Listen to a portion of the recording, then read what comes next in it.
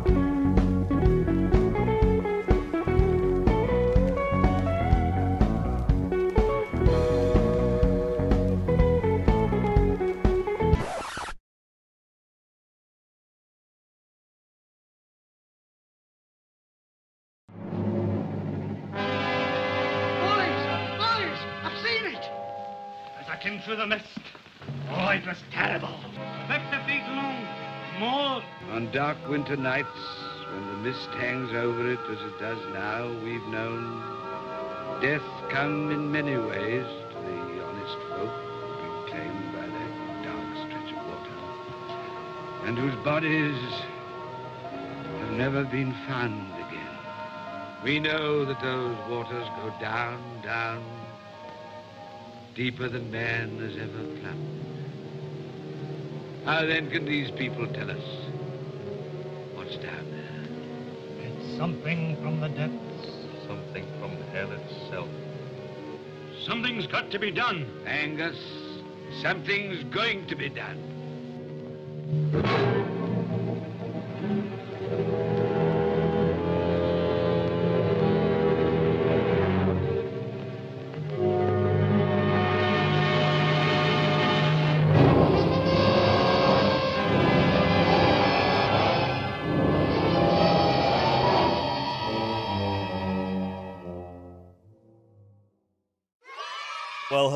Everybody, and welcome back to Paleontologizing. It is really good to have you here. Glad you could join us on this beautiful Tuesday afternoon, or whatever time it may happen to be, whenever and wherever you're watching this. Whether you're watching hello, well, whether you're watching right now in chat, hello, chat. Whether you're watching live or whether you're watching later on in the VOD or on YouTube, I'm glad you're here, and a very, very happy International Sawfish Day to you. Today, we're going to be learning about and celebrating these incredible chondrichthyan fishes, cartilaginous fishes. And Geoloxa, thank you for the follow. Welcome, welcome to Paleontologizing. It's good to have you here. We've got a lot of cool sawfish stuff to talk about today. And remember when I said I'd be streaming early today? Here we are, like almost two hours early. Good stuff. Anyway, if it's your very first time here, and it might be yours, Geoloxa, and it's probably the first time for some other people too, welcome, welcome to Paleontologizing. My name is Danny Anduza. I'm a dinosaur paleontologist. I know we're talking about sawfish today, but dinosaurs are what I actually study, what I publish on in the scientific literature, and what I dig up during the summers. You should check out the YouTube page if you'd like to see some of our uh, recordings of broadcasts live from the field. We dug up at least at least three new species of dinosaur this past summer in June and July and August in uh, Wyoming and Utah. And uh, I live streamed whenever I could from there, whenever was feasible. So check those out. I wanted to show people what it's actually like to dig up dinosaurs. That's that's kind of my whole purpose for being here on Twitch is to to give people an inside look into fossil science. Paleontology, what is it? How does it work? Why is it exciting? Why is it important to understand? Why is fossil science relative re relative? Why is it relevant to your everyday life? We're going to be talking about that today with regard to sawfish. We'll be talking about their fossil history. We'll be talking about kind of lore around them. We'll be talking about their conservation, their biology, and why they're important as animals and how fossils help us understand them in context. So yeah, and they are rays, Kennedy. Yes, indeed. Sawfish are uh, batoids. They're uh, they're part of the the ray clade. We'll be talking about that too. Yeah. And Geoloxa says hello. Regards from Spain. Ah, claro que sí. Gracias, Geoloxa. Y bienvenidos a Paleontologizing de la área de la Bahía de San Francisco. It's good to have you here. Um, I hope uh, hope things are going well for you there in Spain. Shoot, if you had been here earlier this week, we were talking all about dinosaurs from Spain uh, on Spain's National Day. That was um that wasn't this week. Sorry, that was last week. So check out the uh, the VOD from that, or the YouTube page. I'll give you a link. But we were talking all about your country's dinosaurian fossil heritage. Um, here we go. Yeah. Dinosaurs of Spain.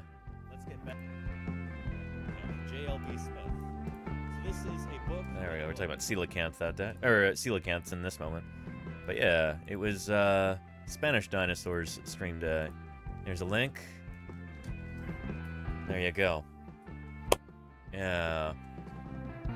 Um, good stuff. And hello to you, Sculpin. Welcome, welcome. Let's see who's here right now, and we will say hello to everybody. Uh, we've got an interesting, uh, interesting viewership right now. Starting early, some of our regulars aren't here yet. Uh, Over It Already was first today. How are you doing, Over It Already? I hope you're hanging in there. It's good to see you. Welcome to Paleontologizing. And, uh, Shula Dama, how are you doing? Welcome, welcome. Good to have you here. Arle, a fine Tradoon to you as well, Arle. It's good to see you. Uh, go for Fluffernut. How you doing, Fluff? Welcome, welcome. Tommy Platicus. Glad you're excited for the early stream today. It's good to see you. The Bread God Zero. All hail. Welcome, welcome. Praise be. Matt M33, I hope you're doing well. It's good to have you here. Ghostly Ghoul says, I saw a fish once. Har har, Ghostly Ghoul. it's good to have you here. Milicia Total. Hola a ti también. And holy cow, Sculpin. Oh yeah. Thank you for those five gift subs there. Sculpin, holy cow. Thank you, thank you. There are now five people in chat. I won't have to worry about ads at all for this broadcast and for all subsequent broadcasts for the next 30 days. I appreciate your generosity, Sculpin. Thank you for supporting my mission of science outreach here as we try and get to our sub goal before the end of Wednesday's stream. Um, I'm not going to be streaming on Thursday or Friday this week, or on Monday. So I'm going to be at TwitchCon. We'll talk about that in a little bit. But let me continue making my way down through chat. We've got Esther the Dreamer. Ciao to you too, Esther. Welcome, welcome. Trappy Jenkins. Hope you're doing well, Trappy. It's good to see you. Uh, Thalo, hello, hello to you. I hope all is well. Texas Cryptid, how are you doing? What's shaking? Uh, Moosey Fate. Oh, yourself, Moosey Fate. It's good to see you here. Baja Smancer. I dig that, Apatosaurus. How you doing, Baja? Um, Andy then did. Welcome, welcome, Andy. Good to have you here. Neilf. I'm glad you've made it back as well. It's good to see you, Neilf. And All Puff No Tough. That's a name I have not seen before yet in this chat. Welcome, welcome, All Puff. Thank you for uh, for joining us here on Paleontologizing. Reanimated Bit is here, says a wild Tradoon. You are a wild Tradoon, Reanimated Bit. I'm glad you've made it your way back to chat. It's good to see you. Golganek. How are you doing, Golganek? Welcome. Welcome. And uh, Kennedy, yes, indeed, sawfish are raised. It's good to see you, Kennedy. Uh, Sparhawk says, "Hey, Danny, long, so long no see. How are you doing, Sparhawk? Welcome back. Good to have you here. Yeah. And Sawfibshtay. Um.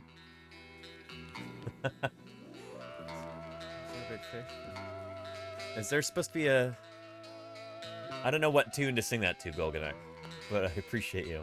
Haraz, how are you doing? Welcome, welcome, Haraz. And uh, Craig C, 1978. Craig, welcome to Paleontologizing.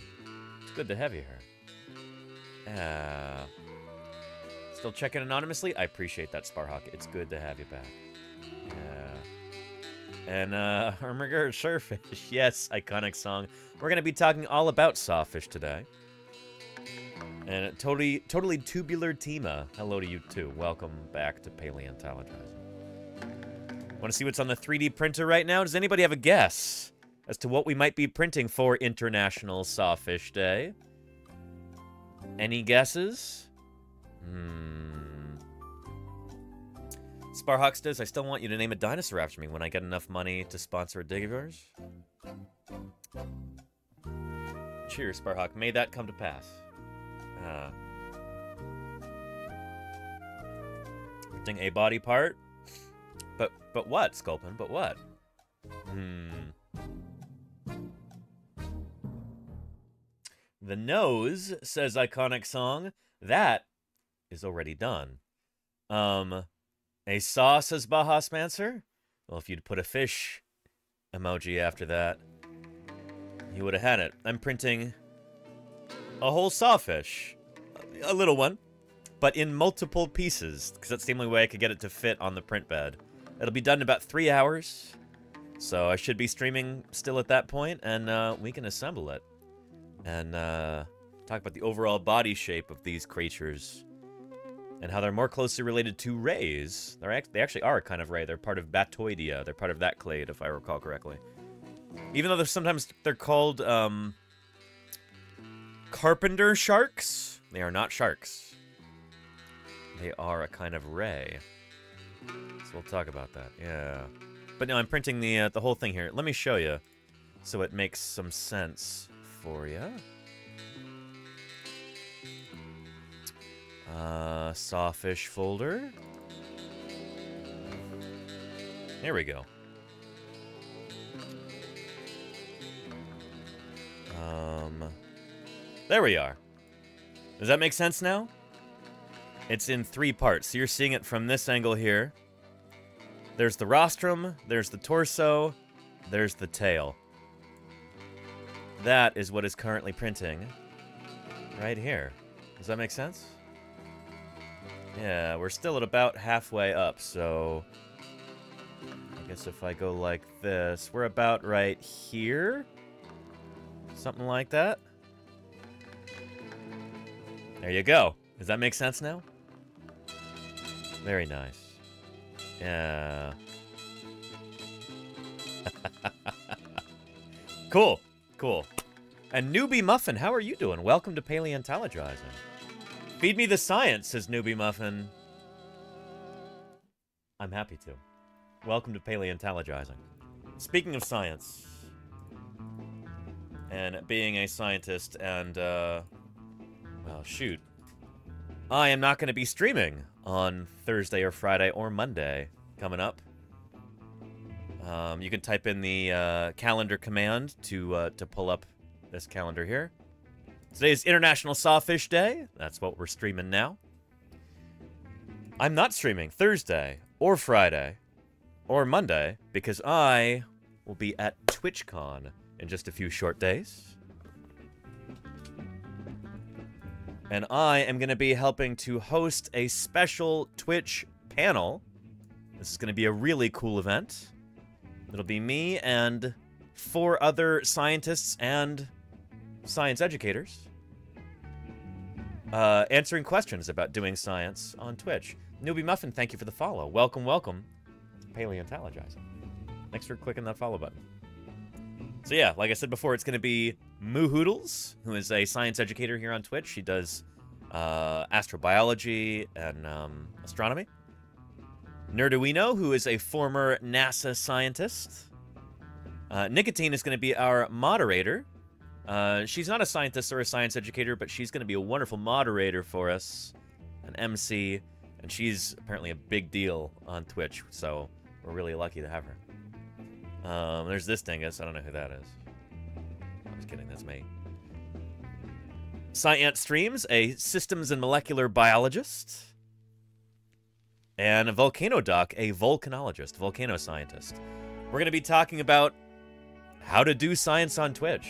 Why Twitch is a, a really good platform for science outreach. And, um, and honestly, why there should be more scientists on this platform. Part of this is kind of a pitch to our colleagues in the sciences, being like, hey, we're doing really cool stuff here. You could do science outreach through live streams. You can do it on Twitch. So yeah, pretty excited about that. And uh Sculpin says, watch out for the slot machines. Yeah, I'm not gonna I doubt I'm gonna run into any slot machines. Um, as I'm running through the casino floor. But I'll be careful not to trip over them or anything. Um while I'm there in Vegas, attending TwitchCon, I'm to be passing these out to anybody who wants one. We were talking about those buttons, and I've got the first of them all made now, and I am pretty excited about that. Limited edition, handmade paleontologizing buttons. I've been, uh, I put together a few of these this morning after I went and got them printed.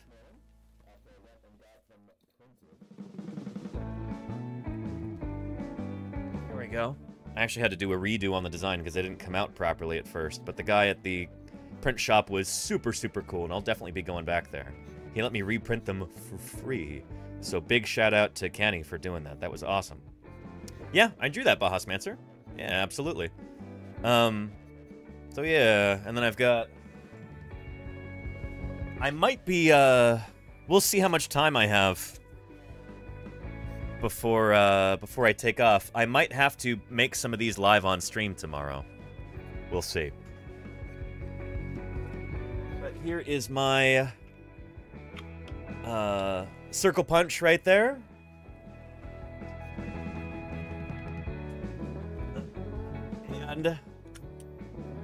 The button press.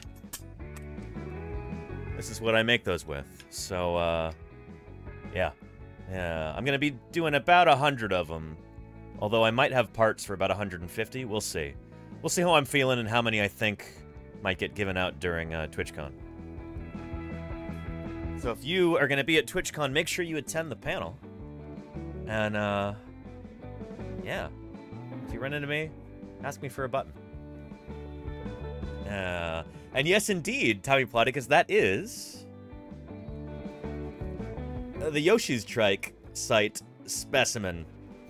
Um, I was trying to figure out, like, what... I want to put a dinosaur on the button. But what kind of dinosaur? And I figured, well, shoot, Yoshi's Trike is about as appropriate as it gets. Because this is a particular Triceratops specimen that I dug up back in 2011 with the Museum of the Rockies crew. Yeah. There we go. Hmm. There we are. There's me next to the skull of this critter. That's a cast of the skull, reconstructed. Uh, if you ever go to Museum of the Rockies in Bozeman, Montana, you will see this on display. Whole mounted skeleton. And, uh, yeah. Yeah. You can even get a model Yoshi's Trike. I don't know if they sell these at the museum. They should. The gift shop knows what they're doing. They should be selling these. Um, but yeah, Eofauna put out a model. This is this particular Triceratops specimen with the super, super long brow horns. Yeah. This is the Triceratops from the Yoshi's Trike site, named after Yoshi Katsura, who's the Japanese paleontologist who discovered the site back in 2010. Yeah. Uh, oh, with Ashley and her husband? Yeah, yeah. Ashley and, um, and Lee Hall work at Museum of the Rockies now. This is true. Lee, uh, Ashley's husband, he was one of my, uh, my crew chiefs that summer in 2011. Yeah. Good guy. Lee and Ashley, good people. Um, anyway, yeah. Yeah. So, there we go. Find me at TwitchCon. I'll give you a button. Um, I'm really happy with how these turned out. I really like the color scheme, and I knew I needed to find some sort of design that would work well, some sort of color scheme that would work well with the purple of the Twitch logo, because I wanted to put the Twitch glitch on there. And uh, I think it turned out pretty well. You really can't go wrong with purple and orange. It's a good combination. Yeah. And Newbie Muffin says, I love that it's not a toy, it's a model. I mean, it's more expensive than a toy. Shoot, these things are not cheap. Um... Yeah. There you go. Um, well, here's a link right here. But yeah.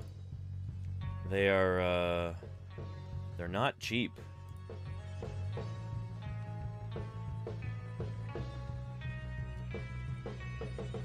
Actually, that seems like it's gone down in price. I thought I paid like $40 for mine. Um... Yeah, $16.66. Oh, 16 pounds. 66 pence? Is that how that works? Not from the UK. But, uh... Yeah, thirty to thirty-one dollars for. That's not terrible, I suppose. Um, it's not often that you can buy a a really, really high quality, hyper accurate, up to date dinosaur model of a particular dinosaur specimen. So it's pretty cool, if you ask me. It's pretty cool. Mr. Maxi says, is that the biggest trike that we've ever found? No, far from it. But it does have the longest brow horns. Yeah. Um, by far the longest brow horns, I think. And, uh... Yeah.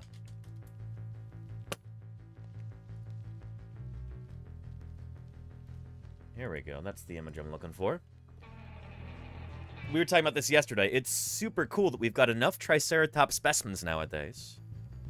Most of them at Museum of the Rockies. MOR is the abbreviation. Those are the specimen numbers right there.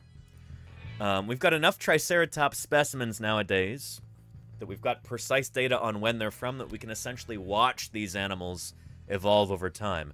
And this one, MOR 3027, Triceratops from the Yoshi's Trike site, is from the middle of the Hell Creek Formation. There it is, right there, actually. MOR 3027, right here. Uh, yeah, this is, uh, from the middle Hell Creek. So these animals are, are changing over time. Their brow horns start to get a little bit longer, and then they get short and stout when you get to the top, but the nose horn starts off small, gets bigger, progressively bigger and bigger until you get up here with the Triceratops prorsus species. I don't know why I'd use quotation marks for that. It's unwarranted. But anyway.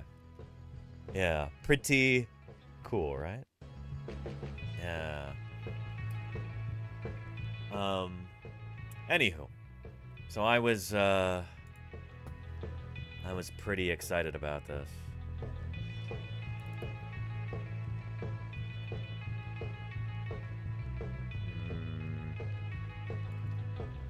Need to actually save this real quick. The, uh, the new design and have that ready to show off. Because I've modified it a little bit since I last made a mock-up. So...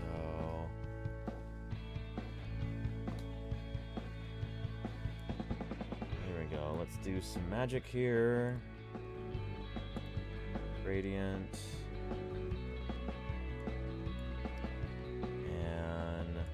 Merge visible. Put that back on there. And that too.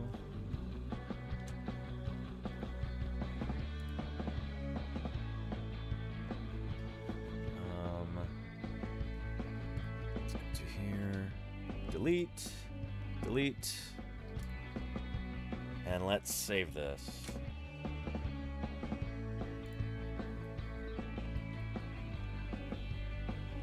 See that as a PNG. And there we go. Good stuff. Yeah. Uh, Newbie Muffin says that really does be a proper drawing. Thank you. Uh-oh, wait, what happened? Oh, there we go.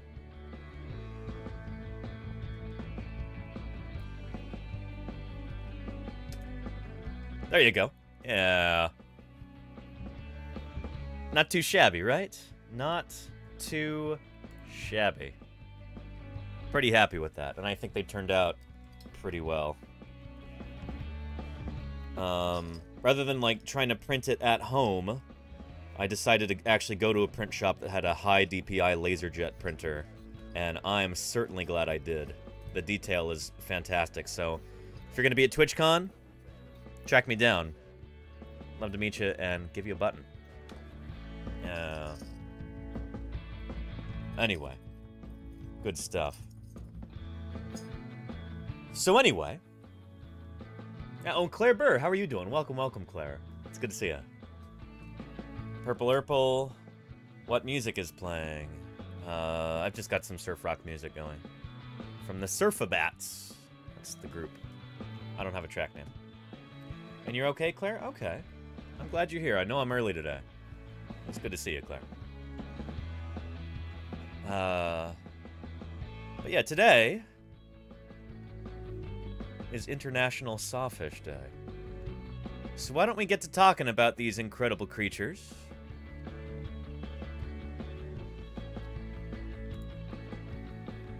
Yeah, let me play you a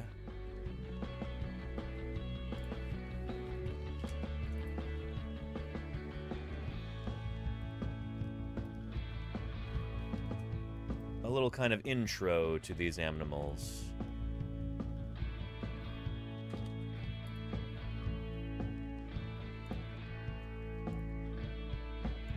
There we go.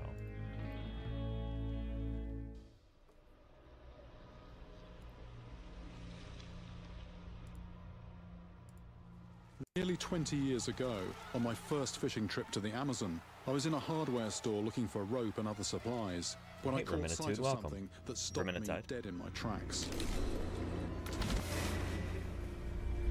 Yeah. About a yard long, with a profile just like a chainsaw. Except that each vicious-looking point was fully two inches long. What I'd stumbled upon was the snout, or rostrum, of a fish the locals called the araguagua. This is an animal I'd been vaguely aware of from my youth, but which I'd never actually seen. In the comics and adventure books of my childhood, this creature was normally depicted as a sea monster, usually brandishing its serrated weapon at terrified skin divers.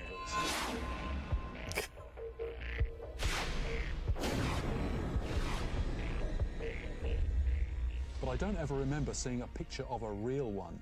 And until that hardware store in Brazil, I'd no idea that this large and wickedly armed fish might swim up rivers. They do. That's where the young ones are. The animal in question is known in English as a sawfish. Giants over 20 feet long have occasionally been caught. And legend has it that these monsters will even attack boats.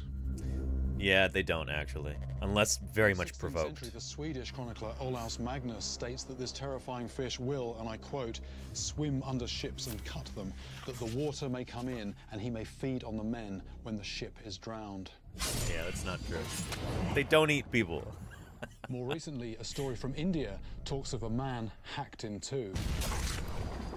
If those accounts sound far fetched, then more believable perhaps is this newspaper article from the 1930s about an attack off the coast of Florida. Hmm. The story goes that a fisherman harpooned a large sawfish in shallow water. Why would you do that? Spun round and struck the Beautiful animals. Snout. Tables were suddenly turned. It is sensationalism, Rockefeller, yes. We're going to be talking about why. Shudder to imagine that rack of teeth scything into human flesh. Despite severe injuries, the victim in this instance appears to have survived. I'm glad that the fish who was the victim survived in this circumstance. Very, very glad. Um, we didn't hear what happened to the fisherman, so I don't know. But I'm glad that the uh, the sawfish managed to survive. Having not been the aggressor in this circumstance, was not the one who uh, harpooned the fisherman. But I've long wondered if the animal that attacked him could be the most fearsome of any fish to lurk in a river.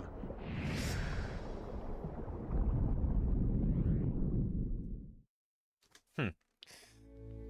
A sawfish. This is an animal which is, I think, deeply misunderstood. We're going to talk about why. But first, somebody was asking about the rostrum, which not only do I have printed, but I also painted it very quickly this morning with a rattle can. But, uh, check this out. The rostrum of a sawfish. This is printed life size for a very, very large sawfish. It is, uh. They get this big. They actually get bigger than this. But pretty cool, right? So the rostrum, this is actually the nose of this animal. It's not part of the mouth, and so calling these teeth is maybe a little bit misleading. They're more properly called denticles because They're made of the same kind of tooth-like material that the skin of sharks and stingrays are made out of. Uh, it's dentin, so it's, you know, it is like a tooth material, but these are not the teeth from inside the mouth. I want to make that very clear. Pretty cool, right? Yeah. And not a very good paint job yet, but it at least is not the original filament color, which is which is good.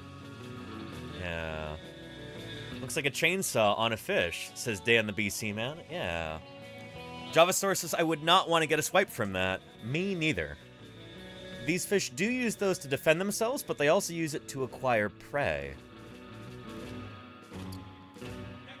Um, but yeah, before we get a bunch more people in here, I figured it might be a good opportunity to uh, take a look at a, another kind of sensationalistic source, a little bit. Let me let me get that out and show you.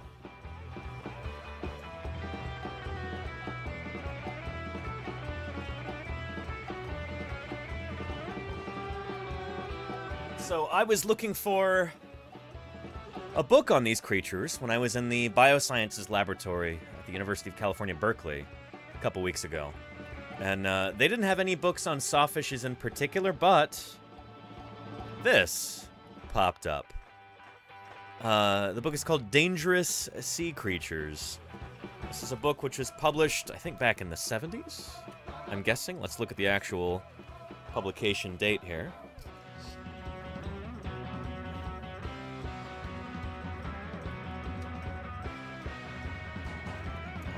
Stay there. Publication date? Bingo. 1976. Yeah. Tell my wife, Dorothy. Oh. And now, if we go into the index, let me find out where the sawfish were, because there was an interesting story in here, which I kind of wonder if it's true. But we're going to be talking about it.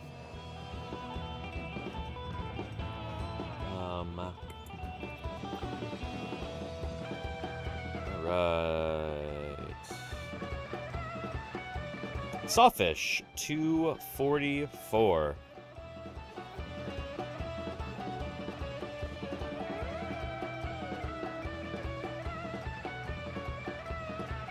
There we go.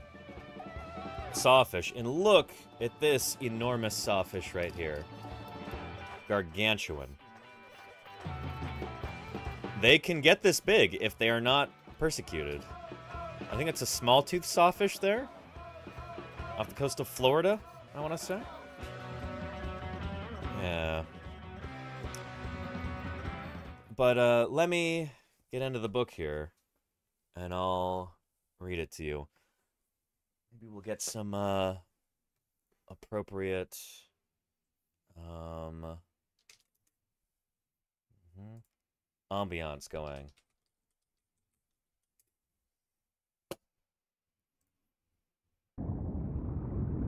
There we go. That'll work.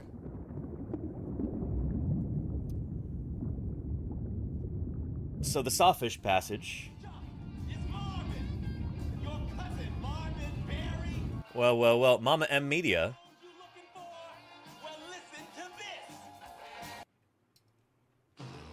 Thank you for that hot new sound, and thank you for the raid, Mama M Media. Welcome, welcome to Paleontologizing. Mama Media has a new sound for their four listeners. It's good to have you here, Mama M. How was your stream? I hope it was really, really good. Welcome back to Paleontologizing. Glad you could make it. And happy International Sawfish Day. We are talking about these incredible creatures. One that would have uh, had a rostrum like this. This is my 3D printed sawfish rostrum. This would be from an exceptionally large sawfish. But they do get this big. Um, so anyway, let's talk about those critters. I was just about to read a passage from here about sawfish. This might be a little overly sensational, but let's let's get into it nonetheless. So this is the author writing. When I was about five years old, there was quite a stir in the small Florida town on the Gulf where I lived. A group of commercial fishermen had captured a sea monster and strung the creature up to a gin pole on the boat dock. The word spread rapidly, and in due course I was taken down to the waterfront to stare in wide-eyed wonder at the fantastic catch. No one thought of charging admission. The adult. And Kinamara, thank you for the 23 months. I appreciate that, Kinamara. Ontogeny. No one thought of charging admission, nor was there an entrepreneur on hand with a straw hat and a cane to give a spiel about the creature that had been dredged up from the depths. It was just a big oddity to be viewed and discussed by those who might be interested. There, in touching distance, if I had dared, I beheld the monster. Someone had measured it, and it was common knowledge that the creature was 17 feet long.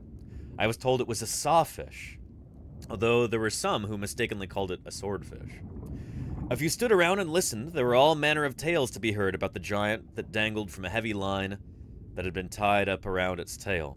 Some, who, uh, who seemed devoid of imagination, casually remarked on how they wished many more could be caught because they ate entirely too many oysters and crabs. I found it more fascinating to learn to others. There are fewer than 40 Uh, full-time. Mr. Maxi, thank you. Thank you, Mr. Maxi, for those five gift subs. Three of them. I really appreciate that. Expedition. Holy cow, look. We are, uh, we're approaching our sub goal for the week. Good stuff. Mr. Maxi19 just gifted 5 subs. Thank you, thank you, Mr. Maxi. I appreciate that. Uh, uh, so some of the onlookers who seemed devoid of imagination casually remarked how they wished many more of these sort uh, sawfish could be caught, because they ate entirely too many oysters and crabs. Try blaming the dinosaurs. It's not true at all. And thank you, Hogan, for the 100 bits. We do have a hype train going. Good stuff. Uh, I found it more fascinating to listen to others who related wild tales that they had heard about how large sawfish would attack boats, saw them in half, and proceed to butcher the human occupants. Not true stories. Still others told how such beasts were known to invade swimming beaches and cut the feet off of all who failed to get out of the water in time. Also not true. People make up all kinds of weird and wacky tales about animals. One thing was certain no one was going to make me believe that such a fearful looking brute would be content to dine on oysters and crabs. The longer I gazed in wide eyed wonder, uh, the more I convinced I became that this thing they called a sawfish was undoubtedly the most dangerous creature the sea had to offer. From time to time, I've been taken down to the waterfront to see extra large sharks that had also been placed on public display. Their bulk and ragged teeth protruding from a gaping mouth had been a source of wonder, but pilloried dead sharks seemed commonplace in comparison with this giant I now beheld. Long pointed teeth, so many that I could not pretend to count them, jutted at right angles from a broad, flat snout, protruding from the front of the creature's head. It resembled a section of a cross-cut saw with teeth on both sides of the blade. Feed on oysters and crabs, indeed. It's meant to be sarcastic, I think. And thank you, Golganek, for the 100 bits. Appreciate that. The years passed by and my interest in sea life continued with fishing, observing, collecting, studying, and wondering, but the memory of that 17-foot sawfish is never dimmed. In the early years, I simply could not accept the fact that nature would build such a magnificent living weapon of destruction and then decree that it should be used uh, to grub about in the bottom mud, uprooting bivalves and flushing out crabs. It seemed tantamount to sending a knight in shining armor to, to dig potatoes, uh, when he should be busy slaying fire-breathing dragons. Well, hey, hey, hey, let's be kind to dragons. There are two primary species of these strange creatures in the western Atlantic and nine recognized species in the genus Pristis, uh, distributed around the world in tropical, subtropical, and some temperate zone waters. One of the most numerous is the common sawfish Pristis pectinatus, ranging from New York southward. Unfortunately, they no longer live up near New York. They've been completely wiped out in northern waters since the 1970s. The real giant of the clan is the large-toothed sawfish, Pristis uh, parotid- perotteti, known to reach a length of 20 feet and exceed thousand pounds in weight. All are members of the order Rajiformes, which includes the rays and skates, and in turn makes them the relatives of the sharks. I'm going to skip ahead a little bit. And thank you, Luis De Leon. I appreciate that gift sub to Jim. I really do. Luis De Leon. Thank you, thank you. In the channel. Good stuff. Uh, I see food, I eat it. I saw a sawfish, I put on my safety goggles. There you go, Luis De Leon. That's probably wise to do. I'm gonna I'm gonna put this on hold for now, because we've got a hype train going, and I don't want to discourage people from gifting. Or doing anything like that while uh, while this is going. But take a look at this rostrum. This one is particularly wide right here. They usually aren't this wide, but this would be from an exceptionally large individual. Um, one probably over 20 feet long. And uh, what an incredible animal it is. Let's find another video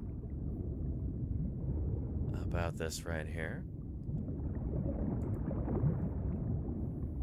Um, let's see. I think we've got an International Sawfish Day video, don't we? Is that this right here? Hmm. Well, no, let's just take a look at this anyway, though. It Looks like a shark with a hedge trimmer for a nose. You can't confuse it for very much out there in the ocean, let me put it to you that way. My name's Greg Poulakis. I spend most of my time working on the smalltooth sawfish and endangered species that we have here in, in our estuary. Salute to this guy.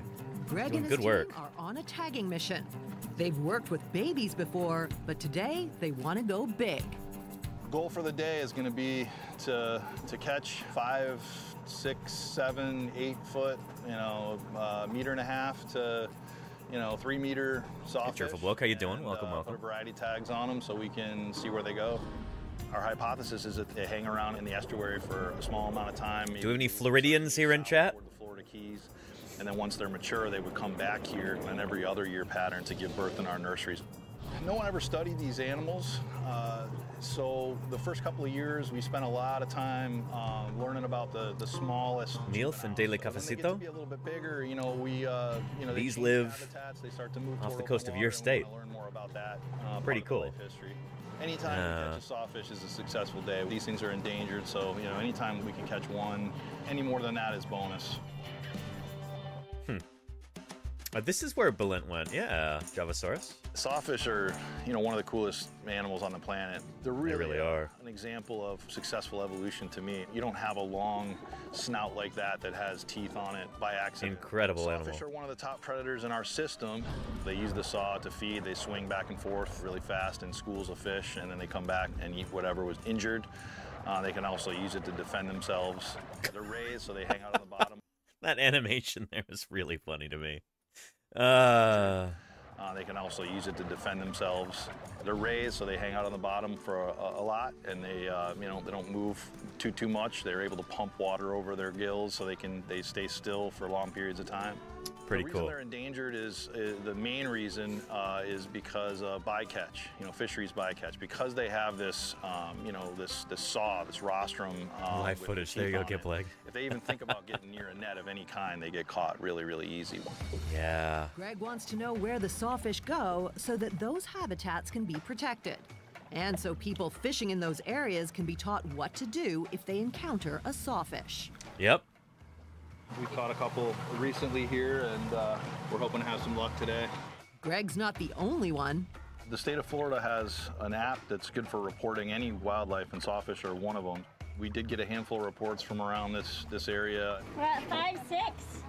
We'll use a depth finder. So we're kind of targeting this um, this deeper hole here at the entrance to Tarpon Bay. So we're looking at you know between four and seven meters of water is where we want to drop these these baits. So These are chunks of ladyfish, and uh, we've had good luck with this bait in the past. But we're putting that bait right on the bottom and in some of these areas where we've seen sawfish before. So um, fingers crossed. While they wait, Greg records the conditions to learn more about the waters sawfish thrive in. This is a YSI. We're going to take water quality here, just uh, temperature, salinity, dissolved oxygen. The abiotic information that we collect can help us determine why the sawfish are here. Looks like, Suddenly, some excitement. looks like Janelle's got something on, so yeah, Janelle. Get it. Show 'em who's boss. Unfortunately, the sawfish wins this round. We were fighting it a little bit. It was definitely hooked up, and it looked like it was kind of using the current. We're just trying to bring it to the boat, and it uh, it broke off. So we'll get some more baits. It broke now the line? Is that the idea? again. Wow. I don't know a great deal about But fishing. After waiting and relocating, The sun is setting. No luck today, unfortunately, but uh, we'll get them next time. a few days later, undeterred, the team heads back out on the water to give it another Sawfish shot. cut the line. Yeah, there you go, Luis de Leon. Anytime we can catch a sawfish, it it's a happens. day on the water. We land the Look at that. To bring them to shallow beach areas, and we'll keep them in the water. Even though sawfish are docile, Greg still has to be careful of those chompers. But once we get it to shallow water, and uh, usually we use welding. I mean, the chompers are underneath the head, and they don't really. That's not what you got to look out for. You got to look out for, you know, the rostrum. I mean, that's what you got to look. Maybe she was referring to these as chompers, the narrator. But yeah, gloves and we hold those teeth and the sawfish is secure so that it's safe and we're safe. We wear the welding gloves because they have those teeth. Obviously we need to be really careful, but those fish are pretty strong side to side so they can swing that thing and be just fine. We spend a lot of time, we use a variety of tags. We've kind of been thinking as a recovery team that it would be uh, decades before they would be to the point we could take them off the list, but you know, they're showing signs, some signs of recovery and, and we're optimistic that maybe That's really good to hear. They would be uh, at least downgraded maybe to threatened or something like that. That would be great. wow. Because they are currently endangered. All living species of sawfish are currently endangered. Um. Very cool. Very cool.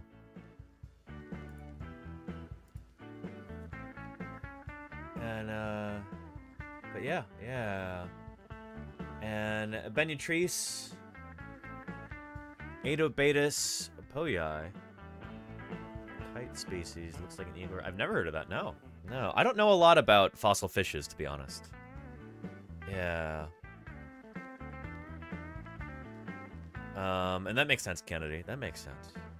Yeah. Daily Cafecito says, so great to learn something new today. Pretty cool, right? Yeah. Um, and these animals are protected. So take a look at this news report from South Florida. This is from seven months ago. That's from this year.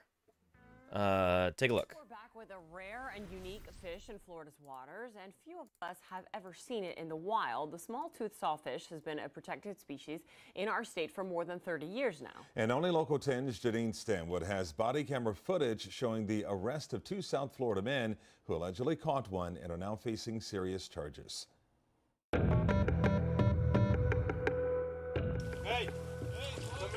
Yeah, They do not persecute these fishes. That, uh, was a little suspicious to them. They saw some uh, flashlights in the mangroves. FWC, come here. Body camera video shows Florida Fish and Wildlife officers approaching men in the mangroves in Everglades City. Part of the boat is spray painted black. Trying to stay. Don't move. Hey, don't, don't move. Stay right there. Stay right Someone's trying to be The sneaky. in the stern of the vessel. Uh, they had a white cooler in here. Mullet. Uh-huh. Snook. Watch out for its bite. And there you go, Beats Say International. they first see undersized fish. Listen to me, okay? Turn around. Turn around. All right, put your hands behind your back. But then a shocking discovery. Sawfish in here too. Uh, Yep. A rare, endangered, and unique looking creature called a small toothed sawfish. If you catch one by accident, by law, you have to release it unharmed. It does have the features uh, similar to a shark, the dorsal fins um, and the side-to-side tail. So this is the sawfish that was recovered. You can see it really looks like a cross between a ray Oh, and poor a shark. thing. This is the rostrum, which is that saw-like snout. There really isn't anything like this in our Florida waters. The small-toothed sawfish is a critically endangered species. Dr. Neil Hammerschlag with the University of Miami says the sawfish used to be relatively abundant in Florida 100 years ago, but the population has plummeted. They were hunted historically for basically for trophies. I mean, they got they get to be really large, yeah. and then they've got this saw, which you know became a collector's item. But he says the biggest threat wasn't hunting, it's these nets called gill nets, which are no longer legal, so people make them by hand. Sawfish were getting entangled in gill nets because of that long saw that they have on their nose. FWC says that's what the men in Everglades City were using.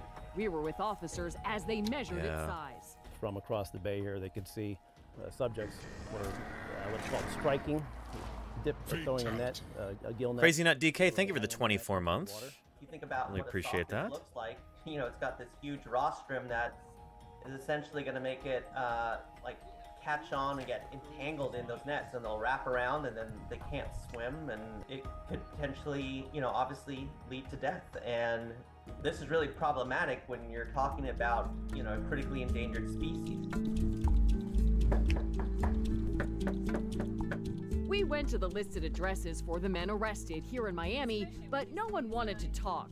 Geraldo Amador and Pablo Condi face charges including possessing fish over the legal limit, using an illegal net in state waters, and taking an endangered species. Scientists and wildlife experts tell us Good, protections for the sawfish are in place for a reason. One of There you the go, Rockefeller, yeah. That have helped sawfish is a ban on commercial gillnet fishing, uh, particularly in Everglades National Park. If you protect them properly, you will hopefully see a rebound. That's the whole idea. Every one member of the species counts if we're going to have a recovery. In Everglades City, Janine Stanwood, Local 10 News. And the Florida Fish and Wildlife Commission says the case is still pending and is being continued in court in the next hearing. is scheduled for March 31st. Justice for sawfish. Yeah. Um. Sort of thing is important. I mean, that might seem like a harsh punishment for someone catching fish, but these animals are endangered and they need all of the help and protection that we can get so they don't become completely extinct. Their historic range goes all the way up to like northern New York, or I guess past the New York Islands. Um, and now they only exist in the U.S. in South Florida. That video's from this year, Daily Cafecito. Here is a link right there. Yeah, that's not at all harsh. Makes me sick, says Moosey Fate. Yeah, me too. Me too. Here, I just plugged in my new mouse. Let me get this. Mouse settings. Feels a little bit more sluggish than the other one. So let's increase the cursor speed.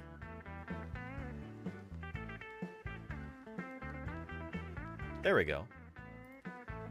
I think that's going to be just about perfect. Excellent.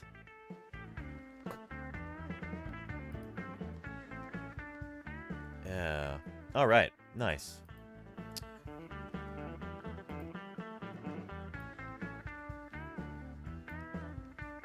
Yeah. And, uh... Patrick Crusaders is another problem is the myth that fish can't feel pain and don't have feelings. That makes people very cruel to fish because they don't think it matters. I hate seeing fishermen just let fish die a slow death after catching them. I mean, yeah, Patrick Crusader, that's a really good point. Um... Fish actually have been shown to have personalities. Um... Here, take a look at this.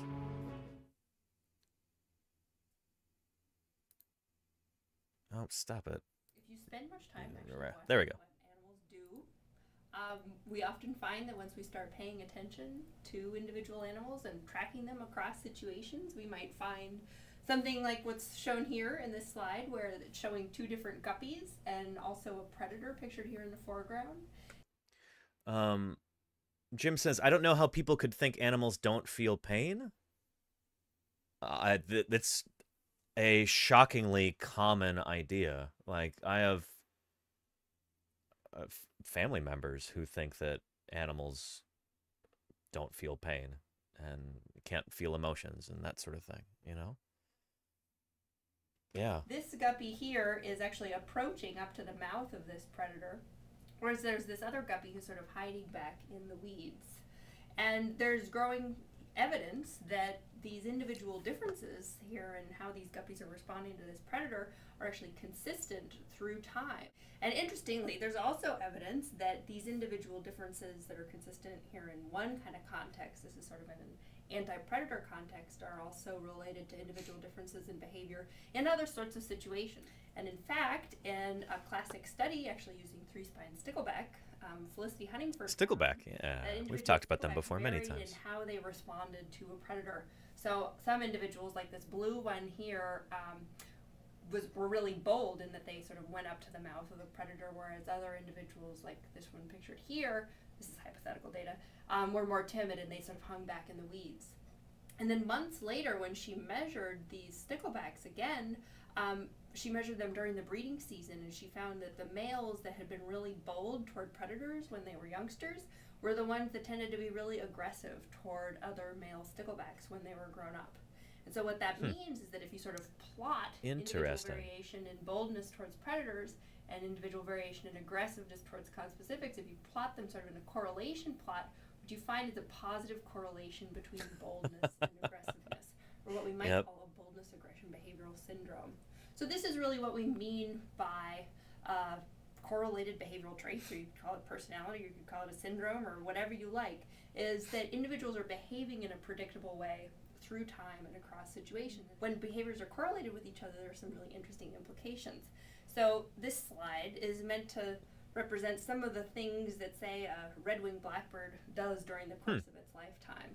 Um, so we tend to think that how a male red-winged blackbird, for example, behaves while he's trying to attract mates, so how he sings, how that's not related to how he, say, behaves in a flock, or say during competition for resources and his levels of aggression, or maybe even how he behaves as a parent. But if individual differences in behavior are consistent across contexts, then that means that maybe what a male does, say, during competition for resources, could be related to how that same male behaves um, as a parent. Hmm. And when these behaviors are consistent, then that might suggest that, well, then maybe this really bold and aggressive kind of uh, red winged blackbird might have trouble switching or sort of turning off this general tendency to be bold and aggressive when the situation changes. So he might be do great during competition for resources, but if he's too aggressive all the time, that might not be so great during the parenting context.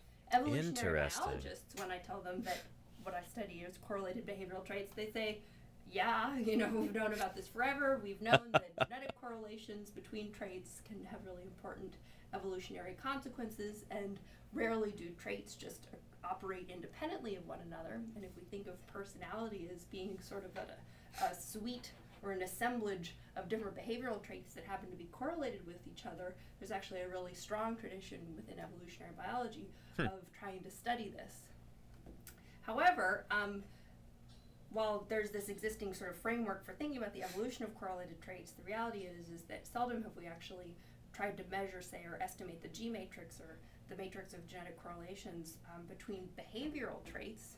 And most of these um, sorts of approaches have been concerned with kind of static tra- traits that don't change um, Hmm. very much within an organism's lifetime. And obviously, when we're talking about something like behavior, this is something that can be really plastic. Pretty cool stuff. Pretty cool stuff. There is another video here that I haven't seen yet, but might be interesting. We'll give it a quick watch, I guess. But, uh, yeah. Um, Oleb Dude says, I still remember when Finau, don't know who that is, caught that sawfish last year, then another the next week, both live on Twitch. Thing was bigger than his boat. I really hope he let them go. Very large sawfish are very old sawfish, and, um, yeah, shoot. Huh. Interesting. And Baha Spencer says, Ardenal, local vid. Well, well, well, let's take a look at. Uh, he absolutely did, and then called it an Fish and Wildlife. Well, good for him, Olip, dude. That's really good to hear. Awesome. And there are clips. If you can find me one of those clips, I would love to see that, Olip, dude. I would love to see that. Yeah. Z Hanger says, "Do you fish, Danny?" I do not. No. Um, I don't. I don't eat fish, so uh, I don't. I don't really see what the point is. You know. Although, if it were in a if it were in like a research context, I would absolutely help with fishing for research purposes, but yeah. This is the very first photograph I ever took of a fish on the water. Uh, a goldsinny wrasse. Oh, very cool. Here, we'll get back to this in a second, but let's take a look at this link first. Can you crank anymore? Hopefully, there's no swear words. I gotta go for it. I gotta go for it. Brace yourself, because there might be. This is an incredible animal, and might get a little bit salty with their language here. I got you. So just be warned. That's a big fish, dude. I know, it's giant. He's he's about to go. I think. Okay, I got him.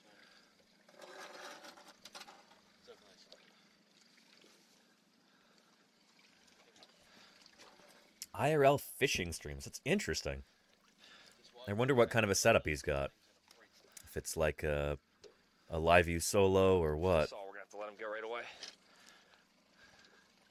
He thinks it might be a sawfish. Sawfish. Sawfish. Sawfish. Look at that freaking thing. Oh my. All right, all right. That thing's 20 feet long. oh my god, that's a sawfish. Chad, that thing's that thing's 20 feet long. Oh man. My heart. We gotta get them off the line. Um, We gotta get them off the line drop then. We gotta get them off the right way. Jenna, bolt cutters, cable cutters. You're not gonna be able to cut it like that. I'm not gonna be able to cable cut it. I doubt it, but I'm gonna have to. Wow. Very cool. Very cool. Um Thank you, thank you, uh Oleb dude for uh for posting. That's really neat. I didn't realize that anybody had ever broadcast a sawfish on stream before. That's pretty neat. Pretty neat. And yeah, we gotta get him off the line as soon as he knew. Commendable. Agreed. Big paleo salute to Oleb dude. Very, very cool. Yeah. Um, nice. And is this the same one right here? I think this is a different one. See how deep it is here? Getting in the water. If that's what I think that is, dude, are you kidding me? I actually don't want any parts of this right now, dude. Chat, I think that's a freaking sawfish. it's either a giant dorsal fin or that was just a bill that just came out of the water. Maybe you caught the same fish twice. It's possible. If it's a really big one. No chance Um, it's a sawfish, dude. Oh my god, it's a sawfish. dude, my bolt cutter's right there, man. Are you kidding me? Why are they in here? It's weeks apart. Uh, nice. I want to catch these things. I want a bull shark, dude. Why? Why? I know, I know. Very cool. Very cool. He's gonna run. Yeah, I'm gonna try to cut the hook as close to his mouth as possible. That's what you're supposed to do. Yeah. should've got him to the beach on hook him. Get the line, cut the line as close to the mouth as you can. Look at that rostrum. You see it there under the water. Look how long that is. This is a huge animal. There's some red ones right there. So that's a small to- small tooth sawfish.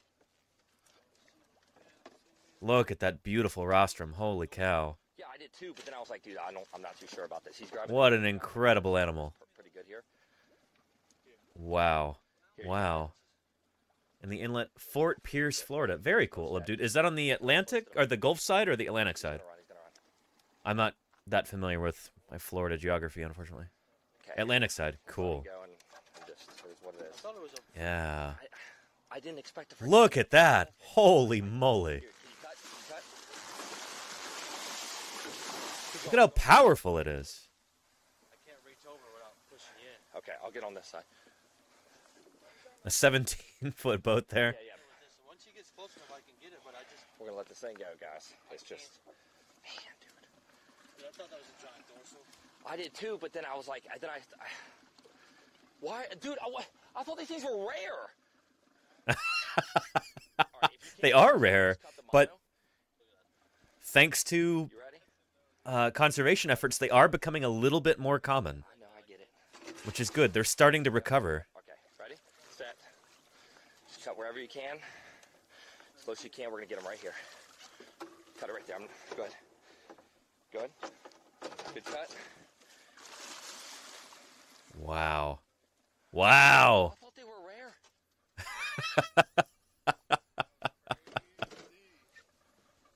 Dude, I tell you, like sometimes. dude, Very cool. Very cool. Thank you, Olab dude, for uh, for posting that. That was a joy to see. I appreciate that. See, this is the magic of Twitch, you know, having that uh, that live interaction. Appreciate you, Olab dude. Thank you, thank you. Yeah. Um. But yeah, yeah. He's constantly complaining, but he's responsible. You know, that's a personality difference, like we see with fishes too. Um. But yeah. Anyway, uh, Dinosaur Dave posted this. Uh, something to look at later. It's worth it. Oh, cool. Uh, very neat, Dinosaur Dave. Thank you. Here, let me, let me save this.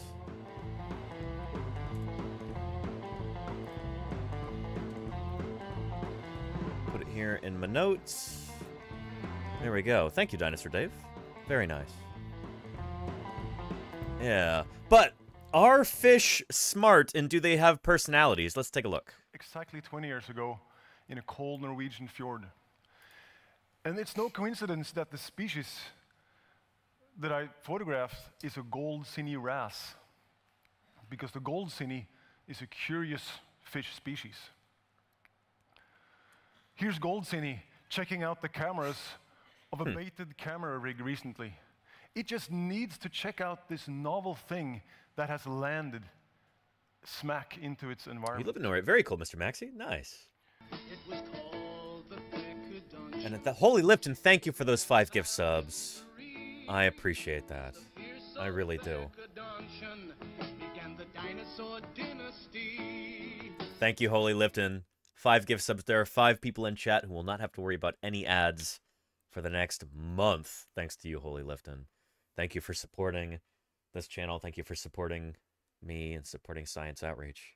Um, yeah, if we want to be on track to finish our sub goal by the end of this short week, because tomorrow is my last streaming day this week, because I'm going to TwitchCon, we're going to try and get to 66 subs, or 67, we'll say 67 today.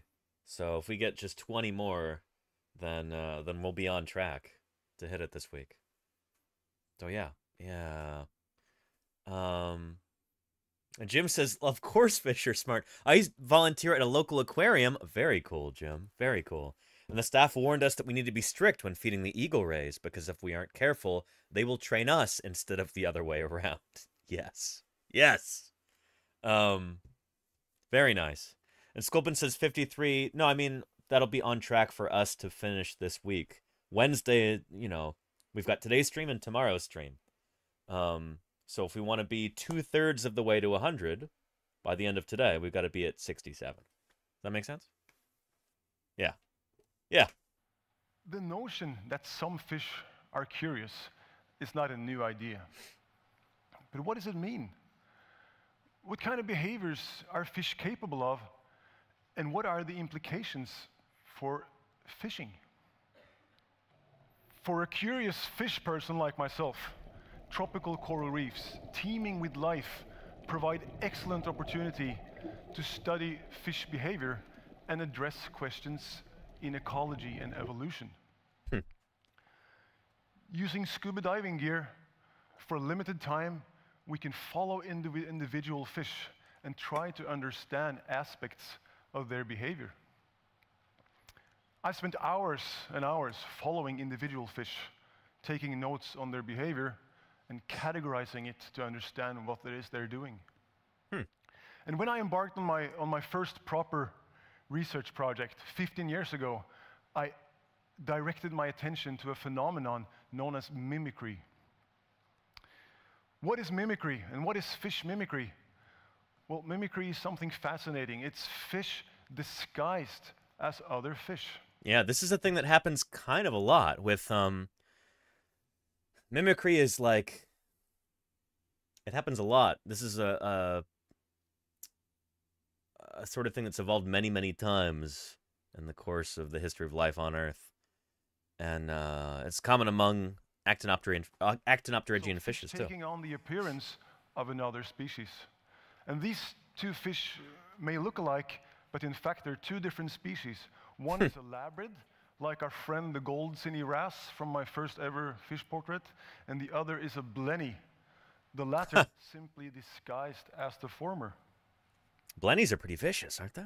And there are good Predatory that. fishes. Because while the labrid, the lower fish in this picture, is the good guy, it's the cleaner fish. It cleans dead Yep. tissue and parasites of other fish on the, on the, on the coral reef, and is thus providing a very important service. It plays an important role to the coral reef fish assemblage. The upper fish, the blenny, is the bad guy. He's a villain A trickster. bites pieces of skin and grabs mouthfuls of mucus off the surface of other fish that are attracted to the cleaner fish. And this so called mimetic relationship is obviously advantageous to the mimic, otherwise, this strategy would not have evolved. Yep. But I was curious to know just how strongly the mimic is depending on this relationship. How important is it really for it to fulfill this sort of this relationship to a to uh, another fish? So Hmm. we designed an experiment in which we Oh, the cool. cleaner fish away from the mimic, Huh. And the results were surprising. Except, uh, besides having to work harder to feed itself, the mimic lost it, its coloration. It changed. Whoa. and Holy cow. Being a, a cleaner fish mimic. So That's this supported nuts. our notion that mimicry in fish can be both flexible and opportunistic, Huh. not necessarily hardwired. In fact, the blue striped fang blenny is capable of taking on any suitable appearance. These tiny fish can make a choice regarding when a behavior and a- an appearance pays off or not. When is it profitable to be a mimic? When is it not? Similar observations were made by colleagues, and they simply concluded that the blue striped fang blenny is choosing when to be a cleaner fish mimic. That is wild. So so basically they can lose that coloration and then just have a completely different strategy for making a living and getting food. But when those blue striped uh wrasses are around, the cleaner fish, then they can just mimic them and kind of ride on their coattails and basically scam the other fishes to take bites out of them. That's that's really wild. That like an individual fish can actually change strategies like that and its its appearance changes. That's wild. So the reasons why I've Huh. shown you the. It was a crab after all. that Freelancer. I want to take you into uh, to the world of fish and, and, and, and show you how fish can be can display curiosity. They can have curious behavior. They can be flexible and opportunistic, and they're capable of making choices regarding the most profitable behavior and appearance. But, but does that really mean that fish are smart in the common sense of the, of the word? Are Hmm. fish capable of truly innovative behavior? Can fish, for example, use a tool? Normally, or one, ex- one um, definition of tool use is the artificial extension of the body. And in case of fish, that would mean grabbing an object with its mouth that could potentially be used as a tool. Hmm. Urkan Rana, hello. How you doing? Welcome, welcome. Yeah. In a self-feeding experiment with Atlantic cod, cod received food when pulling on a string with a rubber mouthpiece. Huh. And the fish in the experiment learned this quickly. Only problem was that while the cod was busy tugging on the string with its mouth and body weight, other fish would see this and they would rush in and get the food before the cod. All the cod in, in this particular experiment That's neat, Holy Lifton. That's neat. equipped with a large, brightly colored soft plastic bead attached to their backs in order Huh. for the movement of the fish to be monitored by video. And sometime into the experiment, a cod accidentally snagged the string and mouthpiece by the tag on its back. And while jerking free, it released the food. Only this time, the food was within reach to the cod. So, hmm. this technique was perfected by this cod to go over to the string, snag it with their, uh, with their tag on their back, release the, the, the mechanism, and get the food. Two Very other cool. cod learned the same technique in two independent tanks. So Clever fishes. we actually have a a case here of truly innovative behavior and, and, and cod taking advantage of an artificial extension of the body that normally would never happen in the natural world of fish. So it's like tool use, basically. Kind of. However, tool use is not unknown in wild fish either. Huh. Here's the uh, black spot tusk fish on the, on the Great Barrier Reef. And it has a fantastic habit. It, it, it knows about a favorite suitable rock in its, in, its surroundings. And while eating seashells, it will pick up shells and clams held for, uh, and hold these firmly in their mouths and smash it against their favorite uh, anvil rock and thus open the clam and get to the soft parts of the, of, of, of the seashell. It's kind of like a sea otter. Um, sea otters will also have like a favorite rock, and they'll actually keep it on their. I was gonna say on their person, but they'll keep it on their body at all times. They've got like a uh, like these flaps under their arms, and they'll keep the rock in one side or the other, and they'll just swim around with it all the time. It'll just be there like a little pocket that they're holding it in. Um, and then they'll use that rock for. Uh, I mean, you've seen this before, right? You know about this?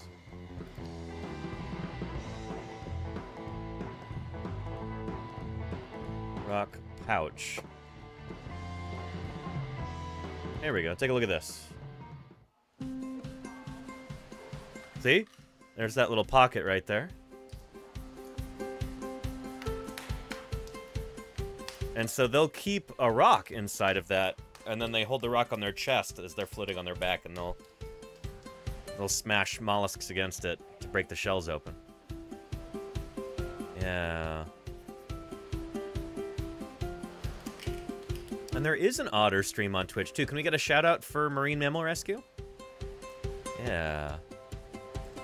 You didn't know they had a pocket? Yeah. Cool, right? Cafecito? Pretty cool. Pretty cool. A little known fact about sea otters is they have a secret place that they can stash things. Chloe here is going to show you. Hey, notice the clam disappears, and it reappears. That is a fold of fur that the otters can use as a pocket, so they can store things, thus freeing up their paws until they need the item later on, just like now. Yep. Thank you, Chloe, for the demonstration. That's where they'll keep their uh their favorite rock. It's pretty neat how that works. Uh yeah, let's try this one. Sorry, it's a little loud. Let me turn it down.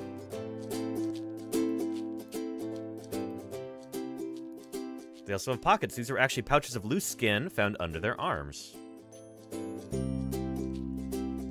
Sea otters use their pockets to store food and rocks for opening tasty treats like mussels.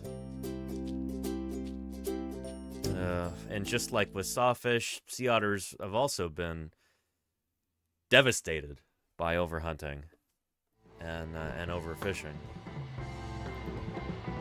Anyway, back to uh, back to fishes, and yeah, they get big, Claire. They get big. So now, in addition, we've seen that fish are flexible. Uh, Your people, yeah, otter do it. There you go. they can also learn new skills. At the same time, fish can be incredibly fixed and predictable in their behavior. This is a Uh, Javasaurus says, I bet you can't see the pockets when having a look at their skeletal build. This is true, Javasaurus. Um, yeah, here. You would have, I think, no indication that they've got that fold of skin that acts as a pocket if you just look at their skeletons. They've got weird skeletons, too. The rib cage is really big compared to their, like, shoulder girdle. But yeah. Yeah, I don't think there's anything about their skeleton that would suggest that. So if we only had their fossils, we wouldn't know that they had that. And that's, uh, that's an important point, Javasaurus. Yeah.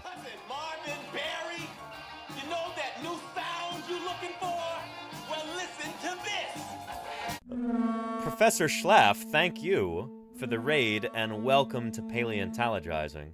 How are you doing? It's good to have you here. How was your stream? I hope it was really good. Tell me about it. What did you get up to? And hey there to you, Slayer Darth. Welcome back. It's good to see you. Um. And everyone, a very, very happy International Sawfish Day to you. We are talking today, celebrating the owner of this incredible organ. This is the rostrum of a sawfish. This is my 3D print of a sawfish rostrum. This is the nose of this incredible cartilaginous fish. There are, depending on who you ask, between five and nine different species of sawfish alive today. All of them are endangered. So we're talking about these incredible creatures, what makes them special, how they behave, what's their biology, what's their fossil history, and the mythology around them too. Yeah. Um but yeah, yeah.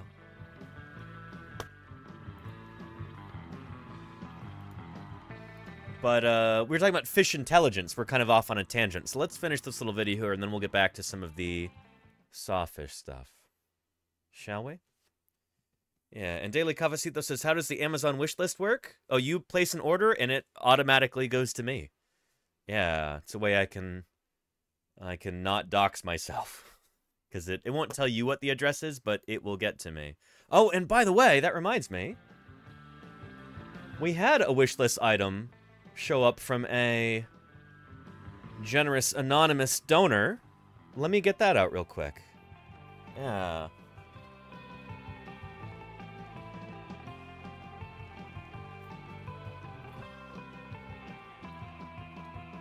So I had put a digging tool that I would use in the field for digging dinosaurs on the wish list.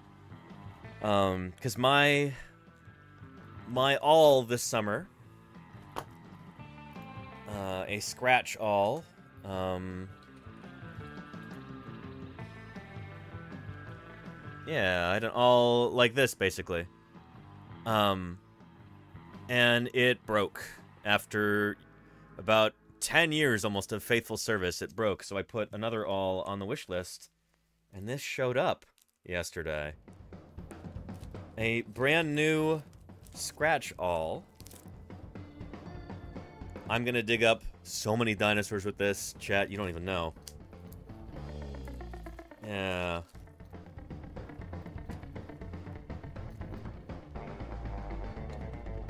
There we go. I don't know how to... Okay, just goes like that. Check that out. Very, very nice. This is a heavy-duty one, too. Um, very nice. Thank you, thank you to whoever decided to purchase this off the wish list. I think they wanted to remain anonymous. Either that or Amazon maybe forgot to put the note inside if there was a note, but there was one with a little QR code. Let me write a very quick thank you note to uh, to this person because I think I have that right over there. If you're feeling a bit cheated, try blaming the dinosaurs. And, uh... Quiztech, thank you for the 100 bits. Appreciate that. Thank you kindly for your support.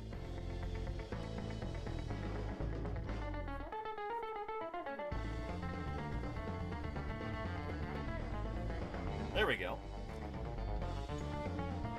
Um... And thank you, Professor Schlaf, for the follow. Welcome, welcome to the channel. It's really good to have you here. Uh, thanks for hitting that follow button. Slash slash a dot co slash d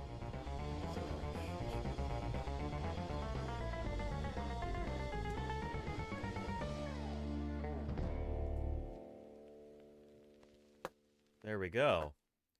Uh, say thank you.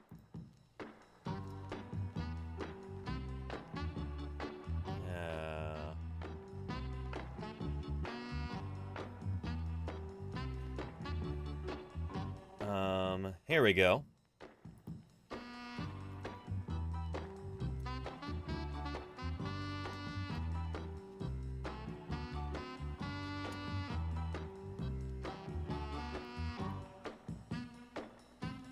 Thank you so much.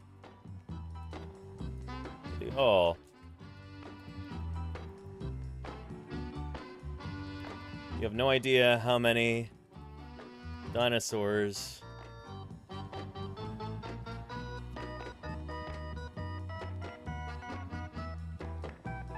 to dig up with this bad boy.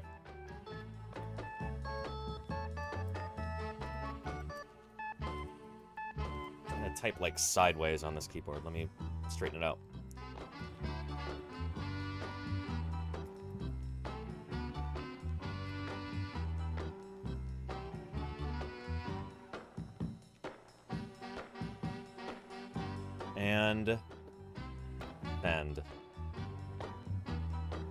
There we go. Good stuff. Uh, Golganek, you sent the awl? That was you? did you try to remain anonymous, or did they make a goof at the warehouse? But, Golganek, I appreciate you. Thank you, thank you. All these bad puns. Yeah, there you go, Arlade. There's a bunch of them, aren't there? Uh, oh, it's Kennedy 104 Kennedy. Oh, sorry, that was Golganek is reposting. Kennedy, thank you so much. I really appreciate that. This is a solid piece of gear here.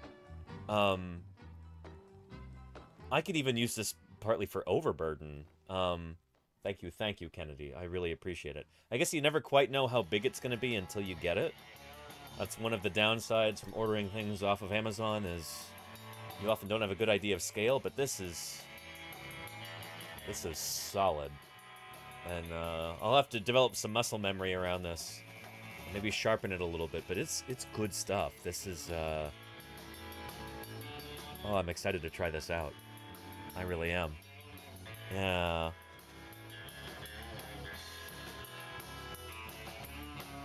Uh, and that will be an excellent tool to add to the, uh, the box. Next time I show off the uh, the tool bag, you'll see it in there, Kennedy.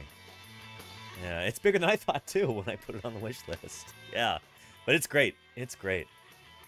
It's for stabbing rivals, Patrick Crusader. I hopefully it will not need to be used for such. Yeah. Um. Anyway, let's get back to talking about fishes and how smart they can be, and then we'll get back to sawfishes. Beautiful, beautiful Yeah. fish. It's a dusky parrotfish. The parrotfish uses Oh no, you're good, Kennedy. You're good. Thank you again. Really appreciate that. that have given name to the group to scrape algae and bacteria off dead coral rock. Mm-hmm. Parrotfish, by the way, are responsible for all of those white sand beaches that are famous in the Caribbean. White sand beaches all over the world, really. That's parrotfish poop. Parrotfish make that sand. They excrete it out. They they poop it out um, because they're uh, they're after the algae, uh, and they end up eating some of the the like aragonite bits of the coral, um, and then they grind it up. So, uh, in fact, yeah.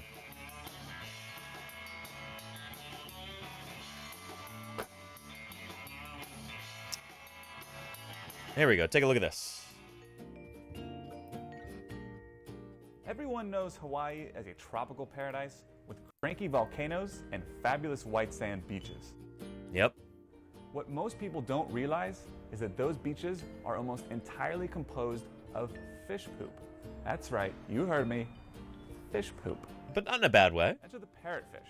It's still a beautiful. creature with an appetite for the algae that grows on coral. The fish gnaws the stuff off with those beak-like teeth, but in the process also strips calcium carbonate from the reef. And I'm talking a lot of it. A single parrotfish can eat enough calcium carbonate to produce 800 pounds of sand a year. Yep. Over in Australia, another species can lay down a ton of it, like literally a ton of it. But if you can believe it, pooping out beaches isn't even the most intriguing thing about the parrotfish. Its hmm. sleeping bag of snot is. Like a What? narcoleptic that's accidentally taken sleeping pills, the parrotfish is an unusually heavy sleeper, and that might put it in danger of predation. As a countermeasure, it'll tuck itself into the reef and excrete a balloon of mucus. What? This bubble could serve to mask its scent or work as an alarm when a predator bumps against it. Huh. Parrotfish also get busy in a very bizarre way. All of them are actually born female and then join a school. But as they grow, the largest female will transform into a male and adopt a Interesting. color Uh, sheephead fish do the same thing. This is actually a pretty common, chasing away rival males pretty common adaptation. ladies. All of them constantly making sand. See, see that sand that they're pooping out? You're enjoying a beautiful Hawaiian beach. Raise an umbrella drink to the drowsy parrotfish. That's a lot of wrasses. Maybe Interesting, Jim. about putting those Okay. Yeah, it's true. And uh, there's a whole chapter about this in this wonderful book here.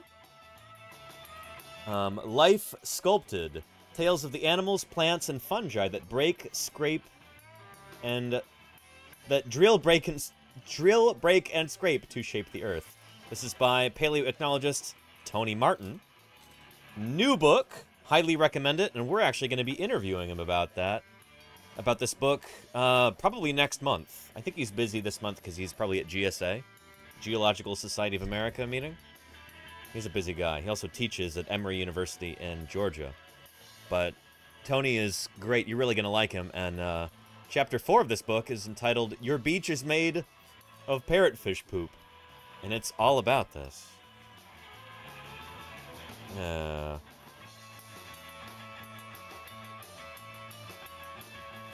But there they are. Bio-eroding, grazing, coral predating, and transporting sediment there. Yeah. Cool book. And uh, I can't wait to talk about it with Tony live on stream. Um, at some point in the nearish future. We'll say near future. It'll be like in less than a month, I hope. Yeah. It is a really interesting book, Neil. All about the way that creatures kind of shape the environment around them by burrowing, by scraping, by drilling, by biting, by doing all kinds of stuff like that. Yeah. And it's coral that's been run through parrotfish, right? Uh, rockophile? I mean, yeah. It's like the rocky part of the coral. It's not the soft-bodied animal part of the coral, but it's the part that they secrete. Um, yeah, you know, the rock part. Um, yeah. Anyway, we got into talking about this because it's in the TEDx talk that we're looking at. So let's continue. algae and bacteria of dead coral rock. Last year, with my marine biologist colleague Rene Abesamis, we tagged 20 dusky parrotfish on Apo Island in the Philippines. Hmm. We wanted to study how parrotfish moved between living coral reef on the Ooh, western they're side like of sewing a Apo tag Island in there. That's and gotta hurt. coral destroyed by typhoons on the But it's eastern important side stuff. of Apo Island. That's science. Parrotfish go to sleep in coral crevices. And we also wanted to know whether parrotfish would prefer living coral for sleeping and whether they would make excursions to the impacted coral for feeding. Hmm. In this film, we're tagging parrotfish with acoustic tags the size of a pen cap, which are placed in the gut cavity of fish where there's some extra space. And the wounds are closed with absorbable sutures, and the wound heals rapidly. Hmm. And the fish is released in perfect condition. And so I guess they know that the fish isn't really impacted by this all that much, that it, it's not killing the fish or anything, because they're tracking the fish afterward. That's the whole point, is to have a tracker inside of it. So if you were worried about the fish there, like I was for an instant, you know, rest assured that I'm sure I'm sure they're doing just fine. In contrast to the diver-based short-term observational work that I showed you previously in the talk, Patrick Crusader says the Sahara Desert used to be an ocean, but someone introduced parrotfish to the to it, and the rest is history. True story. Uh, very inventive, Patrick Crusader. Very inventive. acoustic telemetry enables long-term observations of individual fish, which is fantastic because when you dive, you, you, you can collect a snapshot or, or, or you, can, you can get a short-term Grim teeth. perspective on behavior, but now we can really see what are, Uh, the, what are these rough. fish doing? What are they doing every day? What are they doing every night? So the tag that's inserted inside the belly of the fish emits ultrasound signals that are picked up by underwater antenna that are Hmm. hydrophone receivers placed in the study area. Here's data from one of the fish in our study. And this particular dusky parrotfish pretty much behaved exactly according to our prediction. Every morning around 7:30 a.m., it would leave its nighttime residence on the western side and commute Uh. over to the eastern side where it would spend its day feeding. As can be inferred from the red columns of depth data in the graph. Late afternoon, around 5:30 p.m., the fish would return, commute back to the western side, and once tucked into its favorite coral crevice, the signals would be lost until next morning, as can be inferred from the daily gaps in data. Hmm. And this behavior was repeated every day for the two months or, or so that the study went on. This type of recurring behavior is what we in everyday life would call a habit. Yeah, a But routine. as behavioral scientists, we look for repeatability of behavioral traits, and we can measure how significant things are being repeated. In Atlantic cod, we have been studying behavior quite a lot, and over the last few years, we've tagged hundreds of Atlantic cod in, on the Norwegian Skagerrak coast with acoustic tags, and we have gained insight into their lives and fates. Importantly, though, we have found consistent individual differences in behavior. In the graph, I'm showing vertical and horizontal aspects of cod movement behavior hmm. that showed repeatability or consistency between the month of June and the three following months. Such consistencies in individual behavior can be termed personality. And differences in personality, in the case of cod, could be, for instance, a very active, exploratory cod, possibly bold on one end of the scale, and at the other end of the scale, a shy, timid, passive individual. And we found the same uh, pattern in another of our study species, the European lobster. Question is, how does such individual differences in behavior play out when we expose fish to harvesting? Hmm. This cartoon uses lobsters to illustrate the possibly dire consequences of having a personality characterized by curious exploratory behavior. Passive fishing gears such as traps, hooks, and nets depend on the activity of the target species and a certain willingness to take risks, because there's risk involved clearly with entering a trap or nibbling on a hook or on the bait of a hook, sampling it with your mouth. Curiosity probably plays a role, a role in this. In fact, curiosity, broadly, broadly taken as a widespread behavioral trait in fish, could be one of the main reasons why fishing actually works. Yeah, makes sense. In my career, we have really widened our horizon and, and widened our knowledge of fish. We've gained knowledge about fish behavior, and we've gained a lot of knowledge about how fish work. And that's changing the way we are thinking about fish, and it's changing the way we keep fish. In today's aquaculture and today's experimental labs, we think about things like environment enrichment, providing stimulating environment to the fish to lower their stress levels and play uh, the part of the biology of the fish. Next time you meet a fish, perhaps you'll meet it with the same curiosity as possessed by the goldsinny wrasse in my very first fish portrait. Thank you for diving with me. Pretty cool stuff. Let me give you a link to that video. And then he said the next time you meet a fish, well, I haven't met any fish today, any non-tetrapod fish at least. But uh yesterday I did happen to run into a fish. Take a look. This is when I was out for a walk.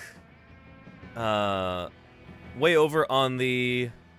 Well, I guess it's still in East Oakland, but on the west side of East Oakland. Right by the Alameda Canal. That's Alameda. Right there, across the tidal canal. And that, dear viewers, is Myliobatis californica. California bat ray. And I love walking along here sometimes whenever I get the chance to. Because, uh... Yeah, it's like maybe one out of every ten times I will run into one or more of these rays. They are social. Sometimes you'll see them in groups of three or more. Very, very, very cool.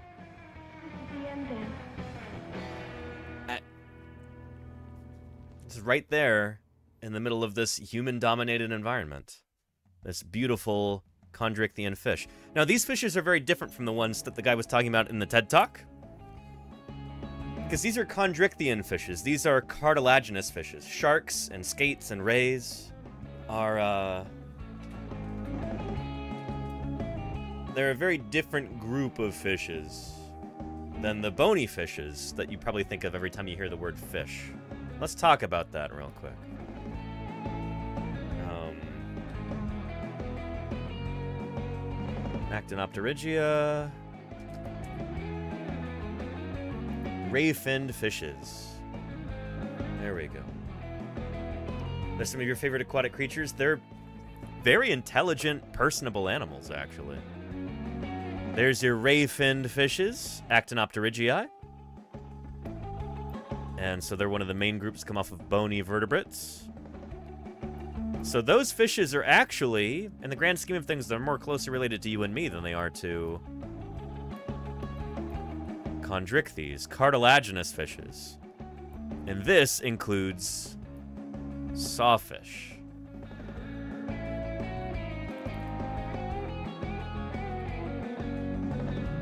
Let's jump to them.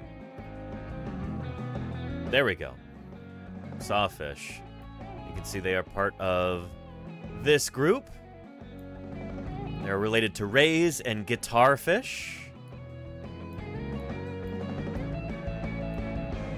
There we go. Actually, yeah, I guess... According to this, guitarfish are a kind of sawfish? Is that right? Huh. Anyway, these are the true sawfish here. Pristidae, named after the genus Pristis. This is the particular family. This is saying that there are seven species. I've also heard five. I've also heard nine. It depends on who you ask. How many species are around today? And, uh, yeah, it's really like how distinct are these animals from one another? Um, should they really be different species? Or not? But, uh, yeah. Here, let me show you a quick little video of a diver diving with some sawfish in Colorado. No, that's not a joke. Take a look. dive with so many cool things to see. I loved it. After the dive, Wendy takes us over to the top of the shipwreck exhibit, which is much larger. A sandbar shark buzzes right by the swim entry point. And that's when she tells us that she got And Kev Gamer UK, welcome, welcome to so we can Paleontologizing. Good to good to have you here, Kev. This exhibit has Yeah, a sawfish. corridor that allows the staff to enter without disturbing the marine life. We sneak around and find a nice spot to settle down and watch the action. a sand tiger shark comes over to investigate. Yeah, these guys are really, really common in Aquaria. Um, because apparently, despite looking really scary, they're actually pretty docile. Um, and I think I don't think they're super hungry. Like they're not going to eat the other fishes in the aquarium. They're crowd pleasers, but they're sweethearts, even though they look really scary.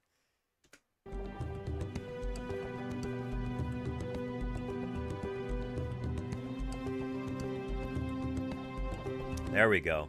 The sawfish. Yeah! Huge sawfish. Holy cow, beautiful.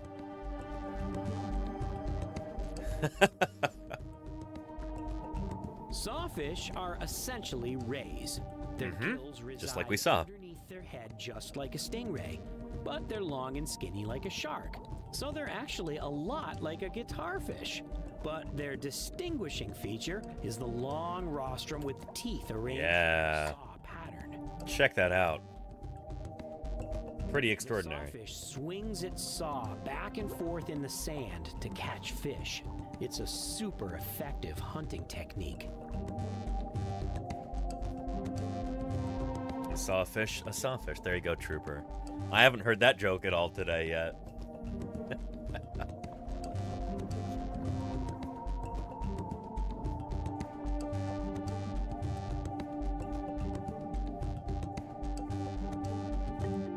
Follow Wendy around the back of the exhibit to the other side.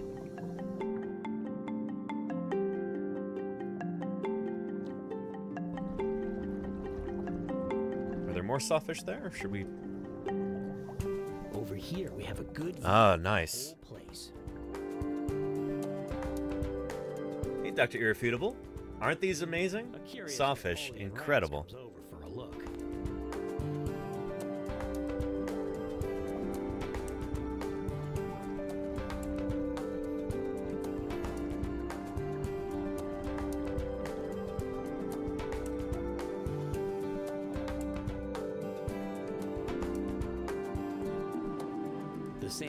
Sharks are curious too.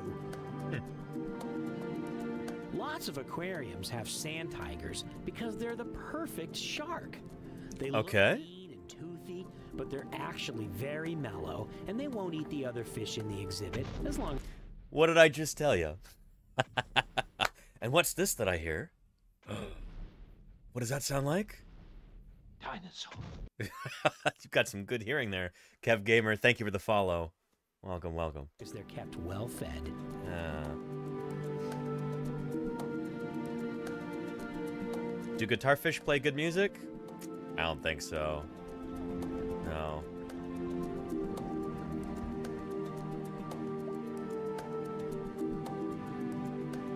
I was gonna make a joke about well, they only do this kind of music, and I was trying to come up with a genre of music that's like archetypically people don't like it, and um,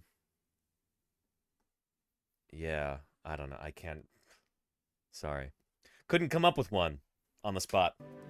Disco, I like disco, Clipper.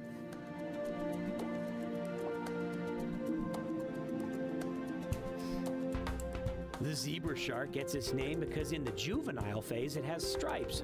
But as the shark gets older, the stripes turn into spots. You like polka? The sawfish normally. I, I could have said polka, bottom, but every once in a while, they like to swim around for a look. Polka can be good though. Look at that sawfish! Holy moly!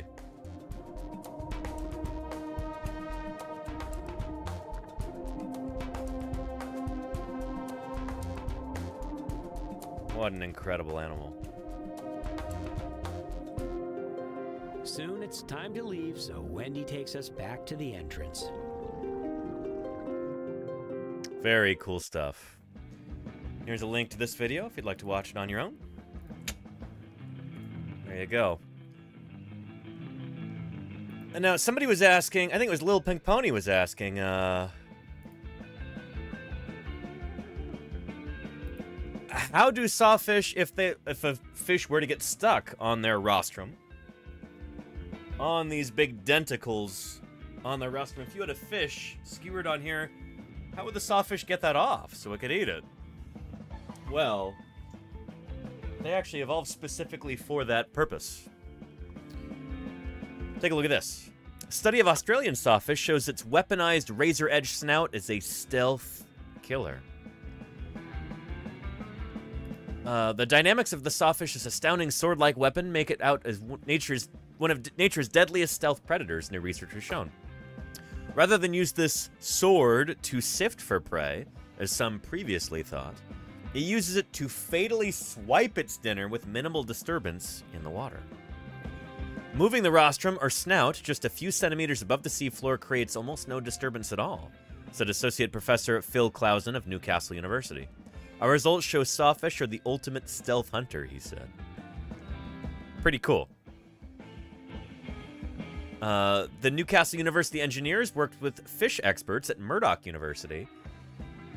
So this is really cool. You've got engineers and fish scientists working together. Um, this is a really cool integrative kind of project. And they worked with Sharks and Rays Australia to better understand how the critically endangered sawfish hunts.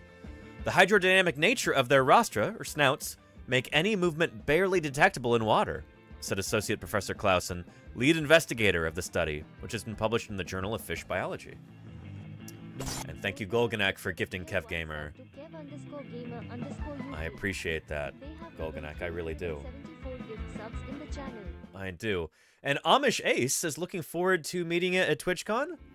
Amish Ace, I look forward to meeting you too. Are you are you following the are you in the Discord? I'm gonna make a special channel in the Discord all about TwitchCon. Um or actually, Claire, would you mind would you mind making a new channel in the Discord about TwitchCon? So that once I get there, Ios and Lordy and I are going to do a meetup, but we don't know where it's going to be yet, so we'll be announcing that when we get there. Um, yeah, I'm bummed I won't be get to make the panel. Uh, well, Amish Ace, if you do see me, see me around, um, I'll give you a button.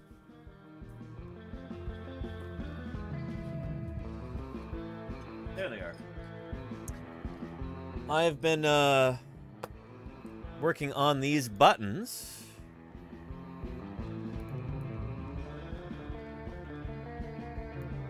Here we go. If anybody is going to be at TwitchCon, track me down and I'll give you one of these buttons. This is the design that I made. And then here is the button itself. Right there. I'm going to have about a hundred of these, if not more. And uh, I would be glad to give you one. There you go. Paleontologizing. And that is the Yoshi's Trike Triceratops specimen right there. It's a Triceratops specimen I dug up back in 2011 with Lee Hall and Denver Fowler and um, Museum of the Rockies crew. So yeah, yeah. And it's not eating the TwitchCon icon. If you look closely, the Twitch icon is behind its mouth. But if you want it to be eating it, you could be, you, you know, you can, you're free to believe that. Yeah. anyway, good stuff. And you got swag. Oh, cool. Amish Ace. Well, I hope to see you around. Yeah. Neat. Very nice. Um, I like to think it's talking, says Murph. That's kind of what I was going for, since the Twitch glitch icon is supposed to look kind of like a speech bubble. So, yeah. Yeah. Anyway. Um, and Draminga Fight says, I was wondering if you had a good resource suggestion for learning about fossils someone finds. I mean, uh... What kind of fossils and where, Fight? It's... It's like, uh, it's kind of like saying, um... Like, is there a good book to identify a fish? It's like, well, or to identify a sea creature? It's like, holy cow, the book would have to be a million pages long to be like a proper field guide for all ocean animals all over the world. In the same way that, like, identifying uh, fossils from all over the world, it's arguably an even bigger subject. Um, Learn more about fluorite replacement coral fossil. Dramingophyte. Where is it from? Um. Yeah, I don't know. I don't know if I know of any books off the top of my head there. But, uh. Upper Michigan. Oh. Well. I bet you you could find a good book on uh, fossils of, of northern Michigan, yeah.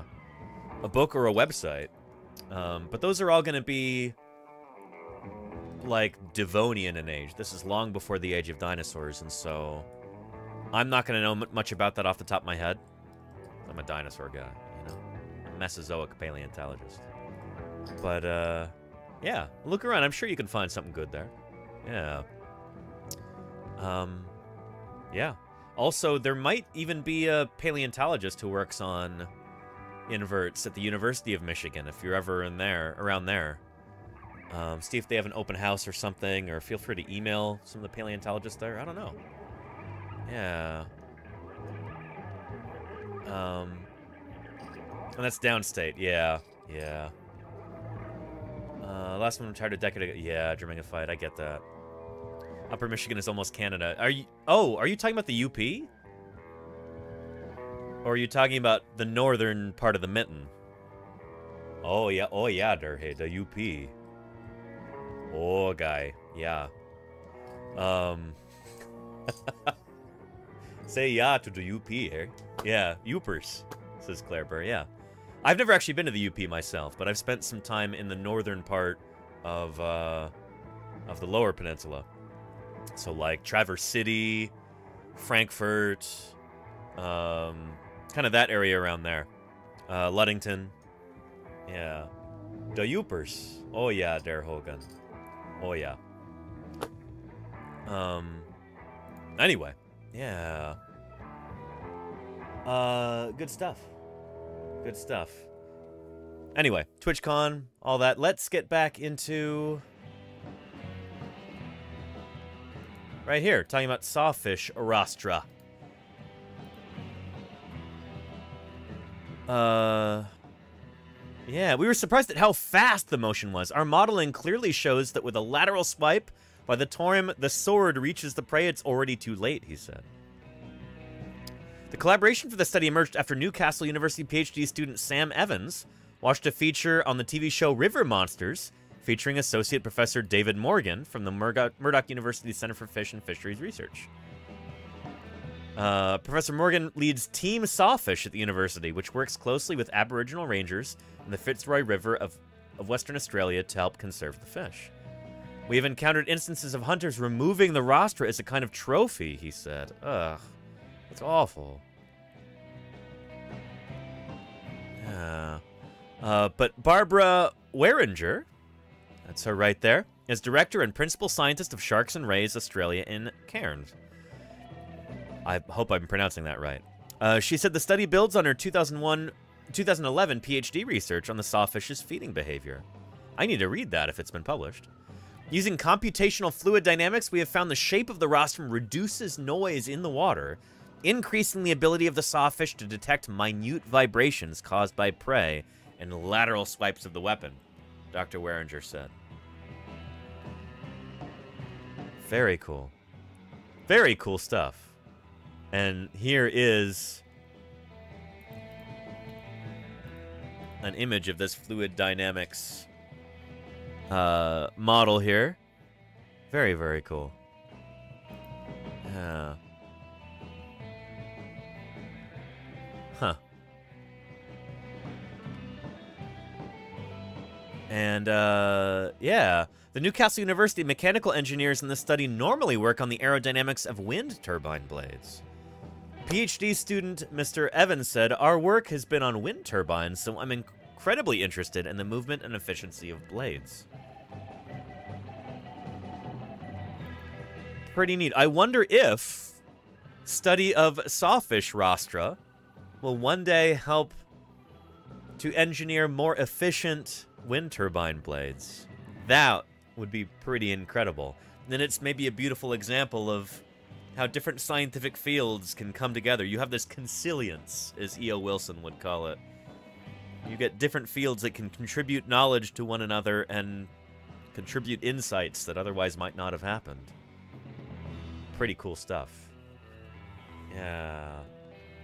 Um, and insert random username here. How are you doing? Uh, AI will virtually undig every living creature from the past. What do you think? Fat chance. No.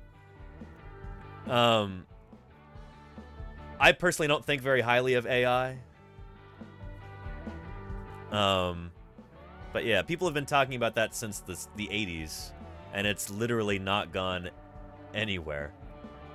Um, yeah. Good luck. You should check out some of the uh, the YouTube videos from when we were digging this summer. It's not the sort of work that a computer can do. It's not the sort of work that most people can do. Um, yeah. Kev Gamer says, I'm a computer scientist and I ain't impressed with AI. Yeah, I think a lot of it is kind of a scam, to be honest. But yeah, yeah. Um, anyway. If, if computers aren't anywhere close to mastering something like, well, I don't know, if self-driving cars are still a fantasy, which they largely are, you know, think about something that's a million times more complicated, like, you know, excavating fossils. Um, so yeah, yeah, I...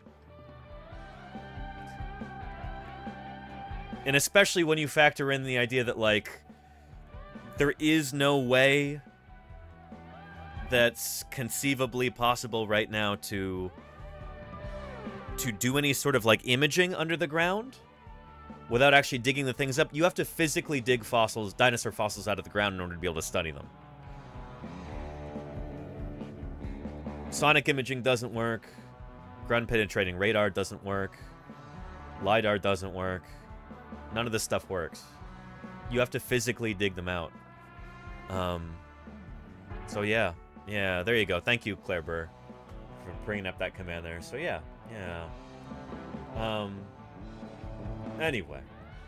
Yeah. And, uh, Phone BT, how are you doing? Welcome to Paleontologizing. It's good to have you here. Thank you for joining us. Yeah. And the ground penetrating radar was shown on Jurassic Park? Yeah, yeah, it doesn't work. Believe me, um, if that sort of technology were anywhere feasible, like, yeah. The closest thing that we have to anything like that is in certain geological formations, the the fossils will be like kind of mildly radioactive. Very, very mildly, but still to a detectable amount. And so you might be able to kind of vaguely detect where they are under the ground if they're immediately below the surface, like an inch down or something like that. Um, but it'll just be like, it's like using a metal detector, like beep, beep, beep, you know? It's essentially a Geiger counter, you know? Beep, beep, beep, beep, beep. It's not like showing you what it looks like under the ground or anything like that. So yeah. Anyway. Um Yeah, Jim says Jurassic Park really did a number by planting that idea in people's minds. I know, right? Yeah. Anyway. And uh insert random name here says everyone is so pensive. Yes. I mean, this is a channel about thinking. Did you maybe mean a different word? Yeah. Pensive. I think it's perfect, actually. Engaged in, involving, or reflecting deep or serious thought. A pensive mood. Yeah. Pensive. Pensive. Yeah. Maybe you meant... Maybe you meant pessimistic? Anyway. Freudian, Freudian slip, perhaps. um, but yeah, anyway, I um, am neither excited about nor uh, have really any faith at all in AI. Um, it's it's essentially just a bag of tricks, from what I understand. like artificial intelligence in the way that most people think of it, where it like it's at, at all like you know, organic human thought, that's a myth. Um, anyway, I realize it's like dangerous to say that kind of thing on a platform like Twitch, where people are really excited about technology and really want to believe all kinds of hype about, you know, this and that, self-driving cars and Hyperloop and other nonsense like that. These things are scams. Anyway. Um, yeah. But, but AI hype, OMG, says admin. Uh, that's what I hear from the constant vendors that I work with. Yeah, see, sysadmin, you're in this industry. You, you know this. I'm glad I'm not alone in this. You know, I'm not a computer guy. Apart from streaming on Twitch five days a week, I, you know, I'm not a computer scientist. I don't write code anymore. Um, yeah. So anyway, it's bad. It's just admin, yeah. Um, and oh, and don't get me started on AI art, Dan the BC man. Yeah. Oh boy. And Jim says, yeah, and Nat, tech people are skeptical. It's the non-tech people that get overhyped. Yeah. Yeah. And, uh... Uh, Erkin Rana, yes, I also get very excited about 3D printing. I'm 3D printing a sawfish right now in three parts. Um, and man, it looks like it'll be done in maybe about an hour? Very exciting. But I do a tremendous amount of 3D printing. Holy cow, all of these are 3D printed. So yeah, yeah. Um, yeah. Uh, but AI to the level they're talking about? Nah, says Daily Cavacito. Yeah. Um, but yeah. And Kev Gamer, The Ancestor's Tale is a great book. Uh, I like that one a lot. It's a neat way to think about the history of life on Earth and common ancestry. Yeah. But yeah, yeah. Um, and Mayor of Space, I like that from a screen screenwriting perspective. I almost said screen printing. Completely different. And Phone BT, thank you for the follow. Welcome to Paleontologizing. Thanks for dropping in. It's good to have you here. Yeah. Uh, but Mayor Space says the narrative purpose of the ground penetrating radar thing in the beginning of Jurassic Park was to put Alan Grant at odds with technology to make him seem like an old fuddy duddy so he can then prove himself against the cloning technology later on. I mean, yeah, it is there to kind of help establish his character. And it was just like a, you know, a gee whiz neato uh, gizmo.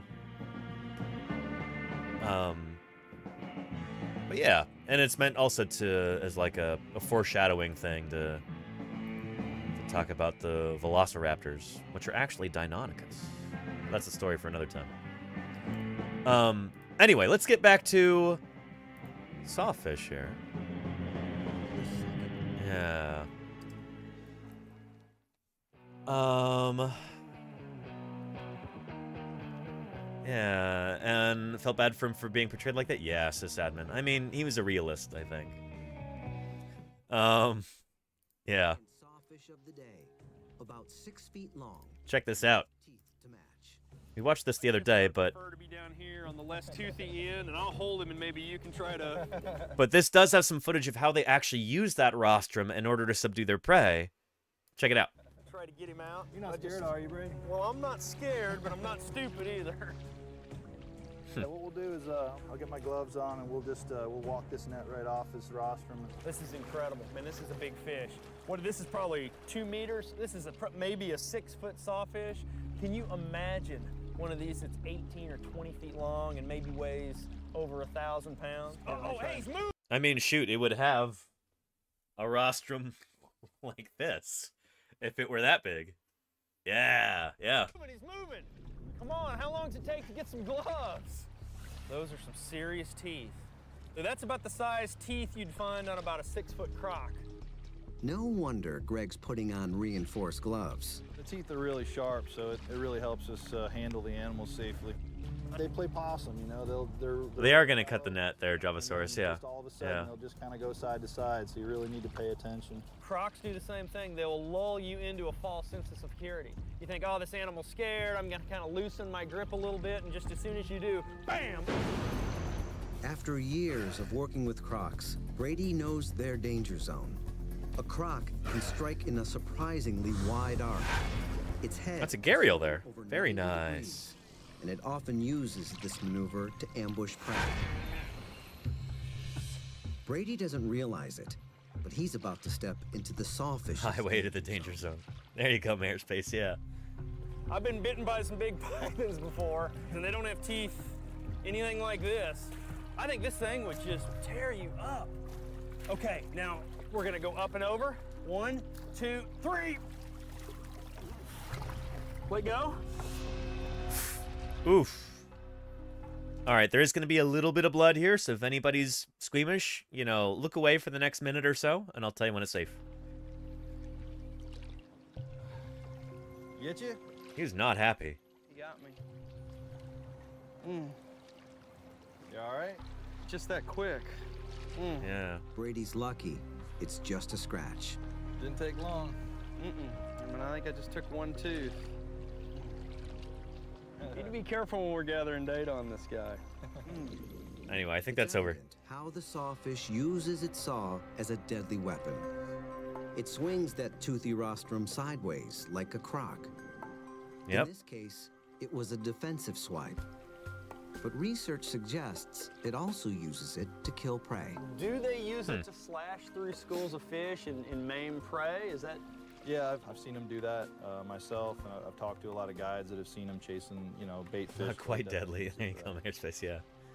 Many fish species use parts of their bodies to herd or slash prey. A thresher shark uses its sharp tail to stir up the water. And again, that's not a thresher shark. Um, we talked last time we looked at this video. Uh, thresher sharks have got a much, much longer tail than that. My message up front. Try not to go extinct. Oh, Royal Mercs, thank you for the follow. Welcome to Paleontologizing.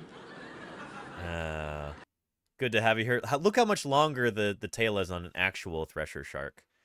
Uh, whoever was editing this video together, uh, they goofed there because this is not a thresher shark. A thresher shark uses its sharp That's like that's like a, a blacktip reef shark or oceanic blacktip or something. to stir up the water, trapping Yeah. fish in a giant whirlpool. And not Shark Week, just International Sawfish Day. Hi, this is Amy. Welcome to Paleontologizing. It's good to have you here. Sailfish uses it. And Articulate Reptile. Well, well, well.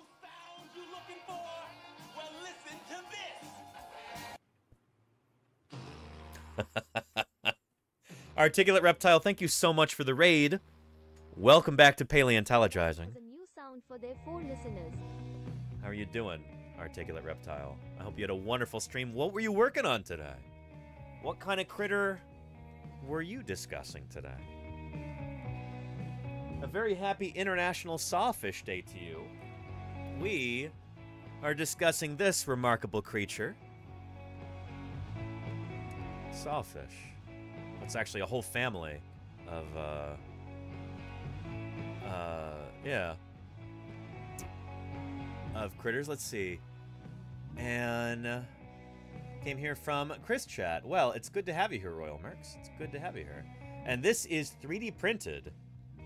Jonas, I would not want to have a real sawfish rostrum in my office because, well, it would have to have come from a real sawfish, and these are endangered. Every single one of the living sawfish species, there's between five and nine of them, depending on who you ask, every single one of them is endangered. But uh, as I'll show you later, if you uh, if you happen to ever encounter a sawfish rostrum, you can notify scientists about it for some important research. Um, I'll give you a resource on that in a little bit.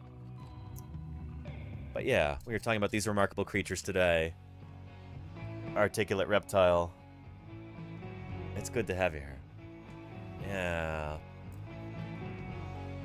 Um, looks like you're going to play guitar. Yeah, we're also printing a full sawfish body here. Not nearly life size. This is going to be like this long.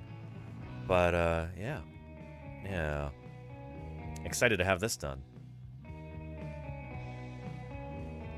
Yeah. But anyway, let's get back to our video here. And uh, can we see a baby sawfish? I will show you a baby sawfish in a little bit. Yes. We've got a video with that too. Its spear-shaped upper jaw to bullet through schools of fish. So that's a swordfish. There we go. Reveal that a sawfish uses its saw in a particular hunting technique. Pretty cool. Watch, watch. It moves in sudden bursts, swiping its saw to stun and maim prey before returning to swallow it whole. Did you see that? Check this out. Check this out. Watch how they use the rostrum here. This is wild. Swiping its saw to stun prey before returning. Just hits puree.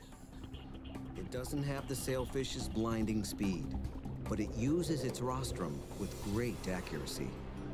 It'll Pretty cool. individual fish on its teeth, scrape the fish off, and suck it into its mouth. Pretty neat. Pretty neat, right? Now that Greg's tagged the fish, it's good to go. Let's go. And uh hi, this is Amy says the things on the side, are they bones or teeth? They're kind of neither, but kind of both. So those are what we call denticles, and I'll show you another video that helps explain this. But the um the skin of sharks and rays and skates and sawfish. They've got these things called dermal denticles. Um, this is like what their skin looks like under a microscope. So these are made of the same material as their teeth. They're made out of dentin. Um, maybe I can find you a quick video about that. Shark dermal denticles. Um, here we go. From Sharks for Kids. Sharksforkids.com.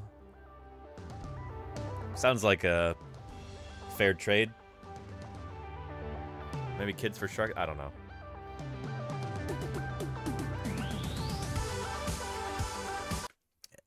Yeah, that's not quite as informative as I was hoping.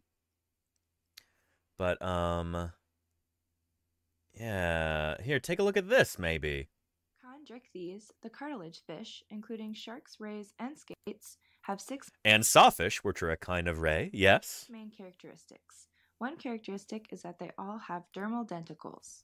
Yep. Dermal denticles, or skin teeth, are tooth like scales covering the fish's body. they point towards the tail and have a hard Oh, that's cool. enamel, just like human teeth. The V shape It's a neat little denticles creates handheld model there. no friction, reducing drag and creating a whirlpool similar to the one of this kayak, allowing the fish to move quickly and quietly in the water while expending less energy. Very cool. Because of their drag reducing properties, professional swimmers design swimsuits to mimic dermal denticles, but are unable to wear them during competition because of the unfair advantage. Yep. Along with this, dermal denticles act as a suit of armor to protect against predators. Uh, So, when you come to see me and visit our shark lab, make sure to feel for those dermal denticles on all of our chondrichthyes. pretty cool. Pretty cool. I'll give you a link to that video right there. But so those are denticles that are all over the skin. These are just supersized dermal denticles, from what I understand. Uh, they're just those, but supersized.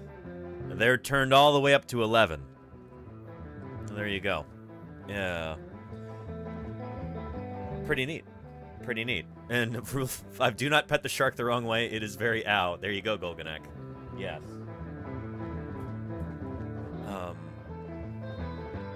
Yeah. For certain. Anyway, let's finish this video up here. Oh, here. Let's go back a little bit. Check this out. in sudden bursts, swiping its saw to mm. snap prey before returning to swallow it whole. Pretty cool. It doesn't have the Pretty cool. blinding speed, but it uses its rostrum with great accuracy.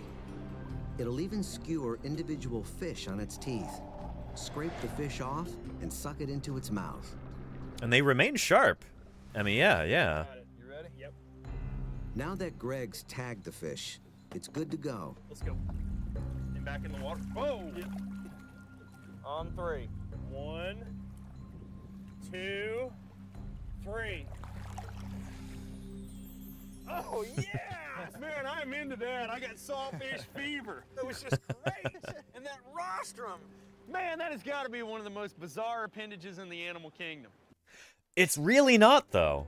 It's really not, and we'll we'll talk about why. Um, first let's find a uh a video of a baby. Well, let's see.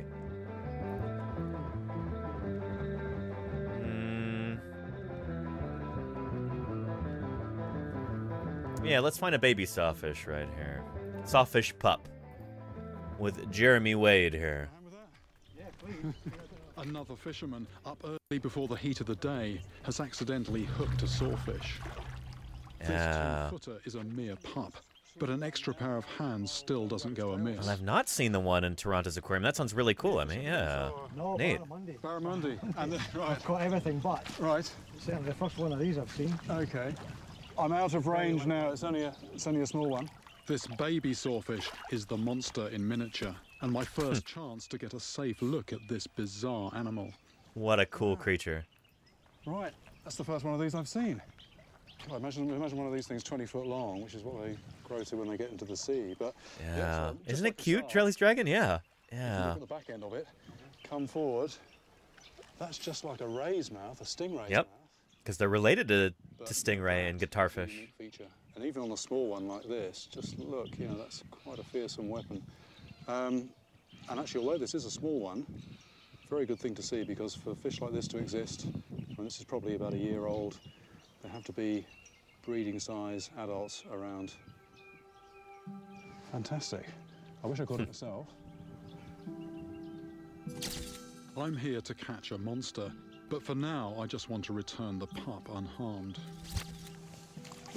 Mayor Space asks, do they come out of the egg with the big ol' rostrum? So sawfish are actually viviparous, which means that they give birth to live young. And so you might be wondering, like, if they're emerging, you know, not from an egg, but from the mother, like, how does that work? And, um, well, shoot, you might have some idea about that. The, uh, that rostrum is pretty sharp and uh they actually it's kind of gross but they actually literally cut their way out of the mother um and it's really grisly and i'm totally kidding that's not how it happens. Um not at all. These fishes have been around for a long time and they've got this technique down there's actually like a soft tissue like structure that surrounds the the denticles on the rostrum uh, as the baby sawfish are emerging from the mother. So she is unharmed during that whole process. Um, so yeah, yeah, alien fish story. There you go, HD. Yeah, um, yeah. Uh, there's another documentary that we'll see where they kind of explain this a little bit. Um, but yeah, yeah, pretty neat. Also, the rostrum is pretty flexible when uh, when they're just a little baby. The teeth are still very sharp, but they're they've got kind of a sheath over them. They have given 56 gifts. You'll see later. And Reagan Nation, thank you for gifting Joannis. I appreciate that. Reagan Nation, thank you, thank you. Yeah, sort of like little fleshy pads on horse poofs when they're born. Sort of like that truck horn, I think. Yeah, yeah. Now I just want to return the pup unharmed. Just moving the tail to get the circulation going a bit.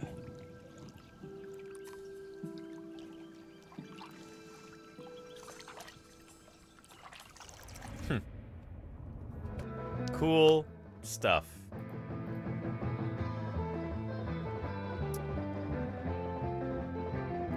Uh, then uh, let's take a look at this right here. Do we have anybody here in chat from the the northern U.S. state of Maine? Because here's a news report from that state about something that happened in Florida. it's funny, like people joke that nothing ever happens up in Maine, and well, I guess this isn't really. If you have on Maine news something that happened to a guy who lives in Maine while he was down in Florida, then maybe it kind of speaks to that. But cool stuff. Check it out. A fishing trip off the coast of Florida brought in quite a catch for a man from Hampden, and the moment was caught on video, so we know this is not just another fish tale. And Neutral Gnome and Reagan Nation, you're both from Maine? Holy cow. Oh, very cool. Yeah. Uh, this this just in on Maine News. Something happened. in Florida. Alex Haskell caught up with that lucky fisherman. Michael Georgie and his father were fishing in the waters off southwest Florida. That's when he reeled in an estimated 800 pound prehistoric endangered sawfish. Look at his body. Yeah. Holy cow. Like Any other fish that you've seen? Michael Yeah. Georgie and his wife still can't get enough of the video. There he is. Holy cut your ankle high. I'm still amazed. Every time I look at it, I can't believe I caught it. Georgie had a plan to go fishing with his father. The day started off really bad. They were getting ready to pack up and head to shore. And then uh, I heard one of the lines hit. And it hit hard and fast. I knew it wasn't going to be a little shark. And after 45 minutes, There he is. See him? Yeah. A glimpse. When I saw the saw, I knew I had a fish of the lifetime on. He had caught an estimated 13 foot long sawfish. It's a Wow. pretty big deal, so I was very excited for him. Alexandria is Michael's wife, My first reaction was, what a terrible day to miss fishing. and the fishing expedition got even better. Get a picture quick. Before I even had time to really recover or take a breath from that, I heard the second line on the boat hit, and then it was another 45 minute fight, and then another sawfish at the boat. Michael and his father took pictures. Unless it was the same and one. Reflected on how rare it is to see this species up close. It blew They did put it back. Yes, expected to Rizadego. catch one sawfish in my life, let alone two back to back. Now, both sawfish. they hang out in let go. pairs. The weight of the first one was so great it actually snapped Georgie's pole in half. He Wow. also wants everyone to remember that when you catch a rare fish like a sawfish, the priority is to make sure the fish is released back in the water. There you go. Haskell, News Center. Very nice. Very nice. Yeah. And cut the line as close as you can to the animal's mouth um, so that it can go. Pretty neat. Pretty neat. Now, we've got a really nice little documentary. I'm thrilled that I found this the other day. A PBS documentary called Saving Sawfish. This goes into their biology, their conservation, all kinds of stuff. I think you're going to like it a lot. There it is. And the bigger they get, the saw gets shorter, says Trooper. No, the saw gets longer too, but it gets thicker. So. Um. Yeah. So here's a fairly little sawfish. Rostrum's kind of narrow.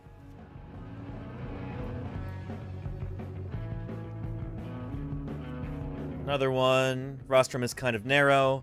Take a look at this rostrum right here. That is crazy wide. This is, I think, from a large tooth sawfish, which do tend to have a wider rostrum. But uh, as I understand it, the bigger the animal gets and the longer the rostrum gets, the more it thickens up, too. It needs to be wider from side to side so that it, it's stronger in the water and it's there's less risk of snapping. So like the longer it gets, the wider it has to get too. Pretty cool, right? Like that is this is pretty enormous. That's pretty enormous. Yeah. Okay, let's get into this lovely documentary right here.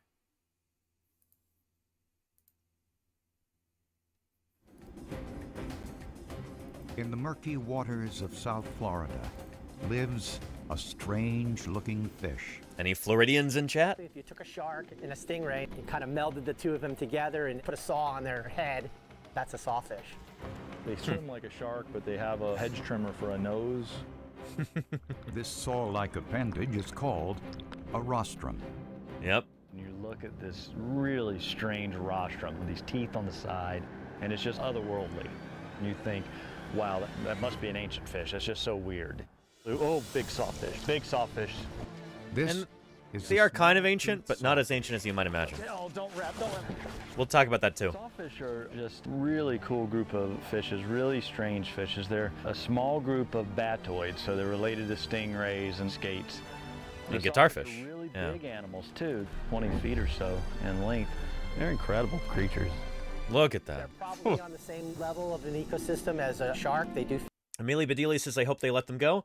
That's exactly what they're doing. These are researchers catching these for science, catching them and releasing them. They take data on them, they put a tracker tag on them, and they let them go. The whole point is to help this species recover because they are endangered. Oh boy, they're endangered. on some of the same prey items. Yeah. They're a top level predator. And they don't grow back, Golganek, if those Overfishing, denticles loss uh, break off led to on the, the rostrum. animal's drastic decline. Yeah. The small-tooth sawfish was the first native marine fish listed on the U.S. endangered species list. I did not know that. The first native marine fish listed on the U.S. endangered species list was the saw small tooth sawfish. Let's let's look them up on our tree of life here.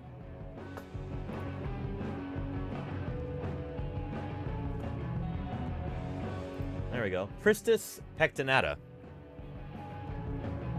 Yeah. There we go. Yeah, they are critically endangered. Ooh, boy. You'll see there's a lot of red over here because all of these sawfish species are endangered, including this one. Are they wide-snouted sawfish? Yeah, they're critically endangered too. I don't know why that doesn't show up here, but they are. Yeah.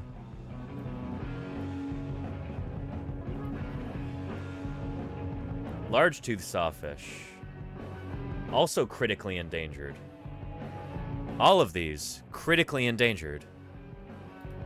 Ugh. Yeah.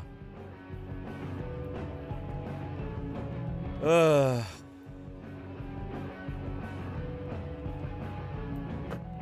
Yeah. But there are things that we can do to help save these fishes. Um, and we'll be talking about that in a little bit. The only place they're left in the United States is Southwest Florida. They're just so cool. I mean, how sad would it be to lose something that is Yeah. just that cool?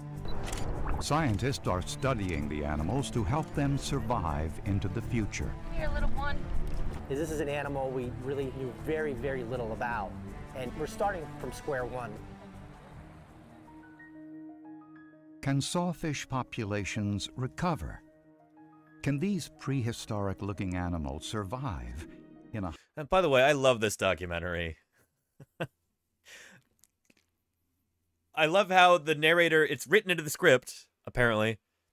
Can these prehistoric looking animals, normally in a documentary, it'd just be like, oh, can these prehistorical animals survive? Can these living dinosaurs survive? Oh, they're being precise with their language here. And keeping everything keeping everything correct. I love it. I love it. Oh man. Yes. And uh Hylocomium, thank you for the follow. That's a great name. It almost sounds like a like a genus name of an animal or something. Welcome, Hylocomium, to Paleontologizing. It's good to have you here and uh a very happy International Sawfish Day to you. Thanks for the follow. cover? Can these prehistoric looking animals And it's a genus of moss. Oh, very cool. Well, one of my fellow uh my fellow biologically inclined people here, Hi, Lacomium. You are in the right place. Welcome, welcome to paleontologizing. It's good to have you here. Uh, survive in a highly developed environment.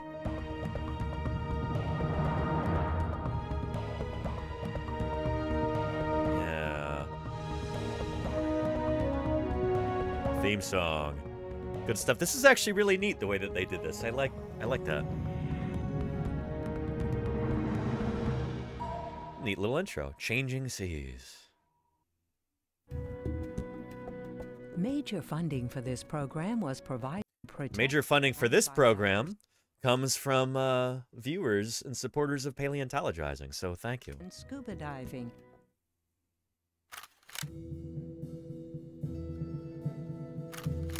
Uh, Historically, sawfishes were a common tropical species worldwide. There are five species globally. Around hmm. the turn of the century, 1920s, 1930s, almost all the species of sawfish globally began to decline.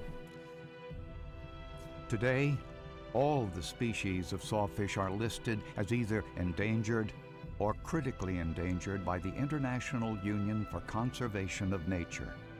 We're in danger of losing an entire family of, of large tropical shallow water predators that are one of the major components of the tropical ecosystems where they live. when he says an entire family, I mean this is what he's referring to. Like sawfish, every single species within Pristidae is either endangered or critically endangered. Every single one of these large tooth sawfish, common sawfish, long comb sawfish, small tooth sawfish, Queensland sawfish, wide snouted sawfish, and Karate hangar, also known as the pointed sawfish or knife tooth sawfish.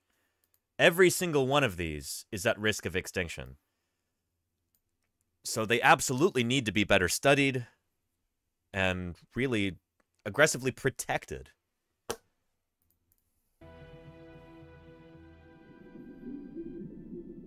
Sawfish are different from saw sharks. Yeah, very different. Use them sometimes. the saw sharks, there's nine known species, and they're smaller than the sawfish, and they tend Yep. to be relatively deep water animals. The small-toothed sawfish is the only Hang on. Uh, we've got a little video about the difference between sawfish and saw sharks here. But first, let me show you. Here is sawfish, and then let's get into saw sharks, which are sharks, as the name would imply. And they are way over there on the family tree, within uh, within sharks. So there you go, saw sharks. And it's funny because the the scientific name, uh, Pristiophoridae, they're named after the sawfishes, which are genus Pristis and relatives. So yeah, don't get them twisted. Saw sharks and saw fish. Saw sharks are doing a lot better than uh, than saw fish are, which I, is good news for the saw sharks. But yeah, they've got kind of an, a different pattern of uh, of denticles on their rostrum. They've got gills on the side, like a shark, and they often have these like feeler things on the side of their rostrum too. Those are soft tissue, as I understand it. But I've got a video about the difference between the two, comparison between sawfish and saw sharks. Take a look. Oh wait, no, never mind. It's not a video. Um, saw shark. Not to be confused with sawfish. Saw sharks and sawfish are both cartilaginous fish, so they're both, you know, they've got cartilage skeletons. Uh, they are the only two fish that have a long blade-like snout. Mr. Mobile, what a beautiful graph. Thank you. You know, we're all about data here on paleontologizing. So thank you, Mr. Mobile, for the follow. Yeah. And the sawfish is not a shark, Joannes. They are not. Saw sharks are sharks, but a sawfish, a sawfish is neither a saw nor is it a shark. It's sawfish. Sawfish are related to to uh, to rays, to stingrays. So let's go back to sawfish here. There we go. There we go. There's your sawfish. See how they're all endangered, unfortunately? All that red. But, uh, yeah, they are related to rays and guitarfish, stingrays, etc. Does that make sense? Yeah. So yeah, yeah. Uh, it is interesting that that that feature, that rostrum with the denticles coming off the sides, this has evolved multiple times. There's multiple different groups that have this. It's evolved at least three times in the history of life on Earth, if not more. Yeah. And swordfish are not related in any way. No, they're super far away, Patrick Crusader. Swordfish are, you know, are, uh, they're bony fishes. So... Swordfish and billfish, they are way far away. Swordfish and billfish, you could make an argument that they're actually closer related to us than they are to a, a saw sawfish.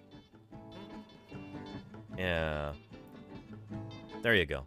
Billfishes and swordfish, like your marlin and sailfish and swordfish.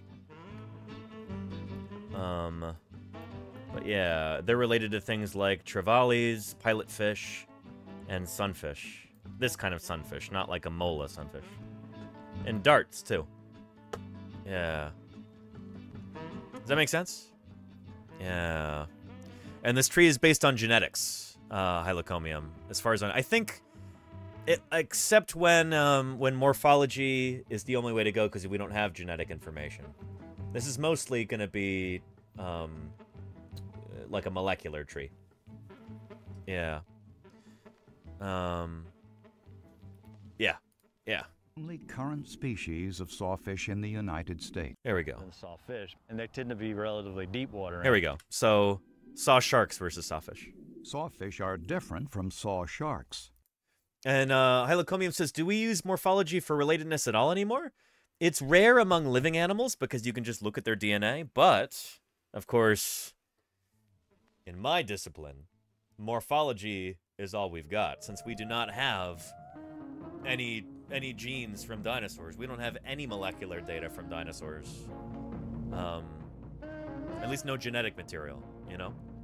Um, yeah, we have to use morphology. It's the same for most, for 99.999% of fossil organisms. It's all morphology. Yeah. And, um, are related to sawfish? They look a bit similar, Trooper? Uh, that, that's sturgeon, right? Or, or acipenserids? Acipenserids? They're not close. No, not at all. Well, they're not very close at all. Here, um... Sawfish. Let's go back to sawfish over here. Away from our bony fishes.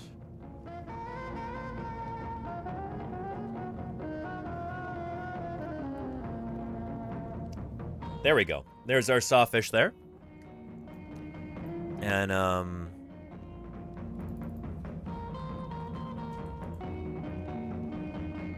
Yeah, I was right. They are sturgeons. Yeah, acipenserids. So, those are closer? I'll put it this way. Sturgeon are closer to sawfish than either of them are to, like, swordfish or anything like that. These are, are bony fishes. Um, but they're a very early branching group of bony fishes. Sturgeons and paddlefish are, you know, you might use the term primitive to describe them. They're very early branching. Um, so yeah. So as far as bony fish go, these guys are close, like they're closer to sharks and stingrays and sawfish than like other bony fishes are. Like trout or clownfish or halibut or swordfish or whatever. That make sense? Yeah. Um. But yeah, yeah. Anyway. Sawfish are different from saw sharks. Yep. People Different confuse them groups. sometimes. The saw sharks, there's nine. That's a saw shark. species, And they've got those barbels too. Than the sawfish, and they tend to be relatively deep water animals. The small-toothed sawfish is the only current species of sawfish in the United States. Uh, we used to have more, but then they they were wiped out. from large-tooth sawfish, which is primarily a Central American species. Small-toothed sawfish once ranged from as far north as New York to the Texas-Mexico border. Uh, imagine being able to go out and see sawfish anywhere along the coastlines here. That's probably like a significant chunk of chat right now. Probably lives somewhere near, uh, you know, this, this beautiful yellow splotch right there where uh, we used to be able to find sawfish. Nowadays, well, The center of the distribution of small-tooth sawfish has always been Florida in the United States. A lot Yep. of those far-reaching records were probably stray animals. By the 1980s, the population had contracted to South Florida only. Yep. Fishing played a large role in their population reductions because of Uh. their long tooth rostrum. They're very susceptible to any type of fishing gear, in particular nets. Gill nets. Northern Edge. There you go, Kennedy. Yeah. Uh, Historically, gillnet mortality was probably very high before the gillnet ban in Florida. In a shrimp trawl, if they get caught in that, and it's a trawl net that's been dragged for hours and hours, they're probably not going to survive. So that's probably the largest single source of direct mortality on them in Florida. Now, if you're the sort of person who eats seafood, you might be feeling a little bit guilty about this right now, and maybe that's not unjustified. But I'll be talking toward. Well, let me just share a quick resource with you before we get into it later, in case people have to leave. Um. Well, well, well. Octavius King. And their 46 raiders came here to experience poultry in motion. Welcome, welcome, Octavius King. Back to paleontologizing. How are you doing? It is great to have you here, Octavius. Hope all is well. How did your stream go? How are all the little mammals doing? I hope you and they had a wonderful, wonderful stream. It's good to have you here. And a very happy International Sawfish Day to you, Octavius. A happy International Sawfish Day to us all. We are talking about these incredible creatures. This is the rostrum of a sawfish right here. This is my 3D print of a huge sawfish rostrum. I wanted to have a really big one to put up on my wall. And uh, there you go. Yeah. Pretty neat, right? This is one of those like classic curiosity cabinet items. It's a real crowd pleaser. But uh, mine is 3D printed, so no sawfish were harmed in the making of this model here. Yeah. Um. Anyway, Rylesy, how are you doing? Welcome, welcome. Mauve Cubes. Thank you for the ratty raid. How you doing, everybody? It's great to have you here. Um, tell me how the stream went. I want to hear all about it. Uh, no sawfish that we know, no sawfish that I know of, and I was closely, not just closely monitoring the production of this. I, I did it. Walks like a pot-bellied bear. Deepest Blue Dragon. 16 months. Huda Tunket. Thank you, thank you for those 16 months of support. I really appreciate that, Deepest Blue Dragon. Thank you for keeping me online for the past 16 months. Holy cow. Yeah. Anyway, if any of you are not yet following Octavius King, if you, like me, love animals, if you're particularly fond of rats and rabbits, go check out Octavius King. Uh, there's always some rat mischief going on over there. Uh, Octi streams with uh, a whole bunch of different rats, and they're always getting all kinds of trouble. And we were talking this, you know, earlier in the stream about how different animals, including different fishes, have different personalities. That's very apparent when you watch Octi's stream. Those different rats. So yeah, yeah. Um. Anyway, rats are cute and smart. They are, Trooper. I agree. Yeah. Anyway, yeah, go follow Indrak. Yes, indeed. Thank you again, Octi, for the uh, the raid. Um, we are talking about sawfish right now, let's get back into it, shall we? Yeah. They're such a weird looking fish that, you know, a lot of times people would keep them and take pictures and show their friends. Habitat loss also played a role in the decline of the population. Juvenile sawfish are very dependent on mangroves. And uh, Zega Stardust says, I'm doing a PhD in animal law right now. Love learning about new species that need some extra protecting. Very cool, Zega Stardust. We watched a little video earlier about uh, some arrests that were made in Florida. There we go. Let me show this again. Florida Fish and Wildlife Commission says the case is still pending and is. Yep. There we go.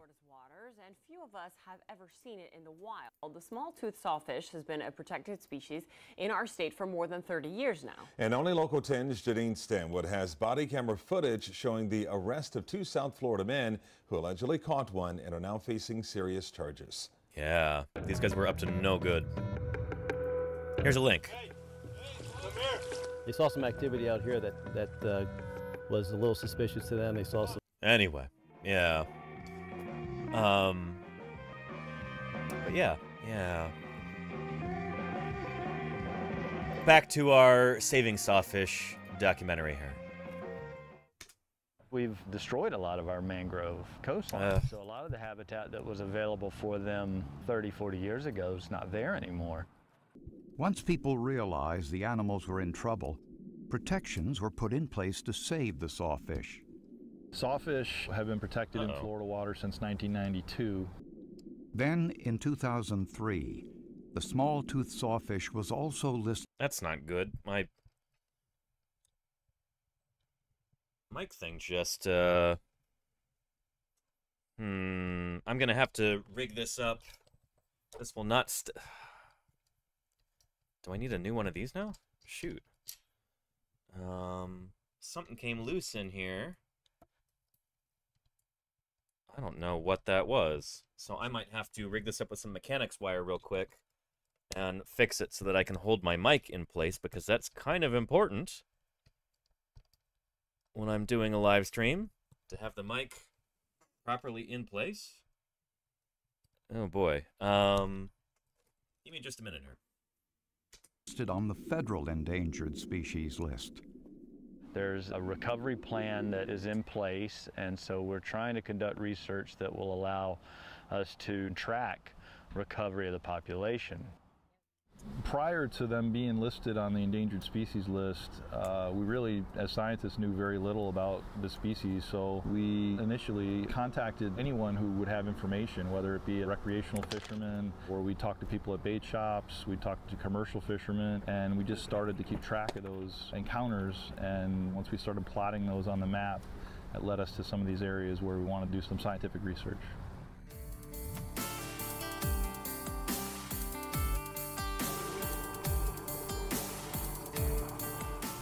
Have to push me off there, Joe. Dean Grubbs and his team from the Florida State University Coastal and Marine Laboratory study adult sawfish in the Florida Keys. The questions we're asking are where are the primary areas and times of year where sawfish interact with different fishing interests, whether it be recreational charter fishermen, commercial longline fishermen, or commercial trawl fishermen. Obviously, recreational guys catching them and releasing them are far less of a concern than, you know, shrimp trawls where a lot of them die.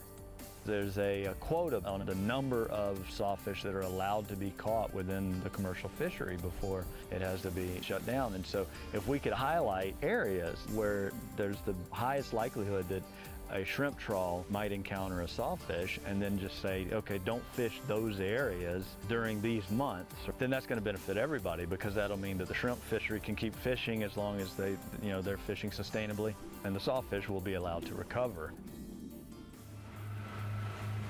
We were searching in two primary areas. That'll work for now. We would prefer to spend most of our time on the edge of the continental shelf, where it's about 45 to 55 meters deep, because that's where they get captured in commercial longline fisheries and commercial shrimp trawl fisheries. So that's off on the Atlantic side of the Florida Keys, all the way from off Key Largo all the way down to the Marquesas south of Key West. We also sample in Florida Bay because that's an area where we know there are a lot of sawfish, and that's where the recreational fishermen and the charter captains encounter a lot of sawfish too. It's quite shallow and muddy and murky, and it's completely different habitat. Today, winds are too rough to fish on the Atlantic side, so the team decides to work in Florida Bay. And holy cow, Jayco! Thank you for the Ko-Fi donation right there. Holy moly, what is this? The moon does exist. Uh, and Goldaline, thank you for the follow. Goldaline, thank you, thank you. Um, microphone stand funds, Jayco. Thank you so much. Holy cow, do I appreciate that. By the way, Jayco, you will be very pleased to know, I think, that, uh, my old keyboard with the tape on the back and everything else, and mouse with the scroll wheel that was all funky, I've been able to replace this thanks to your generosity. Here's the box. I actually just switched this out on stream earlier. I don't know if anybody noticed. But, uh, yeah, I can keep the old one as a backup, and I can use it for any replacement parts that I might need for this new one. But check it out. The scroll wheel is so much better now. Holy cow. Check that out. No more herky-jerkiness making everybody motion sick. Yeah. Very, very nice. So, Jayco... Thank you, thank you. And, uh, and I'll be able to fix this now, too. I really appreciate that, Jayco. Thank you so much. Holy cow. Do I appreciate that, Jayco. Thank you very, very much for your support. That means a lot to me. It really does. Um, excellent. Excellent. Uh, anyway, welcome back, Jayco. It's really good to have you here. How are things? And happy International Sawfish Day to you. I don't know how long you've been watching, but we're talking all about these incredible animals. This is a 3D printed rostrum of a sawfish right here. These are remarkable animals that deserve our respect and our admi admiration and our protection because every single one of the extant species, every single species of these critters that are still around, are either endangered or critically endangered. They are... They're not doing well because of human persecution. So we're watching a, a documentary on what can be done to, to help save them. And the rostrum mean knows basically, yeah, Pendrake, yeah. Yeah. Anyway, I really appreciate you, Jayco. Thank you, thank you. That direct material support is, uh, it goes a long way, and I appreciate you for it. Thank you. Continue. We're primarily using kind of a modified scientific long line. We basically set 50 hooks out on a long line anchored on each end. Each hook is on its own branch line that's about nine feet long. There you go, Kennedy, yeah. It's baited with ladyfish. We set for exactly one. Pendrick says, do they saw what the saw noses? Um, let me show you. They kind of do. They swing it from side to side in order to catch their prey. Um, and you'll probably see a clip of that in this documentary. But, uh... Yeah. Here we go. Sawfish uses its saw in a particular hunting technique. It moves in sudden bursts, Yep. Swiping its saw to stun the maim mm. prey before returning to swallow it whole. Pretty cool, right? It doesn't have the sailfish's blinding speed, but it uses its rostrum with great accuracy. It'll even skewer individual fish on its teeth, scrape the fish off, and suck it into its mouth. Pretty neat. Pretty neat. One hour, and then we haul the line back. We do it for only one hour for a few reasons. One, we do want to minimize stress on the sawfish, but we don't want to kill things that we're not trying to catch. Big lemon. Hold on, hold on, hold Lemon on. shark. Settle Very down, cool. Settle down. Oh boy. Let me get the head first. Oh man. We're going to catch more non-endangered species than endangered ones, so we catch a lot more sharks. And we've caught about a thousand sharks for compared to 30 or so sawfish. Rarely do we have a shark that dies on the line or anything doing this work. Okay, one, two, three. Gone. While the long line is soaking, the scientists decide to download data that gives them information on the movement of the animals. So these are acoustic receivers that our colleagues at the University of Florida, the Florida Museum of Natural History put out. And so every time there's a coded acoustic transmitter that comes within the detection range of one of these, it gets picked up with a time and date stamp. Very cool. And the number of the animal. And so Look this animation they've here. tagged quite a few sawfish in here. We've tagged a few as well with these transmitters. We have detections on this receiver from three sawfish. One of the sawfish was tagged last March and it was tagged right near the receiver. The detections from that animal are from the day it was tagged and the very next day, and then it wasn't detected again. The other two animals were tagged elsewhere in the bay. Hmm. Eventually, the scientists have a sawfish on the line. Oh, big sawfish, big sawfish. Look down here, look, look, look, look, look. Oh boy. Try to get him unwrapped. All right. Okay. These sawfish are dangerous to deal with because they're so incredibly strong. Oh, don't wrap, don't wrap. The dangerous part of them extends three or four feet from their body. The radius of the potential damage can be, you know, 10 feet. And they are so strong and so heavy and so quick, swinging that rostrum wow. side to side. You know, think, oh man, this is an incredible animal. What an incredible experience to see this thing. The first order of business is to get a rope on the rostrum.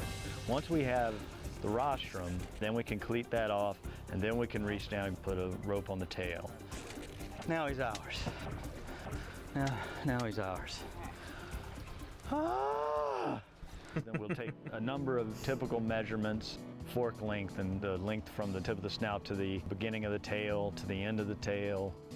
That's the biggest male we've Oh, that's ever caught that's right there. interesting, Kennedy. Wow. About 10 centimeters. So that's a big guy. Cool. What We channel is that, length of the Kennedy? I don't know if. I'm familiar with We'll that count channel. the number of teeth on the rostrum. 23 on the left, 24 on the right. Oof. So that might look like it would be painful, but evidently it's not really. Having your dorsal fin sawed through. Maybe it's kind of like cutting your fingernails or something like that. Um, So yeah. now we're putting on a satellite tag. You'll notice I drilled a small hole through the Yep. front end of the first dorsal fin. You may have also noticed there was not a drop of blood. There's really no vascularization in that part, which is one of the reasons we put it in there.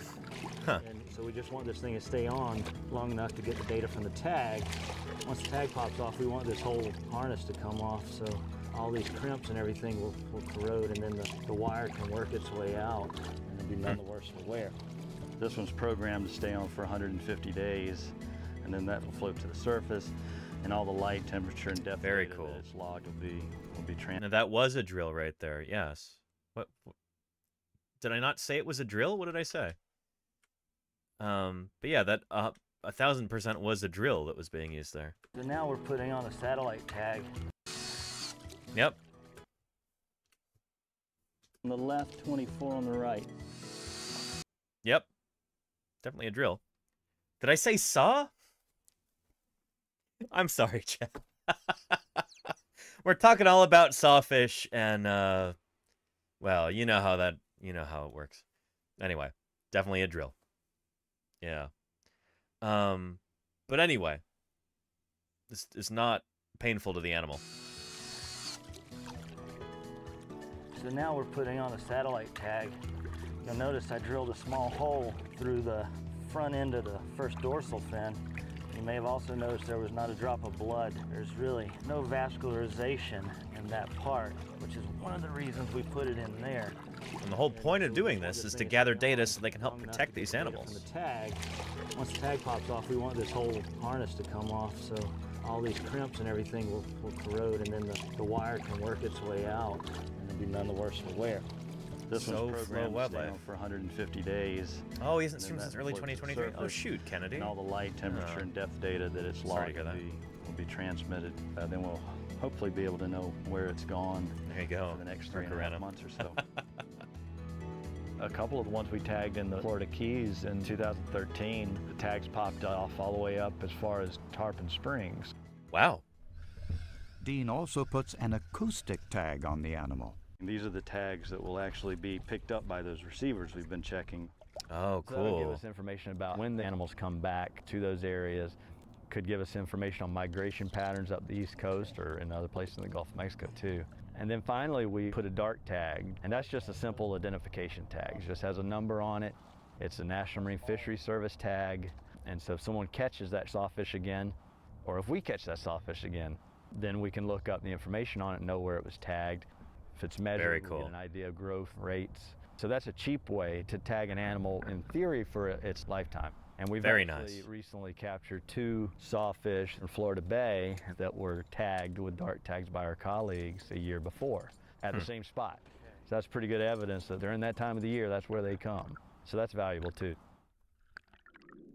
Like microchipping your dog. There you go, Historical reanimate bit. data suggests that large sawfish may have migrated Dex north Phantom. during the I've had this since my very first but. The data Yeah. collected from the tag so far hasn't confirmed that. Three and a half years. Before long, Same measuring the cup. scientists have a female sawfish on the line. So this one's 448. So this one ties for the largest that we've caught so far in our. Wow. Females are bigger than males. Beautiful fish. And she's being so sweet. Says she's being sweet. In addition to tagging the animals and measuring them, the researchers also collect blood samples to see if the sawfish may be pregnant or have just given birth.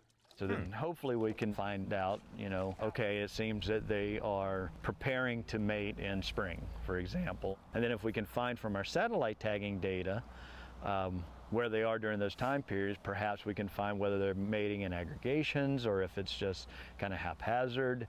Um, because that all plays a big uh, role in the potential for recovery of the population. That's population. very cool, Kennedy. That's very By cool. looking at the sex hormones in the blood of both male and female animals, the scientists hope to gain a better understanding of the animal's life history. Sawfish, like their relatives, the sharks and rays, take a long time to mature. They have relatively few offspring compared to other fish, which means the recovery of the population takes longer. Based on what data we have, we think they mature in about You're good, 10 Dex years. Phantom We believe that they reproduce every Thanks two for being years, but it could be that they're in- reproducing every year. Uh, we think they produce about eight to 12 pups. Unlike most fish, sawfish give birth to live young. Everyone's Yep. first thought is poor mom. Yeah. Do the young cut their way out of the mother using their toothed rostrum? Hmm. Birth to live young. Everyone's first thought is poor mom. You know, how does that happen? It's really cool and that the rostrums Check that out. It's got a sheath over it when they're first born. So those dermal denticles, those teeth, do not injure the mother. Isn't that awesome? Very, very cool. Safety caps. Percarena, yeah. Yeah. Yeah.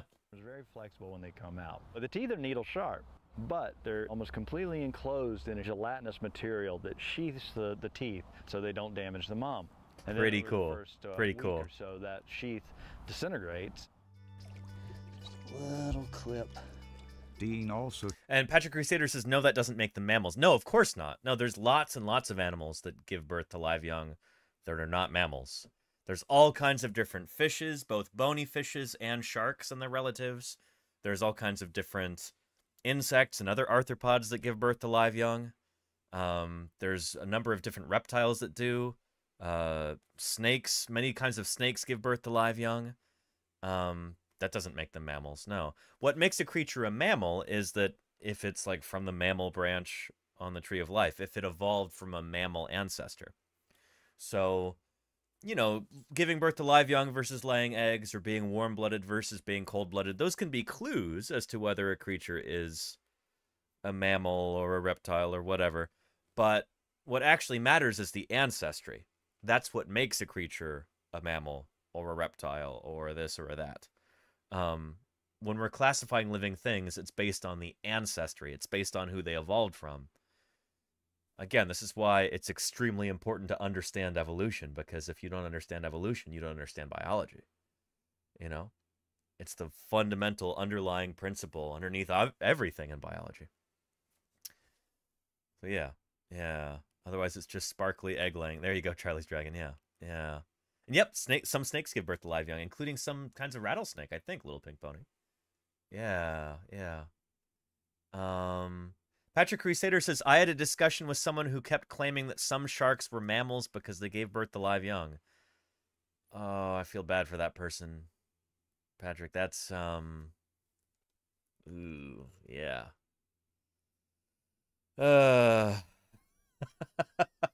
it's this is why I do what I do here, you know? It's what this is all about. Uh. A small fin clip for genetic analysis that will help the scientists understand how different animals are related to one another. Nice. During the endangered species listing, it was estimated that the population may have declined by 90% or more, 95% oh boy. maybe even. And uh, so there's the potential for genetic bottleneck. It's essentially inbreeding. But fortunately, oh, all rattlesnakes have birth living in the U.S. Cool. Little like pony, neat. Plenty of genetic diversity out there. In addition, the scientists used the genetic samples to determine if there is a distinct sawfish population in the U.S. or if Very the cool. animals migrate back and forth to the Bahamas. Oh, interesting. So whether yeah, whether this is one population or two, whether the, this there's been a split that's occurred here and they're genetically different enough that they're maybe eventually going to speciate. That's really cool. That's really cool. Yeah. And Rylesy says, are there mammals that do lay eggs then? Absolutely, yeah. Yeah. Yeah, there there used to be most mammals used to lay eggs. Today there's only a few species. And we call these monotremes. But there used to be many groups of egg-laying mammals. Uh, egg-laying used to be the default for mammals. Monotremata. There we go. Monotremes. Let's zoom into them. So the echidna and the platypus are the the two th two that everybody thinks of. I think there are several species of echidna and one species of platypus, but let's see. Yeah. Monotremes. There's five living species. I guess that's one platypus and four echidnas. Platypus. Short-beaked echidna. Attenborough's long-beaked echidna. Eastern long-beaked echidna. And western long-beaked echidna. So all these guys lay eggs. Um, yeah. Find you a video. And mammals that lay eggs. Let's take a look at this. How well do you know our amazing egg-laying known Well, I think I know them pretty well. There are only two kinds of this unique and ancient mammal left in the entire world. The platypus Well, there's five species, but two kinds, I guess. Sure. Puss and the echidna. And Yeah. we're lucky enough to have both here in Australia. Pretty neat. So these are 100% mammals, but so they lay eggs. how long have monotremes been around? Hmm. Well, we need to go back in time quite a bit. The age of the Around dinosaurs. 300 Or million longer, years yeah. ago, amphibians and reptiles emerged from the water to also live on land. Oh, this might be a little bit out of date here. Are they going to say that mammals split off from reptiles? Because that's not true. We now know that the split goes way back to the very origin of Tetrapoda. So mammals and reptiles were never the same thing. Or at least the, the split between mammals and reptiles happened at the birth of both groups. So like it's not like one branch of reptiles turned into mammals. No. The split is further down than that. So you know, uh, the origin of reptiles and the origin of mammals is at the same spot. They split and they were never the same thing, you know? A few million years later, reptiles that were a bit mammal like began to appear. But yeah, that this is not they weren't reptiles. This is now what we understand is that uh, that these guys never were reptiles in the first place. Both reptiles and mammals evolved from the same ancestor, it looks like, and they've been the same they've been different ever since. Um, it's not like reptiles get started and then mammals split off from them. No. Um, no. But these still weren't mammals yet. It took another 80 million years for the first monotremes to split off from the mammal-like reptiles. Yeah, anytime you hear that phrase, mammal-like reptile, you know that you're dealing with outdated information. Because we used to talk about this all the time, but nowadays we recognize, oh shoot, synapsids and sauropsids, reptiles and mammals, they've been different since the very beginning of uh, of of uh, amniote creatures. and become their own unique evolutionary branch. Yep. This is around the same time that dinosaurs began dominating Earth, but well before marsupials and placental mammals arrived on the scene. Yep. Because of their reptile like features, biologists consider They're not reptile-like. Ah, that's such a that's so misleading. They're not reptile-like. monotremes to be the most primitive mammals in the world. Most obvious. And by most primitive, that's another outdated term. We would now say they're early diverging. So they split off pretty early from the rest of mammals. So that's that's what they mean by primitive there. Um, it's kind of a loaded term, you know, primitive. And it's also it can be misleading when we're actually talking about ancestry and everything. Yeah, basal is a good way to put it, Jody Fish. Yeah. Yeah, they they split off closer to the base of the family tree. monotremes lay eggs, but they also waddle like a reptile, with legs on the side rather than underneath their body. And a number of Yeah, but that's irrelevant. Ah. their body systems are similar to a reptile, including how they pass their waste and how they mate. Yeah, the cloaca. yeah. The word monotreme derives from Greek, meaning single hole, if you know what I mean. I like the little wink there. Meaning single hole, if you know what I mean. Wink. Neither echidnas nor platypus have teeth. Instead, they have special grinding plates which they use to eat aquatic invertebrates, or ants. In Australia today, marsupials are the dominant mammal group, but platypus and echidnas have survived all this time because their ancestors lived where marsupials could not follow in the water. Yeah. Marsupials notorious for being terrible at becoming aquatic. There have never been any aquatic marsupials that I know of. Um and it's because they're just not built for that. When marsupials emerge from the birth canal, they have to be able to use their arms to uh to crawl into the pouch.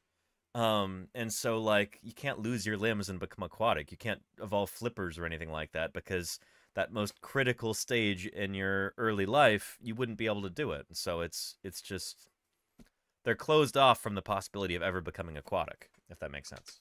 Because marsupial joeys need to stay in mum's pouch for so long, they would drown if mum went for a swim. So That too. marsupials Yeah. established themselves on land and in the trees, the water remained the realm of monotremes. Today's echidnas don't live in water, but they are thought to have evolved from a platypus like ancestor and later adapted to life on land. Huh. There are three species of echidna the short beaked echidna and two species of long beaked echidnas that are only found in Papua New Guinea. Interesting. And of course, we had the other one here. Uh, Attenborough's long-beaked echidna, which may have been discovered or published on after this video was made. All have long tongues to feed. There's just one surviving species of platypus, and it's only found on the east coast of mainland Australia and Tasmania, making it extra special. Platypus are pretty adaptable though, as they can thrive in everything from tropical streams to dams on farms in Tasmania. So, while monotremes may be our most ancient living mammal group, they have spent millions of years evolving to have the many amazing features and adaptations that make them perfect for life today. Pretty cool. Pretty cool.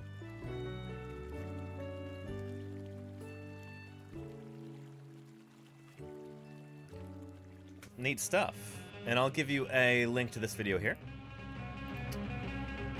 Um, yeah. Uh, we got a great question from uh, just this guy you know. I'll get to that in just a second. Uh, what would the common ancestor of mammals and reptiles look like? It looks kind of like a weird lizard. I'll show you. Um, yeah. And...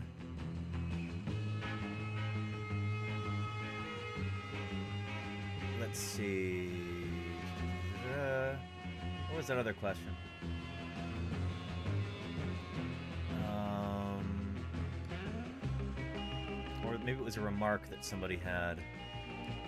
Oh, Dex Phantom Hawk said, I don't feel bad about misunderstanding mammal and reptile evolution after seeing all this info. I know, right? Because most people get this stuff wrong. Um, there's an excellent book about this. I've not read it yet, but I've had it recommended to me by a uh, a fellow paleontologist who's studying mammals.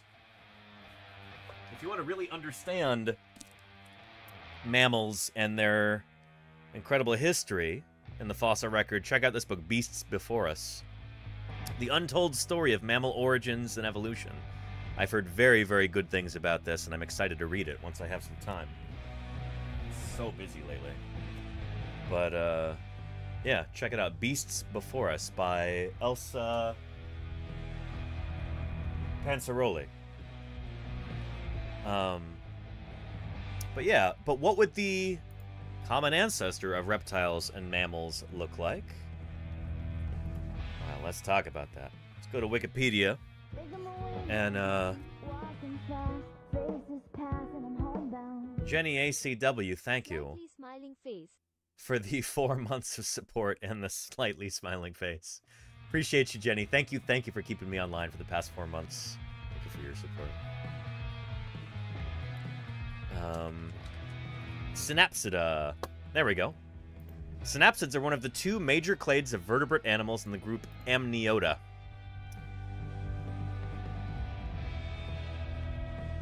Uh, so anyway, today, well, this includes modern mammals like tigers and echidnas, and then all of these extinct groups too. You know, Dimetrodon and Casea and Gorgonopsians and Moschops and various Mesozoic mammals. Pretty cool. Um, so let's go to the origins of Synapsida. Yeah.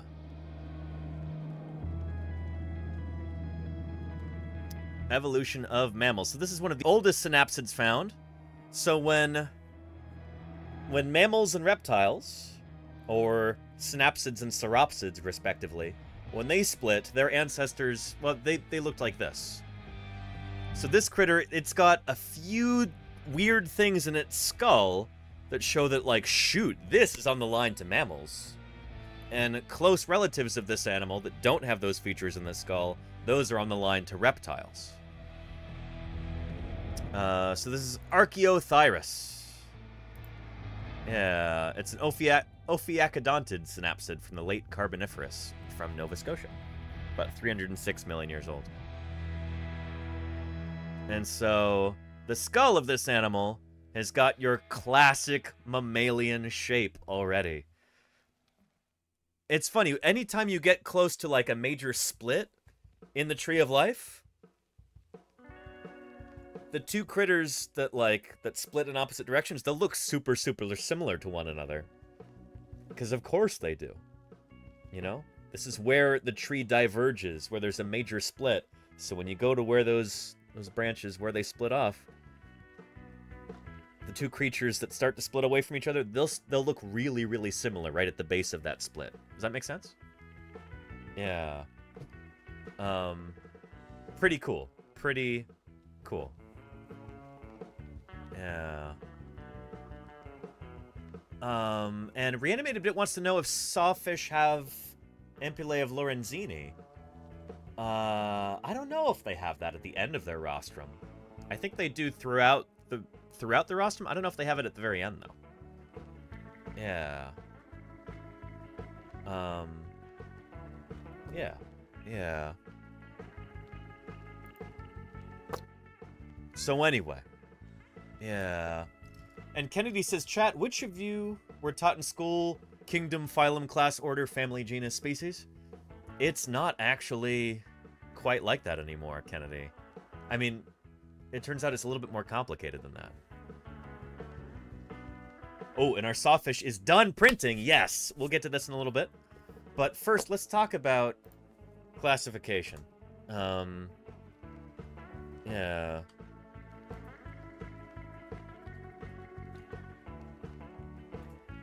So most of you are probably familiar with, you know, this, uh, like, method of classification. Now we've got domain as well. Um, but this is called, like, the ranked classification system, and this is still true, it's just very incomplete. And it turns out that, like, when you're trying to classify living things like this, um, there's a little bit of artificiality in there.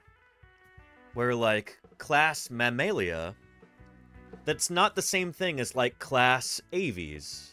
You know, birds and mammals. We think of these as being two different classes of living things because it's what we were taught in school, right? But Aves, birds, are part of Dinosauria, which is part of Reptilia. So sometimes you can have a, cla a class that's actually part of another class. And so, like, thinking of these as distinct, hard, and fast rankings like this If they're removed, misses the point. It's it's not really correct. Um, and just this guy a note, thank you for subscribing. I appreciate that. Holy cow. Thank you very, very much for that pledge of continued support. Enjoy the emotes. Enjoy not having to watch any ads. I appreciate you. Great question you had, by the way. I love an insightful question like that. Yeah. Um, yeah, yeah.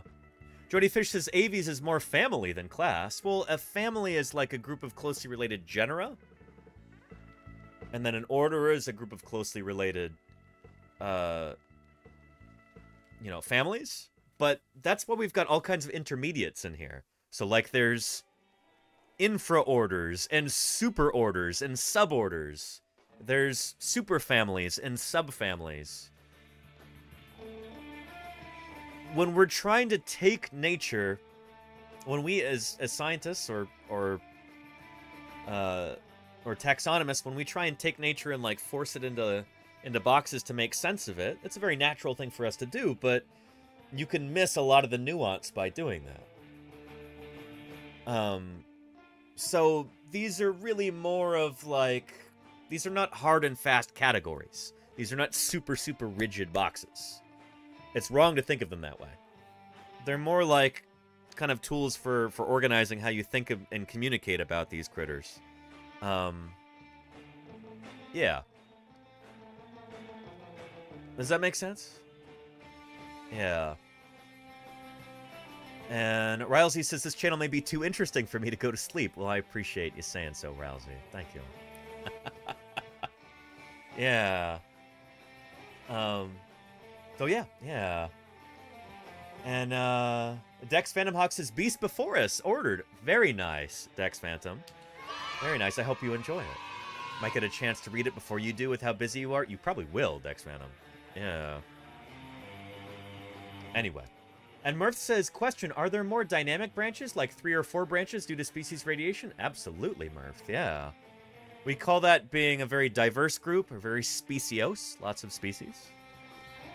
Um, and so if we look at our tree of life, back to this. Here, let's go back to, um, uh, let's go to Lepidosauria, for instance. These are lizards and their relatives. So lizards and snakes. Right here, how many living species do we have according to this tree? 10,909 living species of squamate, lizards and snakes. Snakes are a kind of lizard. They evolved from a lizard ancestor, so they're a kind of lizard. But then we zoom out a little bit to Lepidosauria. This one was 10,909. You go up a level to Lepidosaurs, and this is only 10,910. It's only one more. Why is that? Or there's this wonderful creature here, a Tuatara, which is not a lizard.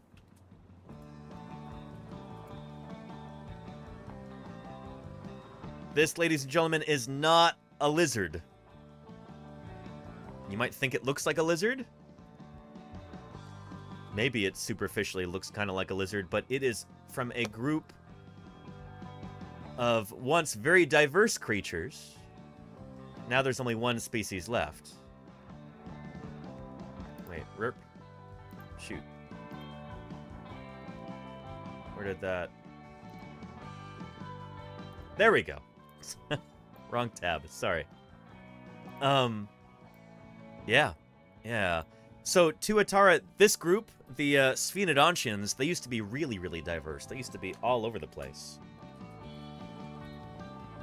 Um, all throughout the Mesozoic, there's like, you find fossils of them everywhere.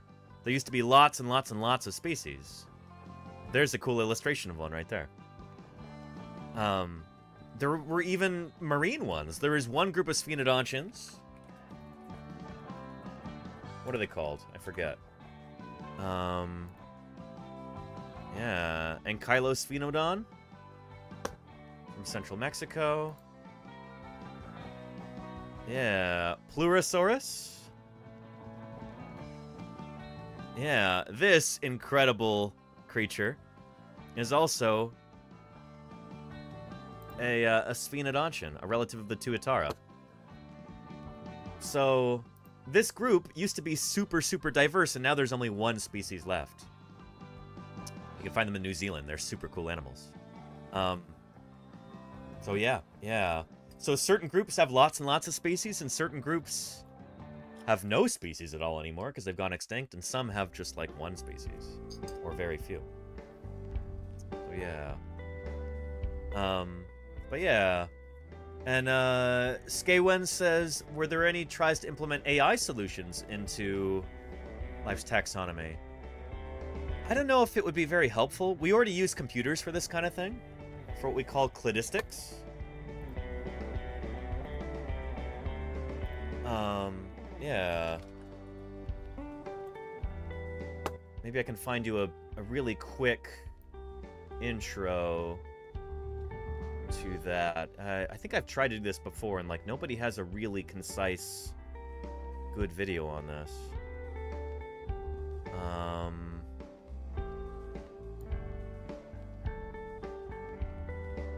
we could try this, maybe. Maybe this will be halfway decent. Given that there Oh, come on, YouTube. Uh, there we go.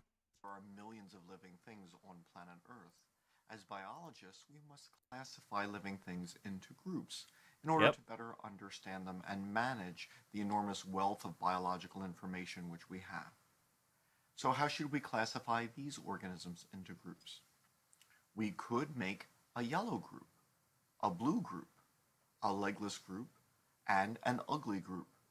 And classifying these organisms into those four groups would look like this. Biologically speaking, these are horrible groups. Yeah, not good, not good. As biologists, we're looking for groups which help us understand the natural world and help us to order an incredible amount of information. We Yep. would like there to be a group like mammals so that we could study the mammalian brain. And what we learn about one brain would be true of many brains. The Yep. vertebrate body plan, the eukaryotic cell, etc. This would make our lives easier and help us understand nature. These Yep. groups do not do this because the force. Well, because they're not actual groups. Like, these creatures don't share a recent common ancestor. They're not actually related to each other. That's what we're trying to figure out. And Pythia and the iris are both flowering plants and share an enormous number of features in common, but they are classified in two different groups. Yep. The bluebird and vulture are both birds. They share a great number of features, but are classified in different groups. And so, these groups have classified organisms which are not related and which share few characteristics in common. Yeah. These groups give us no predictive ability. And so, therefore, as biologists, we are seeking better groups than this. Yep. Thus, biologists would prefer to classify these organisms into groups such as these. There you go. The bluebird and the vulture would be classified together as birds. Both Yep. birds and the snake would be classified together as amniotes. Yep. The Creatures with eggs, the birds, like hard-shelled eggs and the two amphibians, the frog and the legless caecilian, would be classified together as vertebrates. Yep. The vertebrates plus the spider would be classified together as animals. And then all of the individuals here could be classified as eukaryotes. Mm-hmm. These Those are are biological creatures with a cell that has a nucleus. ability. One could speak of the eukaryotic cell and make statements which are true of all of the eukaryotes. Or Yep. speak of animals, you know, possession of collagen and say something which is true of all of the am- animals. Or make statements which are true of all of the vertebrates or amniotes or birds. Mm-hmm. Also note that many of the biological groups form a nested hierarchy of groups within groups. So then amniotes include the group birds. Yep. Etc. Etc. Um. Uh, and I thought we were gonna get into cladistics here.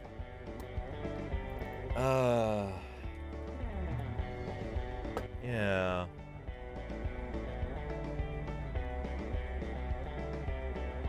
I don't know if there's going to be a good. Well, anyway, basically what you can do is you.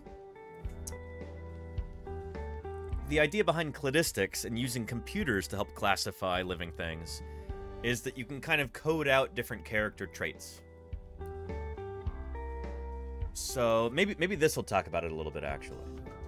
Constructing a cladogram. Have you ever organized your room and realized that you put similar or related objects near each other and completely different objects farther away? This is Hmm. similar to how scientists construct a cladogram. Cladistics is a systematic method of classification which uses shared derived characters to make a cladogram. A cladogram is a branching diagram that represents the proposed phylogeny or evolutionary history of a species or group. There you go. Cladistics Yeah. assumes that each group has an ancestor that other species do not share. The cladogram in our example shows how four very different species could develop from a common ancestor. The mm-hmm. common ancestor would be at the bottom of the diagram. The cladogram is constructed by sequencing the order in which the derived characters evolved with respect to the outgroup. The outgroup is the species that has more ancestral characters with respect to the other organisms being compared. In So anyway, yeah, it's the more primitive one. So, you know, you kind of get it. So the the way that we actually construct this though is using a computer. So we'll we'll basically type out the different features that uh that these different organisms have and we'll create kind of a rubric for them. So it'll be like well, uh you try and look for for traits that are actually informative. So like saying that they're oh, they're they're gross or I don't like them or whatever. Like that's not a good character trait. It's going to mess up your model. But if you say, well, they have radial symmetry. So like echinoderms have radial symmetry. Um, they like radiate from a central point and then they have symmetry from that. Like that's an interesting character state. That's something that's unique to them. They don't share that with any of the rest of these.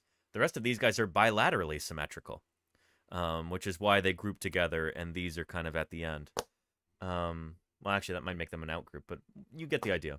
Um, anyway, and so the way that you do this is you code those different character traits as ones or zeros, uh, or sometimes you can have more numbers too if you have a more complex model.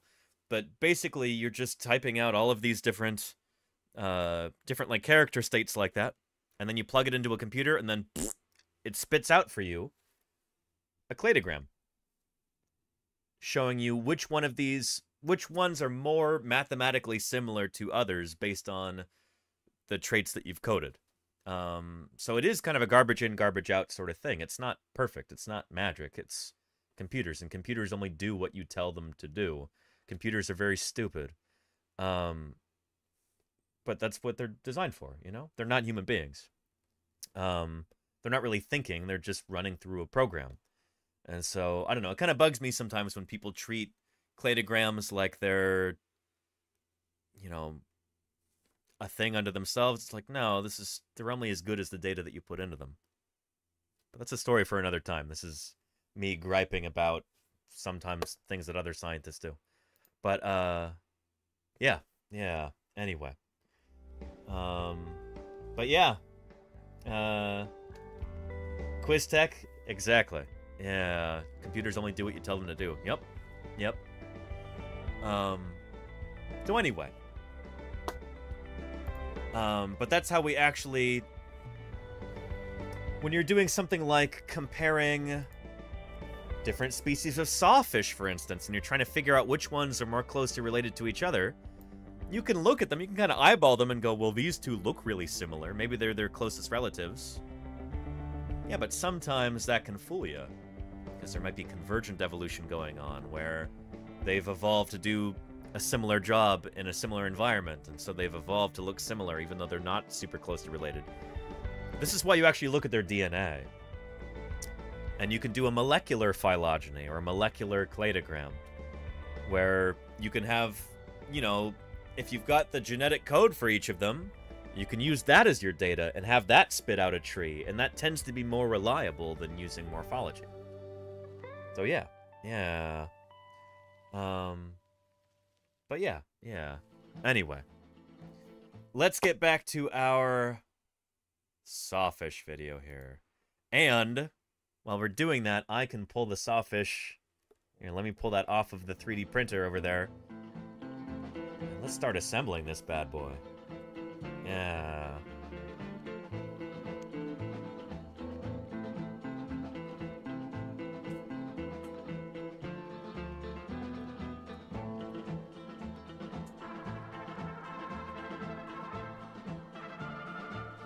Very nice. Yeah, and Lemmy Caution, how are you doing? Welcome, welcome. It's good to have you here. We've got our sawfish here in three parts.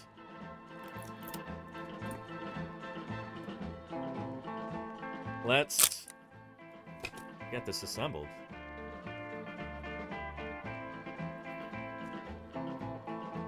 Um, while I'm working on this, continue watching this. There we go. Endangered species listing. There we go. So they don't damage the mom. And then over the first uh, week or so, that sheath disintegrates. Little clip.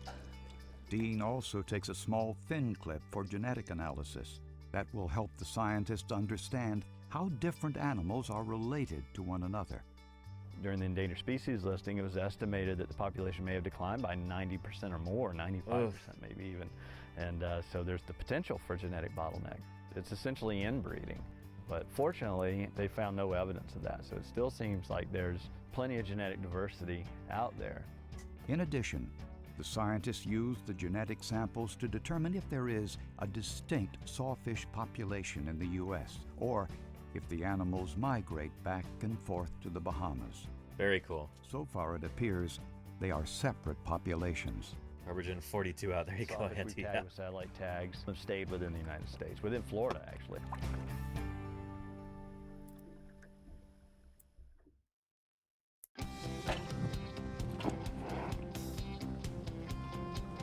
Another team of scientists from NOAA's Southeast Fisheries Science Center studies juvenile sawfish.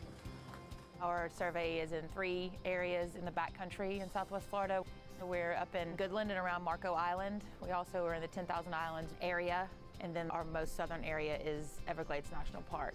We started in 2009. Since we began this survey, the trend is for a slowly increasing population, which is great. That is great.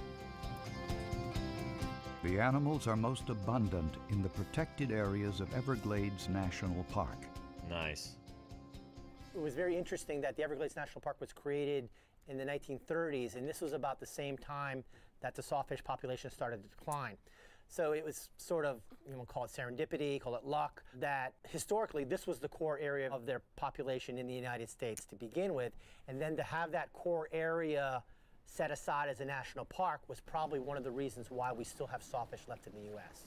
Uh, think about that. If it weren't for Everglades National Park, sawfish would probably be extinct or extirpated in the U.S. No more sawfish in the U.S. if it weren't for Everglades National Park. That's kind of incredible to think about. Every month, the researchers spend a week in the field studying the animals. So what we've been doing is tracking the abundance of the individuals through time because for recovery to occur, we have to have the population abundance to occur. Prior to the listing, we really didn't have a sawfish survey that would measure the abundance of animals through time. We use small, very small gill nets. The teeth on the saw, they swim right into the net and they get caught and they can just rest on the bottom and wait for us to come get them. So it's very low stress. So they've got to check them very frequently, From though. an hour to maybe two hours, but we check Yeah. the net continually. A lot of catch and release going on.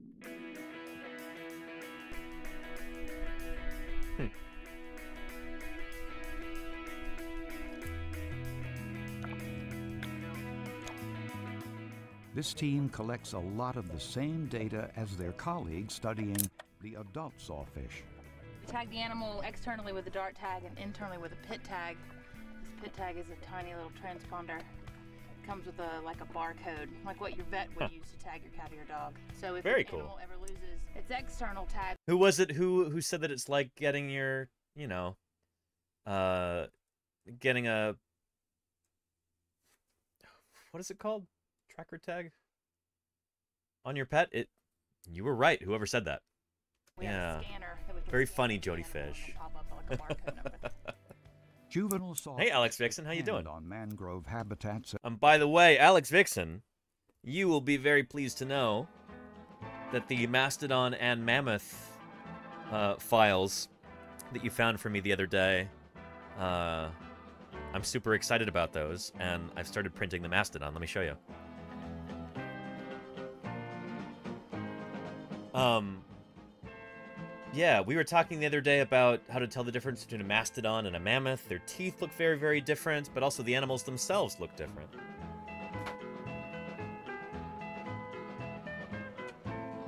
I already printed the teeth. Mammoth tooth, mastodon tooth. Very, very different looking teeth right here. But I wanted to have like a, you know, a fleshed out model for uh, each of those animals. So I could put them side by side with the teeth and, and show you. And I've started printing the mastodon. Um, they might look fairly similar, but they're different enough. Uh, this is the mastodon that I have printed so far. Um, as you can see, it looks a lot like a mammoth, except the tusks are a slightly different shape, the skull, the shoulders. Uh, the biggest difference is that mastodons, uh, they've got fewer legs than mammoths. So you'll see this one here has only got the one in the front. So I guess I guess they are fairly different. I'm, of course, 100% kidding. This is not complete yet. The other three legs will be printed on the back half. I haven't printed that one yet. Um, but yeah, yeah. Uh, pretty excited about that. Thank you again, Alex Vixen, for tracking these down.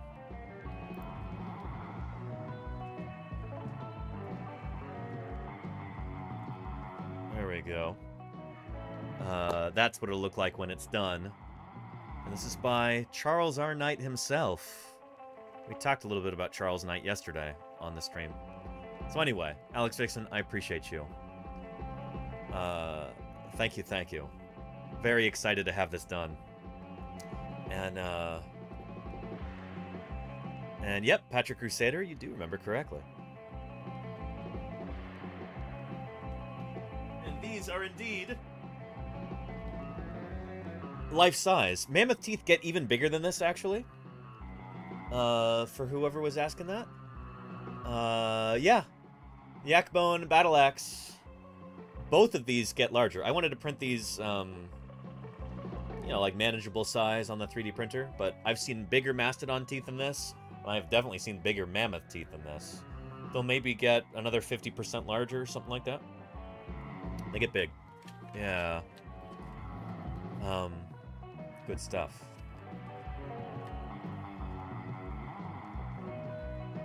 And I don't have a file for Platybelodon, or else I would, uh, Joannis. That would be really cool, but I don't have a file for that critter. The big uh, shovel tusker elephant.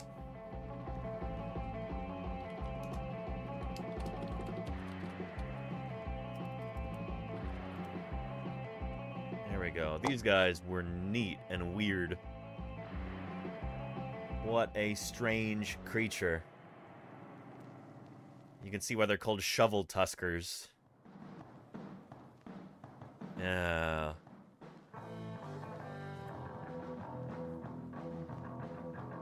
Pretty cool.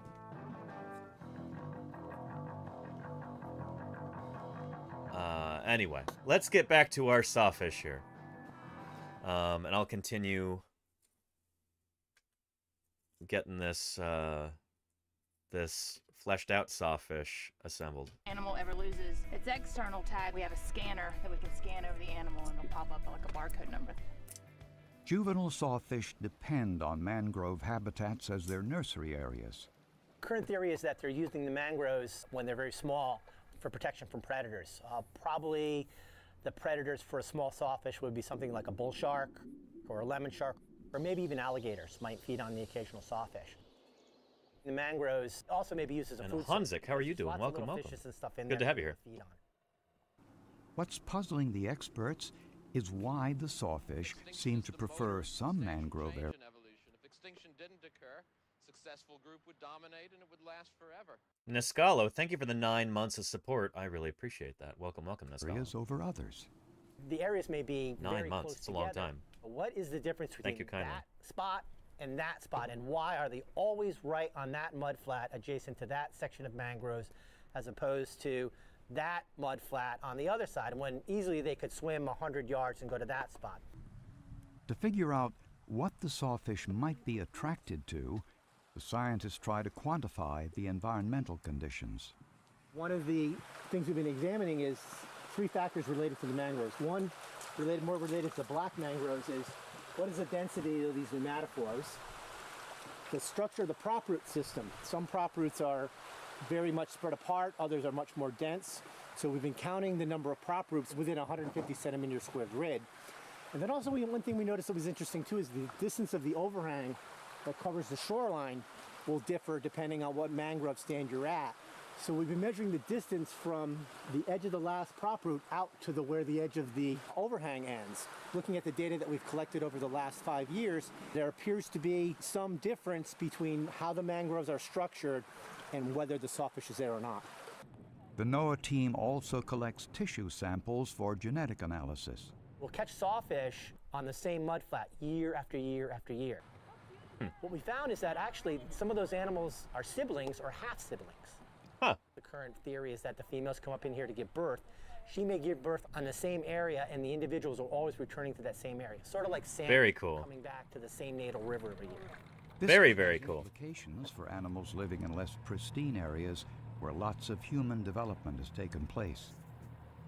That's where Greg Poulakis and his team from the Florida Fish and Wildlife Conservation Commission come in. Based out of the Charlotte Harbor Field Laboratory, they also study juvenile sawfish, but their study sites are a lot less pristine than the wilderness of Everglades National Park. Both of the areas that we Mm. sample are much uh, more developed and have a lot more human influence. In the Charlotte Harbor area, the two primary locations where we sample are in the Peace River, as well as some of the Upper Harbor areas, and the Caloosahatchee River, which is down by Fort Myers. We've been working in this area, doing research on smalltooth sawfish since shortly after they were listed on the endangered species list. Just as in the Everglades, the animals here also seem to have hot spots they prefer. They will stay on a flat, probably very close to where they were born for several months. Probably the majority of the first year is in the greater region where they were actually born. As they get larger, they tend to expand their use of space and use more of the nursery. We catch newborn size, which is about two and a half feet or so total length, including the saw, up to about Two and a half feet long when they're first born. That's bigger than I would have imagined. That's really cool. about seven feet. Uh, Huh. That's uh, two to three years old. Sawfish grow very fast when they're young, doubling in size Like during their first year of life. Very cool. This greatly reduces their risk of being eaten by sharks or other predators. We'll keep this punch from the fins for genetics and stable isotope type of research. Stable isotope analysis provides information about the diet of the animals. That information has kind of shown that they eat primarily fish at all the sizes that have been sampled so far. So hmm. That's something that is new. There's very little information beyond just anecdotal things on feeding biology of these animals.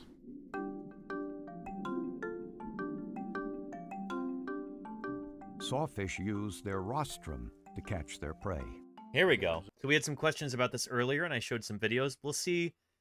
I listened to this the other day as I was doing laundry. I didn't get to watch the whole thing, so I didn't actually see this part here. I wonder if they have actual footage. They're swinging it back and forth into a school of smaller fish, for example. They wound a couple of those and then return and feed on them. Yep. The first fin is going to get a roto tag, we call it, where it actually has the number of this fish and a phone number. So if an angler happens to catch this one, they can tell us which one it is. And then the second dorsal will use the, the same setup, and that we've glued a, an acoustic tag to. So we can tell where they're swimming. We have a series of listening stations out here in the river. They're distributed in both the upper harbor, Peace River area, as well as the greater Caloosahatchee area. Those units listen for those acoustic tags 24 hours a day. Hmm. So we're able to, to see how long they stay in the hot spots and then hopefully Pretty we'll cool. estimate when they actually leave and move to other coastal habitats. Very, very cool. Recently, there was a fish that we tagged in April of 2011 in the Caloosahatchee River, and it died and showed up on a beach in Key West. Oh. So that is obviously a pretty significant move.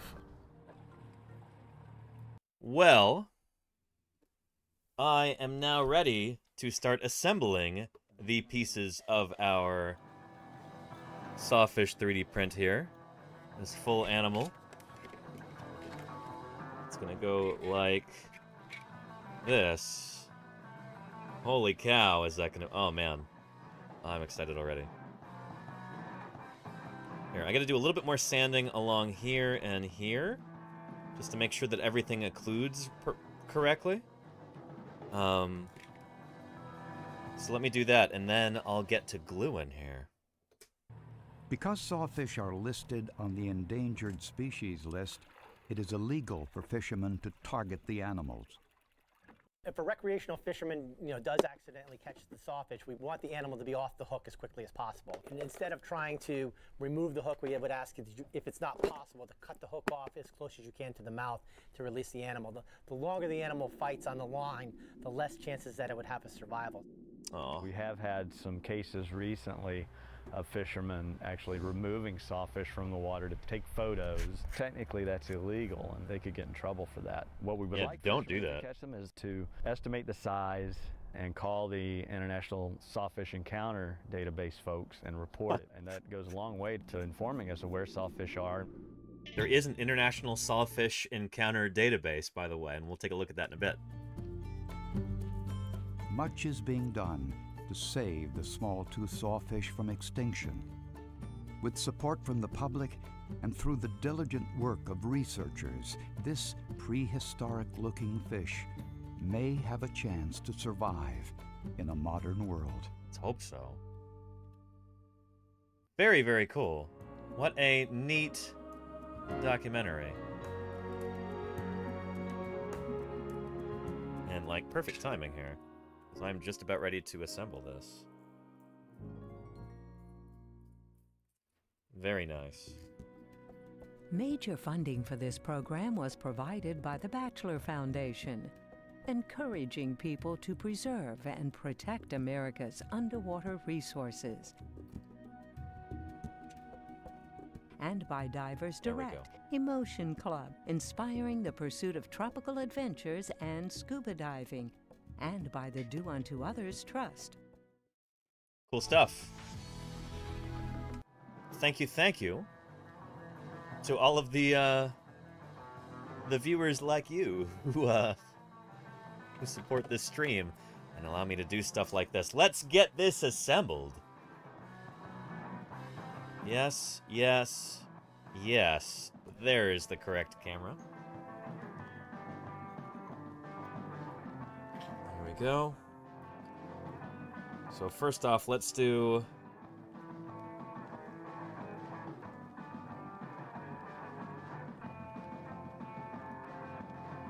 The, uh... Let's attach the tail to the torso here.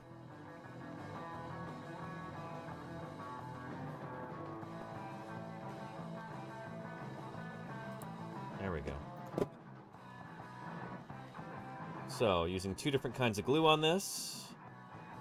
People always ask me about the glue, so I always find myself repeating myself.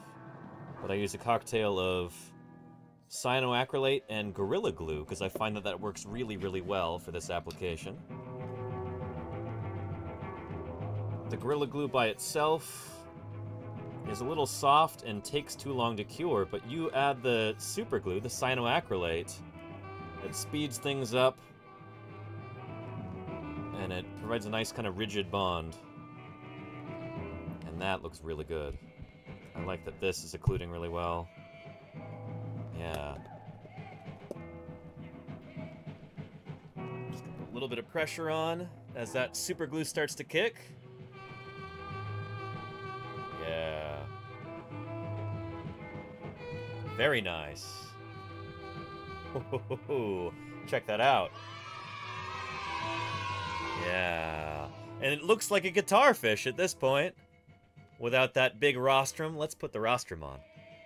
Yeah, and yeah, look at that face right there. It looks a lot like a ray or a skate, right? Like a stingray. Got the nostrils and the gills and the mouth all underneath. Yeah.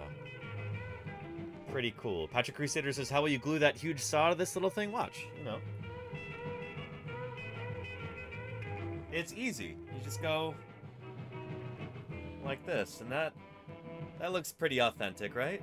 You know, pretty lifelike. No, very funny. Um,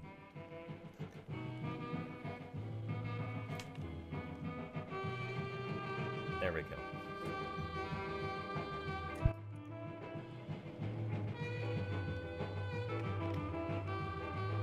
Just a little dab of our Gorilla Glue. I don't even know if that's super necessary, but we're going to do it anyway. And then... Super glue. Do a decent amount on here.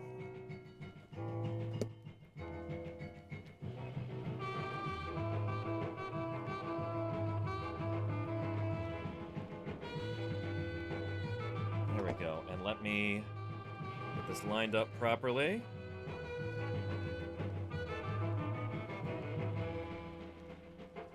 Very nice. Very nice. Check that out, chat. Check that out. Oh, this is way cooler than I thought it was going to be. I was like, do I really want to do a, a fleshed out sawfish? But holy cow, it looks super, super neat like this, and I'm so glad I did. Pretty awesome. Check that out. And such a sleek, streamlined shape. This really kind of hammers home the point that these are related to to stingrays and guitarfish. And not to sharks. They're not they're from the same broad group as sharks. They are cartilaginous fishes. But sharks are not their closest relatives. Those are uh, are guitarfish and rays. And you can see that in just how flat they are. Like top to bottom, this is a flat animal. Look at that. And just like a stingray, they've got those gills on the ventral side, on the underside of the animal, and the mouth right there. Excuse me, and the nostrils. Pretty cool. And beautiful lines. Yeah, Joanna. It's like, I don't know, whether you're an aircraft engineer or a, I don't know, an automotive artist, or you you would appreciate these lines. I think that is a gorgeous animal. Very nice. Yeah. Pretty cool. Pretty cool. Holy cow. That makes me happy. It makes me really happy. Um, took a while to print, but man, was that worth it. Yeah. We've destroyed. Now, uh...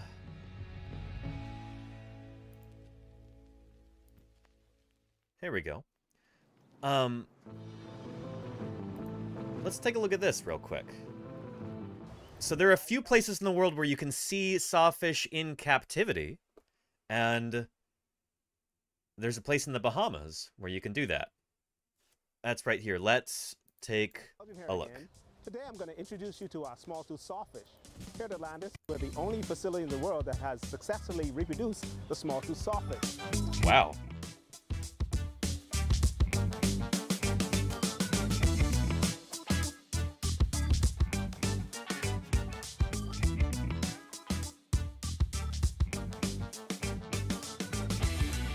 Is shark fin soup even good? No, and it's no, it's not.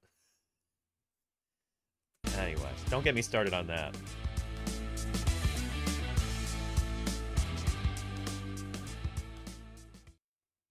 Yeah, well, shoot. Okay, that was shorter than I thought it was going to be. Um, and Patrick Crusader says, Danny, someone was asking before about sawfish fossils. Let's talk about that a little bit. Here. Um, those of you who are very interested in dinosaurs, you might already be familiar with sawfish or sawfish relatives. That's the point that I'm making here. From stuff like this. And hang on, we might need to... This is BBC. I think we'll have to go like this and get rid of our closed captions so uh, YouTube doesn't freak out over this. Here we go.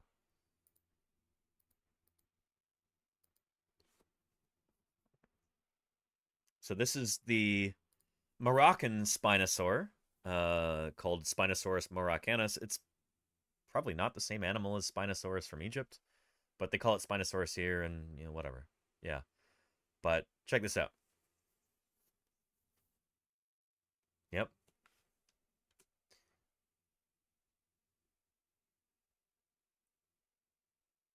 Hey up, ducks. How did you make that happen? Those follow alerts are randomized, and you got the duck one? Wow. That's pretty cool. Um, welcome to paleontologizing. That seems like a fortuitous coincidence, or maybe it's fate, but welcome to the channel. It's good to have you here. Welcome to paleontologizing. And happy International Sawfish Day. Holy moly. This oh, this makes me so happy. This is this is this is cooler than I thought it was gonna be. Ah, I love this. Yeah. Uh yeah. This is Onchopristis. Yep. An eight meter long giant sawfish, similar to those alive today. Pretty cool. It may not have actually been quite that big, and it's not a true sawfish. It's not.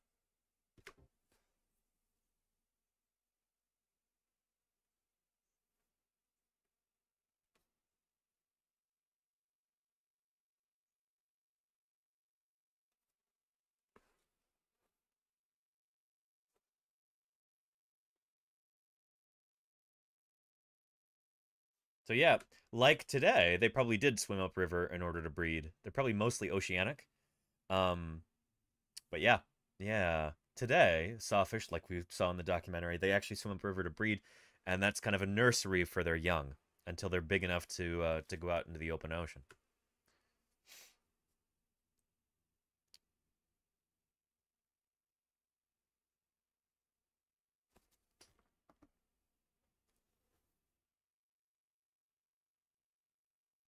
The Mutos are...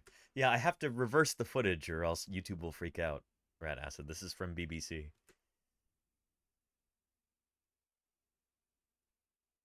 This means it'll also be muted in the YouTube VOD. It is funny. You're right, Rat Acid. You're right.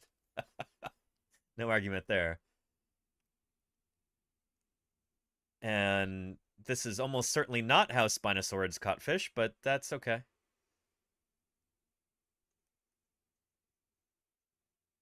Oof. Anyway, you get the idea. We're not going to watch this poor Onchopristis be torn asunder. But let's talk about this animal. This is probably not the same creature, like the same sawfish that we have today. It's probably a, a, related group, but as I understand it, this group actually went extinct at the end of the Cretaceous, at the same time as the non-bird dinosaurs. Here on Wikipedia, let's see what uh, all Wikipedia has to say about it. It's an extinct genus of Sclerorhynchoid. Um, yeah. Very cool. From the Cretaceous of North Africa, Europe, and North America. I didn't realize we had them in North America, too. Holy moly. Uh, they've been found in coastal and fluvial deposits dated to the Barremian and Cenomanian stages, or from the Barremian to the Cenomanian, making the genus one of the oldest and longest-lived Sclerorhynchoid gen uh, genera. There is one of the, uh, one of the barbs or uh, denticles, one of the teeth on the rostrum, and it's got a barb on it. Holy cow. This is different from, like, our modern sawfish, where it's just... It's just kind of simple and more ziphodont like this. It's just... Yeah, these do not have a barb on them. I mean... They're just pretty simple kind of point there. Onchopristis a bit different there. Very interesting. Yeah.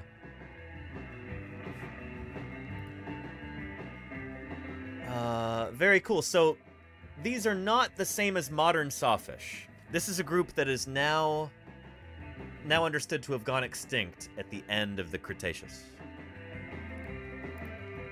So these are sometimes called saw skates, and I've actually heard Jim Kirkland talk all about these. Um, they're not the same as your modern sawfishes. They probably look more similar to like guitarfish. Yeah. Uh, so they've got a long rostra with large denticles similar to sawfishes and saw sharks.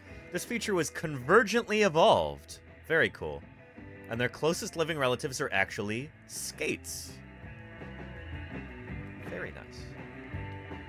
While they're often called sawfishes, saw skates is a more accurate common name for Sclerorhynchoids, this now extinct group that includes Onchopristis here. Yeah. Yeah. Uh, there's five named families. Holy cow. Ganopristidae, Iser Ischirhizidae, Onchopristidae, uh, Ptychotrygonidae, and Schirhiziridae. Schizorhizidae. Several genera see below are not currently placed in any of these families. They first appeared in the Barremian and went extinct during the Cretaceous Paleogene extinction event. So when that big asteroid hit, that wiped out this group. So yeah, yeah. Um, interesting stuff. And man, there are a lot of different genera.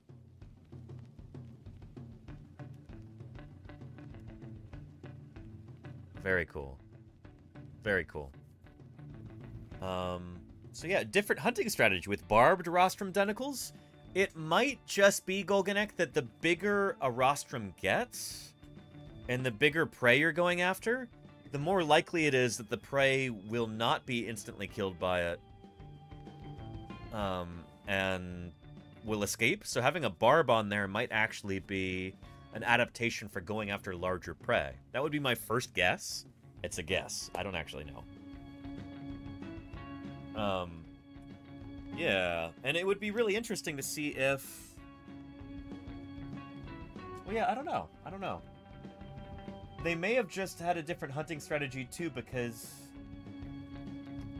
there may have been more competition back then, and maybe you need a barb in order to hold your prey to your rostrum so somebody else doesn't eat it. I don't know. That's a guess too. That's a little bit more arm wavy than the first one. But yeah, yeah.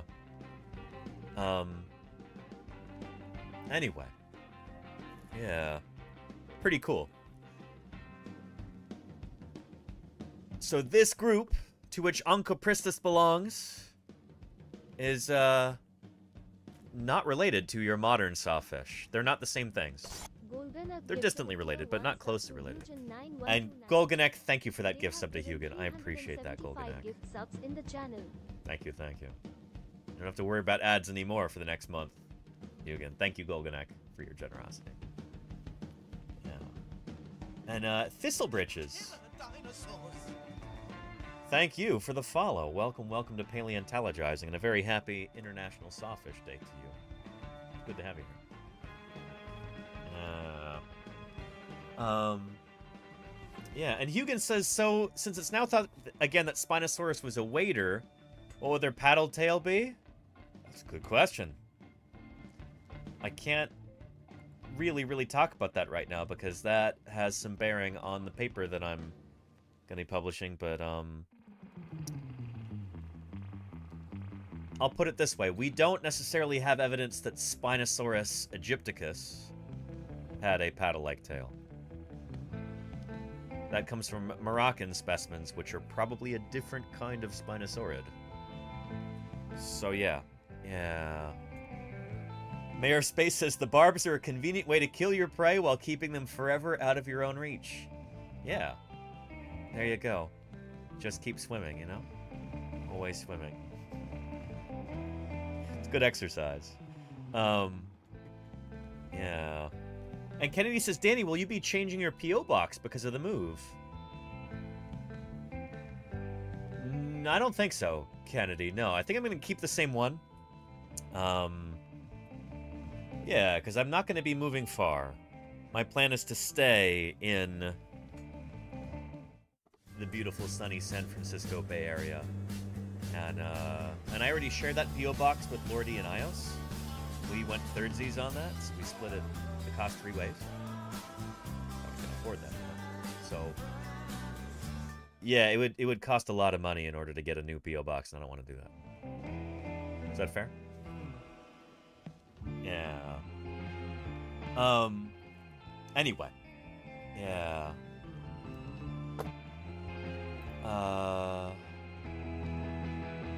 stretching yourself a bit. Oh, Golganek, I appreciate that. Uh, thank you, Golganek, for your generosity. It really does mean a lot to me. Yeah. Um, anyway. So yeah, you might be familiar with Onchopristis. It is not actually a true sawfish, despite what you may have been told in the documentary Planet Dinosaur. Um, kind of a goofy documentary in a lot of ways, but uh, yeah, it does not detract from its awesomeness. These are very, very cool critters, and then it goes to show that that uh, that that rostrum, that adaptation,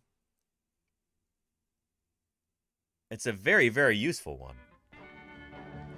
If it's evolved at least three times in the history of life on Earth pretty cool. Pretty cool.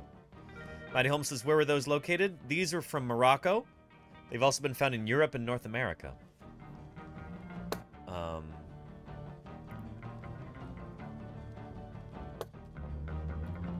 yeah.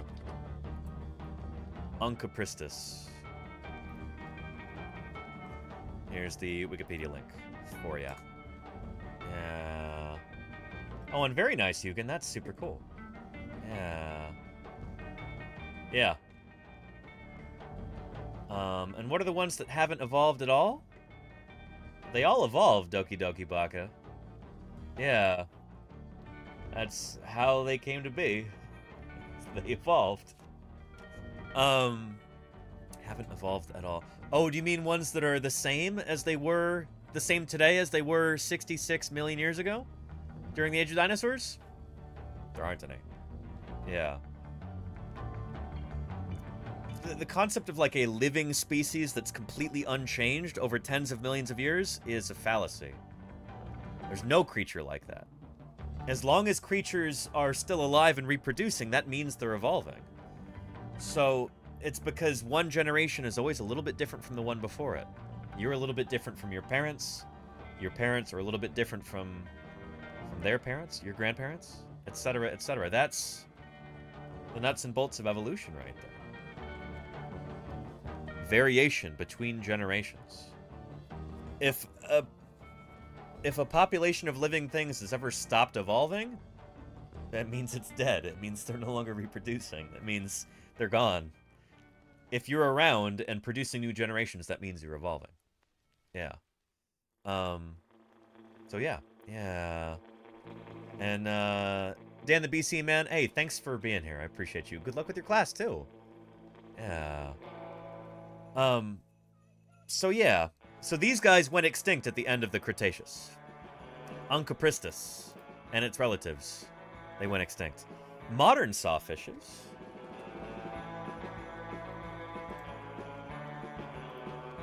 These critters probably date back to after the extinction event. Um, so there's your living species there. In addition to the living sawfish, there are several extinct species that are only known from fossil remains. The oldest known is the monotypic genus Peyeria, whose remains date back 100 million years from the Cenomanian age late Cretaceous, though it may represent a rhinid rather than a sawfish, and it probably is. It's almost certainly like a guitarfish or a wedgefish, and not a true sawfish. I like that they make that distinction here. Indisputable sawfish genera emerged in the Cenozoic age about 60 million years ago, so that's after the asteroid. So, this group, your modern sawfishes, they originate, or they only seem to show up in the fossil record after the extinction of the non-bird dinosaurs, after that asteroid impact. They're a little bit more recent, if that makes sense. Yeah. Um. So yeah, yeah. And Maddie Holmes says evolution is the statistical shift of genetics between subsequent generations. Basically, yeah, yeah. Um. So yeah, yeah. Uh, so interest, right? It seems like pretty soon after that asteroid impact, and like maybe 80% of life on Earth gets wiped out. These guys evolve, and they're they look similar to their distant relatives like Onchopristis, and they probably occupy a very similar niche. And they've got very similar rostra, probably. It's it's pretty neat how that works. This is just this is a body plan that just works. And so it's evolved at least three times independently, which is pretty cool when you think about it. Yeah. Um, also, I'd love this uh, difference here. Big rostrum, small rostrum. ah, that's fun. I want to do that again. Somebody can clip that, you know? Small rostrum. Big rostrum. yeah.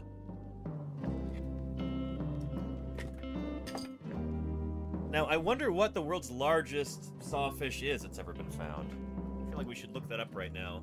I want to make sure that this one that I've printed is authentic. I, I've seen photographs of rostra bigger than this. Um, but I want to know how big that animal would be.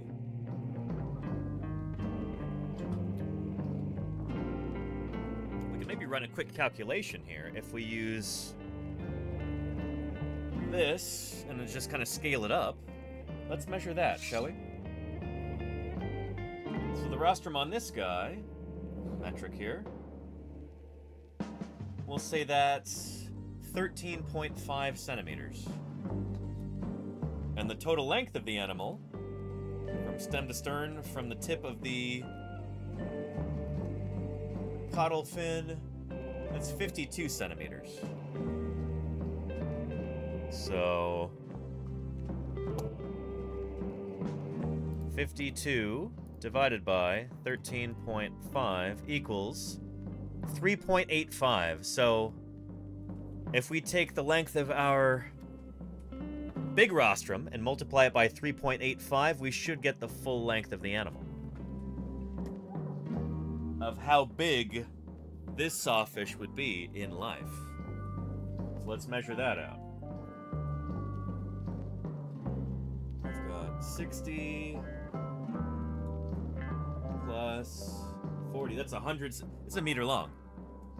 Holy cow. So 1 meter times 3.85 is 3.85 meters. Um, yeah, holy cow. That's going to be like 15, 16 feet long. Pretty cool. Pretty cool. Yeah. Uh, anyway, and diagonal... No, I'm familiar with Onchopristis. We were just talking all about it. But Onchopristis is from a different clade, so it's maybe not super relevant for trying to scale up the rostrum, you know? Yeah. Anyway. Uh, Kennedy says, Danny, can you clarify extinction? There's the type...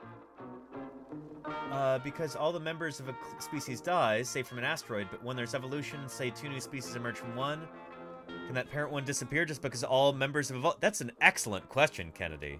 That is an excellent, excellent question. You would think that something like extinction would be easy to, uh, to define. And it is on its face. Like, that's when all members of a species are gone. They're extinct. They're no longer reproducing. There's no more of them. But yeah, if a species does split into two different species, do you say that the parent species is extinct? The thing is, the, the term extinction we kind of apply this to modern species and not... The term extinction, when Cuvier was talking about this, he wasn't thinking about species evolving. Cuvier didn't realize that species evolved. So let's talk about that. Uh, and it would help if I'd turn on the sound, huh?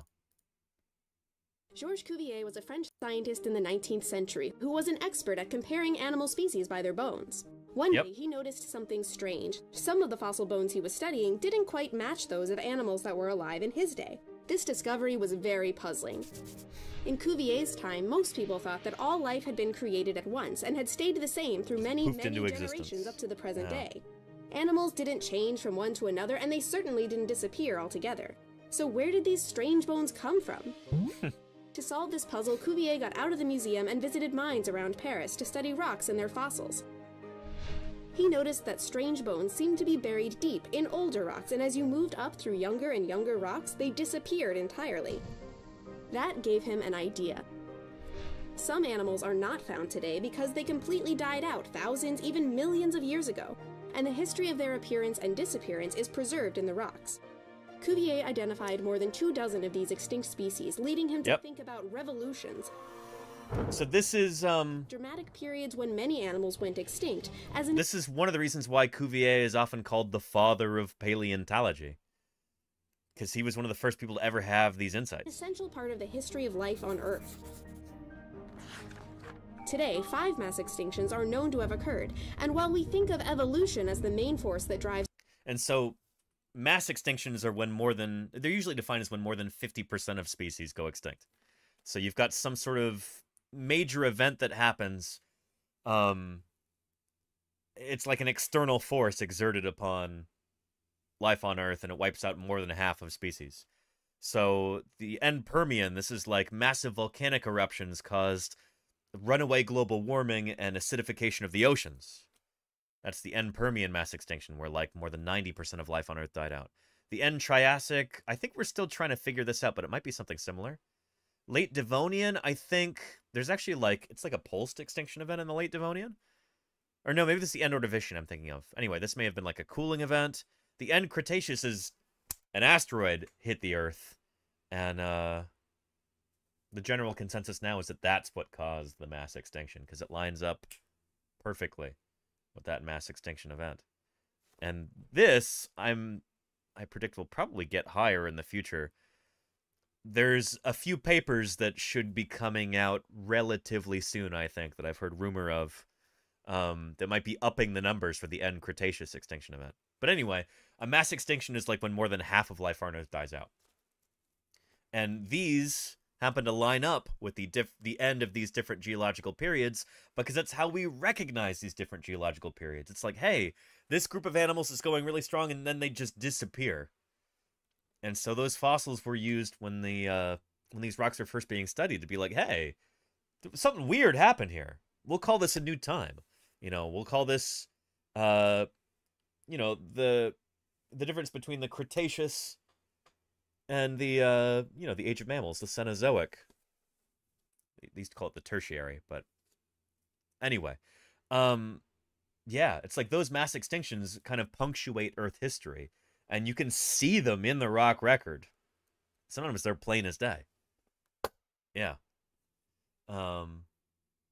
Anyway. New adaptations and forms, mass extinction events also play a large role by creating ecological niches for different species to occupy. You Yep. might say that thanks to Cuvier, our knowledge of abrupt changes in the history of life is rock solid. Yes, and so extinction, we're used to thinking of this as like entire groups going extinct. But when we're talking about particular species going extinct, you know, it's easy to tell when like a species goes extinct nowadays. It's like humans drove it into extinction. But if one species is evolving and it splits into different lineages, does that mean that the parent species went extinct? Because it disappears from the rock record. Is that an extinction event? Well, it's not. It's not like they ceased reproducing or they disappeared. They just split into two new species. So, Cuvier didn't understand that animals evolve, that they change over time, that lineages split and stuff like that.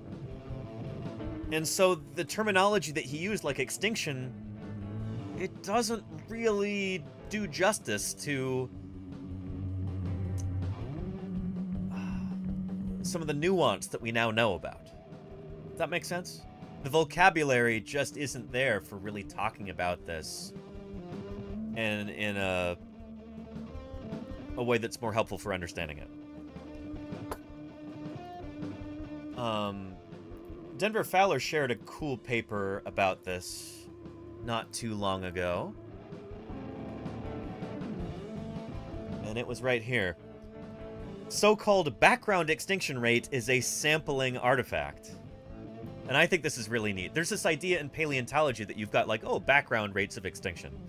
You know, uh, species only last for a few million years and then they go extinct. Like, well, no, a lot of this is probably anagenesis. It's just species evolving into new species. So the old one disappears because they've changed. And it might seem abrupt because it's a sampling artifact. We can't see that smooth gradation because we have very few fossils oftentimes. And so it might seem like, wow, this species just went extinct and it's replaced by this other one. But there may have actually been a smooth transition from the ancestor to the descendant, and we just don't have all the fossils in between to see that nice smooth transition. So, really, really cool paper about this, and I hope it gets cited more. I think this will be, if this is correct, this is going to be a big deal in, for instance, the study of dinosaurs. So, yeah. Yeah. Um. Yeah, and Chartron says, we do consider human precursors extinct, though. In some cases, yes, because they split off, and then they went extinct. But when you've got a smooth gradation, we, we kind of got to talk about the difference between anagenesis and cladogenesis here. Um, this is really at the heart of the matter. We've talked about this a few times before on this channel. There we go. This kind of works, yeah. Anagenesis versus cladogenesis. So these are two different kind of modes of evolution. or they're kind of the same with minor differences, it the stuff gets a little confusing because our language around it isn't super clear. So cladogenesis is where you have an ancestor that splits into different descendants over time, whereas anagenesis is just one population slowly changing over time. Or maybe quickly changing over time, but the point is it doesn't split on this side. You've got lots of splitting, new clades being formed, cladogenesis, clades being generated, clades splitting off, being generated, versus anagenesis, it's just one population changing. So when the butterflies look like this, a million years after they looked like this, does that mean these ones are extinct? Well, no, they just changed, you know? So sometimes the language that we use around these things kind of muddies our thinking a little bit. And I think that's part of what this paper is about. And, um, yeah. Yeah. Anyway. And Little Pink Pony says, like, Neanderthals didn't go extinct, really. They commingled with modern men. Yeah. I mean, a lot of people are carrying Neanderthal genes. Um, myself included. Uh, I did a 23andMe, uh, or was it Ancestry.com? I forget, but it it'll tell you the uh, the percent of Neanderthal DNA that you have.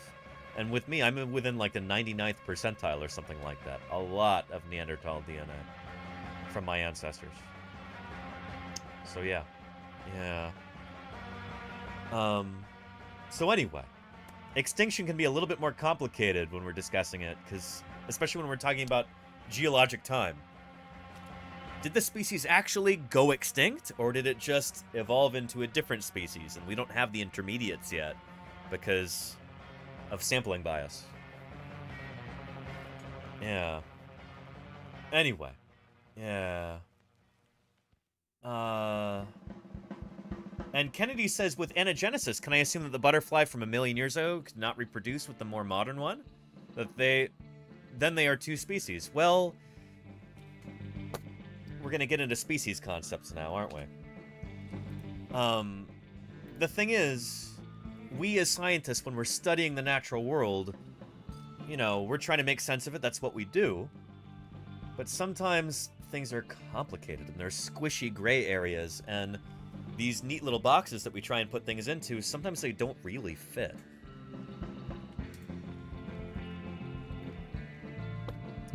So let's talk about that. What makes a species a species?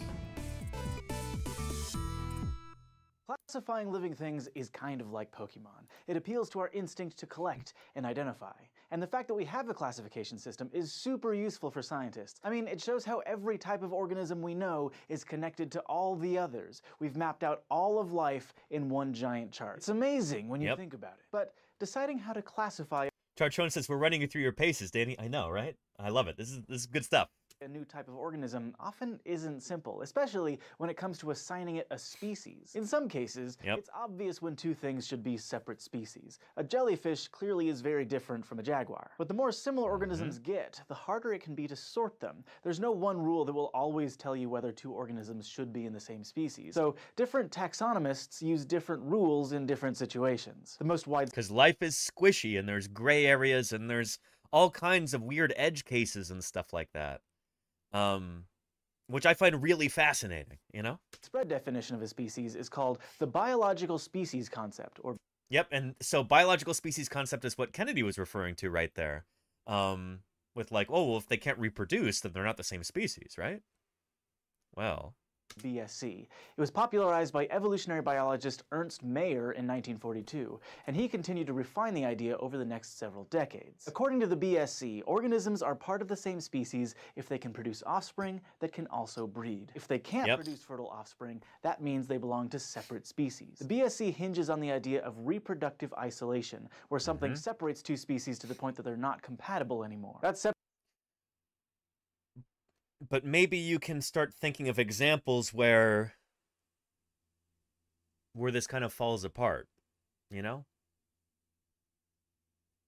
there are sometimes distantly related species that can still interbreed and produce offspring. And sometimes they're like, yeah, sometimes they're not close at all. Um, a good example of this would be um,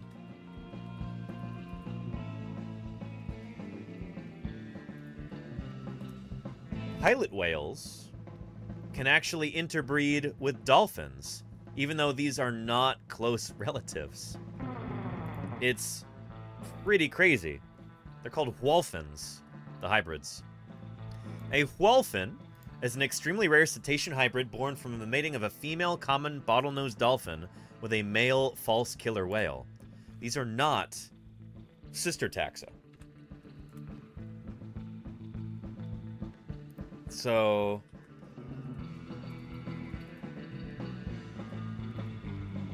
bottlenose dolphin, common bottlenose dolphin. There you go. They are down here on the Tree of Life.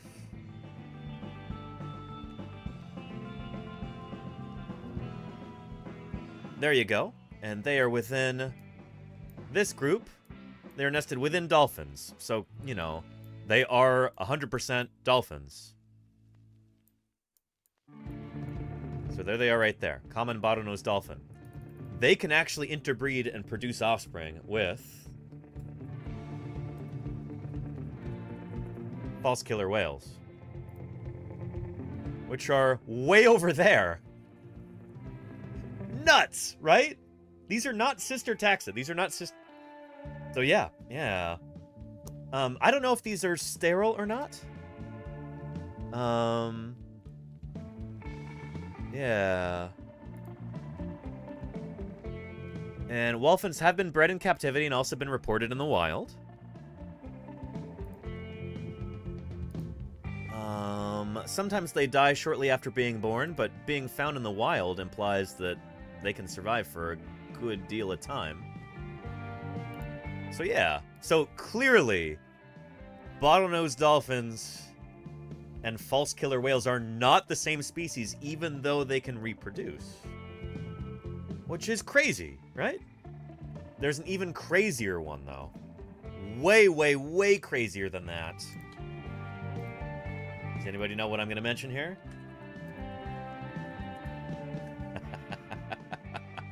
ah! Well, there's a different SciShow episode about it. Should we get into that real quick? The sturddlefish. Holy cow, is this nuts. There's a reason you don't see hybrid animals like ligers running around very much. Not only are they separated by geography, but the genes of different species don't usually play well together. But recently, researchers in Hungary accidentally crossed two very different fish, the Russian sturgeon and the American paddlefish. Their Which research is was nuts. published in the journal Nuts, nuts, nuts. Not just because these are geographically separated, but because they've got like 400 million years of evolution separating them. Sturgeon and paddlefish diverged a long, long, long time ago. Genes, documenting hybrid fish that, according to what we know, were not supposed to be possible. These scientists didn't set out to make a hybrid, though. They were originally trying to create sturgeon offspring that had only their mother's DNA through a process called gynogenesis. Usually, this process involves fertilizing egg cells with deactivated sperm cells from another species, making Hmm. it possible for only the mother's genetic material to be passed on. In this experiment, the researchers crossed sturgeon eggs with paddlefish sperm because they thought it wouldn't create hybrid offspring. These fish are fairly distantly related, and until are. now, nobody had been able to make a sturgeon paddlefish hybrid, and they'd tried. So So here's the thing they are very distantly related from one another. So let's jump to paddlefish right here. American paddlefish. Yeah. And hybridization is far more common among plants than vertebrates. Absolutely diagonal. Yeah, it's it's like a matter of course in plants. So there's the American paddlefish there. And sturgeon are over here. So sturgeons and paddlefishes do form a clade, but they diverged 184 million years ago. So depending on how you look at it, either there's 184 million years separating them, or I guess if you wanted to think about it this way, you could double that number, uh, because they've each been evolving for that long. So they've been separated by what, 368 million years of evolution between the two of them? Pretty cool, right? Yeah. And yet, they were still able to produce offspring. That was finding number one. That's It crazy. it is possible. Then the researchers got That's to work insane. analyzing the anatomy and genetics of the offspring. And what they looked like depended on what kind of chromosomes they inherited, or really Huh. how many. See, at some point in evolution, this group of sturgeons acquired another two copies of their chromosomes, giving them four copies of each chromosome, where paddlefish only have two. And in the So we call this genome duplication, and uh, Diagonal can tell you this is really, really common in plants to have the genomes duplicated like that. Usually it doesn't work super well for animals, but sturgeon managed to do that somehow. So these two animals were able to reproduce with one another despite having at least 184 million years separating them and having totally different numbers of chromosomes. It's nuts. Giving them four copies of each chromosome, where paddlefish only have two. And in the world Yeah. of fish hybridization, when parents with mismatched sets of chromosomes reproduce, their offspring can inherit different numbers of sets. And sure Wow. enough, the offspring in this experiment could be split into two different groups. Some were triploid, meaning they had two copies of the sturgeon mom's chromosomes, and crazy. one copy from paddlefish protect dad. fossils. Uh, and A up ducks. America loses them forever. Thank you, thank you for subscribing with Prime there. I appreciate that. Thank you for the support. Appreciate you. For a total of three full sets, or they were Yeah. pentaploid with four sets from mom. and Polyploidy. There you set go, Diagonal. Yeah. Now, that's a yeah. little strange because in birds, mammals, and reptiles, having more than two sets of chromosomes can lead to serious errors in cell division, and it's Oh, yeah. usually fatal. It's more common in fish. It may have even been an advantage over their evolution, but only in even sets of chromosomes two, four, six, eight, and so on. Organisms with three, do we five, appreciate? Polyploidy. Polyploidy. Go, go, go. for seven sets of chromosomes usually run into fertility problems. In this experiment, the number of sets of chromosomes in the hybrid offspring depended on what they inherited from their parents. The offspring Huh. with three copies of their chromosomes look Oh, these are so weird. It's like it almost looks like some sort of garbage AI image or something, but like, but it's real. A, a paddlefish sturgeon hybrid with a really long rostrum on it, like that, really long for a sturgeon. Looked like a pretty even split between sturgeon Weird. and paddlefish, while the Weird. offspring that got more sturgeon chromosome copies looked a little bit more sturgeony. That makes sense. fish weren't supposed to be able to reproduce. How'd they pull it off? Well, while these two families of fish split a long time ago, Like 184 million years ago. The researchers think that their relatively slow rate of evolution means their genes and anatomy hadn't actually diverged that much. And Interesting. And then we get into like discussions of rate of evolution and stuff like that, which is really complicated in and of itself. Yeah. Um anyway. And I'll give you a link to and the video, yeah. The sturgeon had four chromosome copies might have set up these two fish for increased chances of making successful babies. That's because Hmm. past fish hybridization experiments have shown that when the mother has more chromosome copies than the father, the hybrid offspring have better odds of survival. So now the researchers are looking into filling up fish farms by making more of these sturgeon hybrids just on purpose this time. Another Pretty wild. Here is a link to that video right there for you. And uh so yeah, yeah. So the biological species concept that like if you can reproduce, then that means you're the same species, this doesn't always work. You know?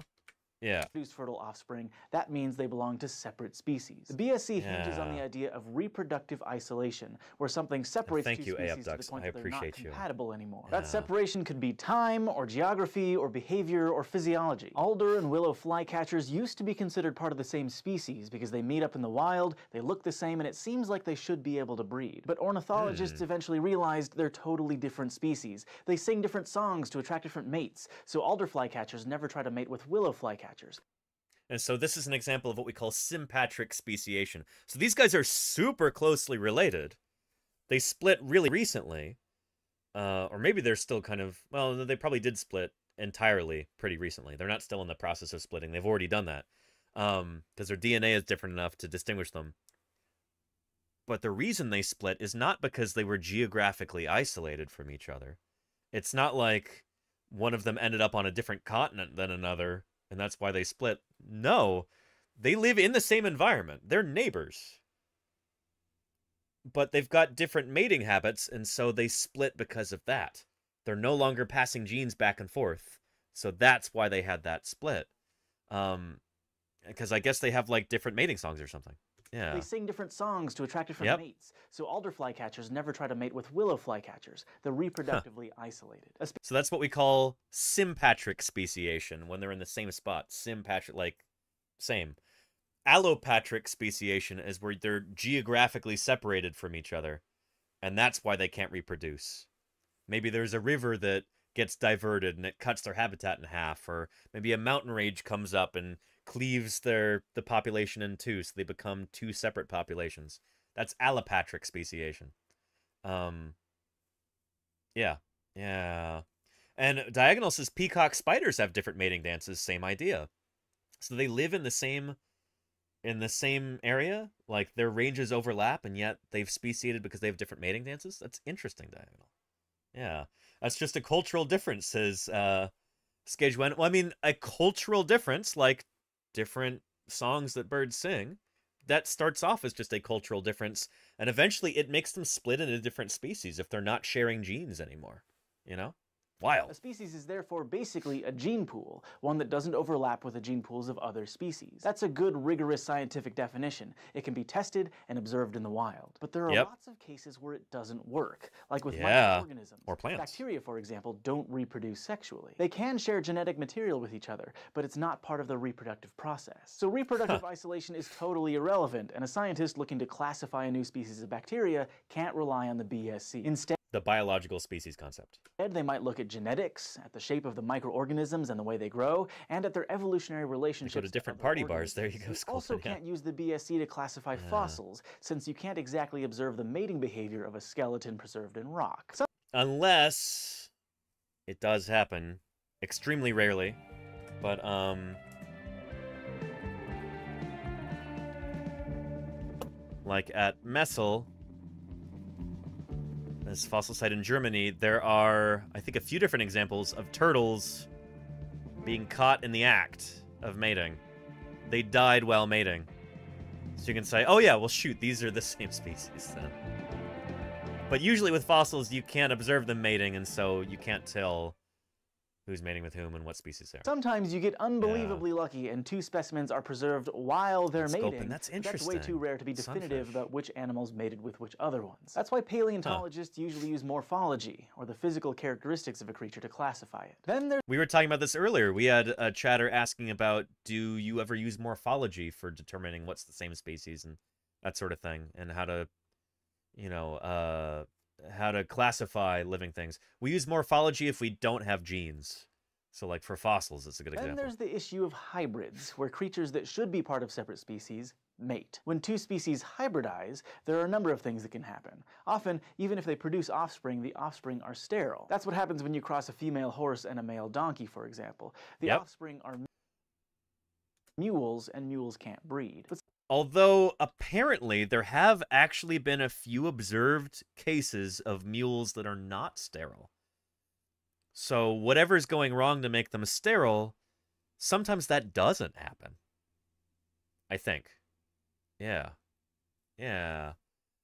But sometimes two species can produce fertile offspring, and biologists have found that animal species hybridize way more often than we used to think. If the offspring hmm. go on to mate with their parental species, it's called introgression. It provides a means Huh. for gene flow between two species, meaning their gene pools aren't totally isolated. So, does that mean that you have to revoke their status as separate species? Scientists haven't settled that question yet, but some think the barriers between species are much leakier than the biological species concept allows. Sometimes Yep. this leakiness can lead to two groups being classified as subspecies within a single species. Subspecies give you a little wiggle room. Sometimes organisms overlap geographically and can share genes. In cases like these, subspecies means we know that they can share genes. It's just that they usually don't. Then Interesting. Sculpin says rarely a few mules can breed. Ah. And Harass says, so question, can humans evolve and split in the future? I guess globalization prevents us? I mean, yeah, when you had different groups of humans that were reproductively isolated from one another, I guess with enough time,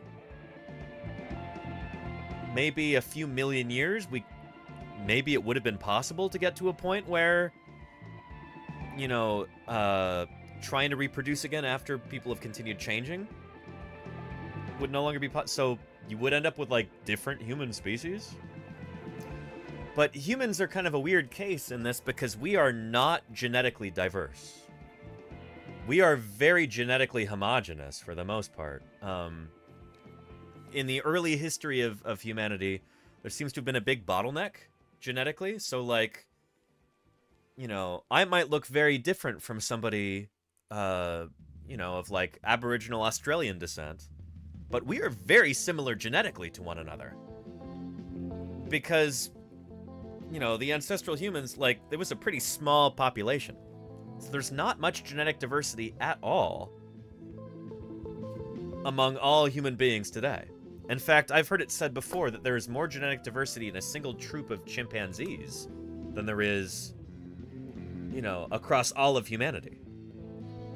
Uh, let me look this up real quick so I can verify. It's a thing I've heard a million times, but I want to make sure that this has got something backing it up. Um, uh, and in all of humanity.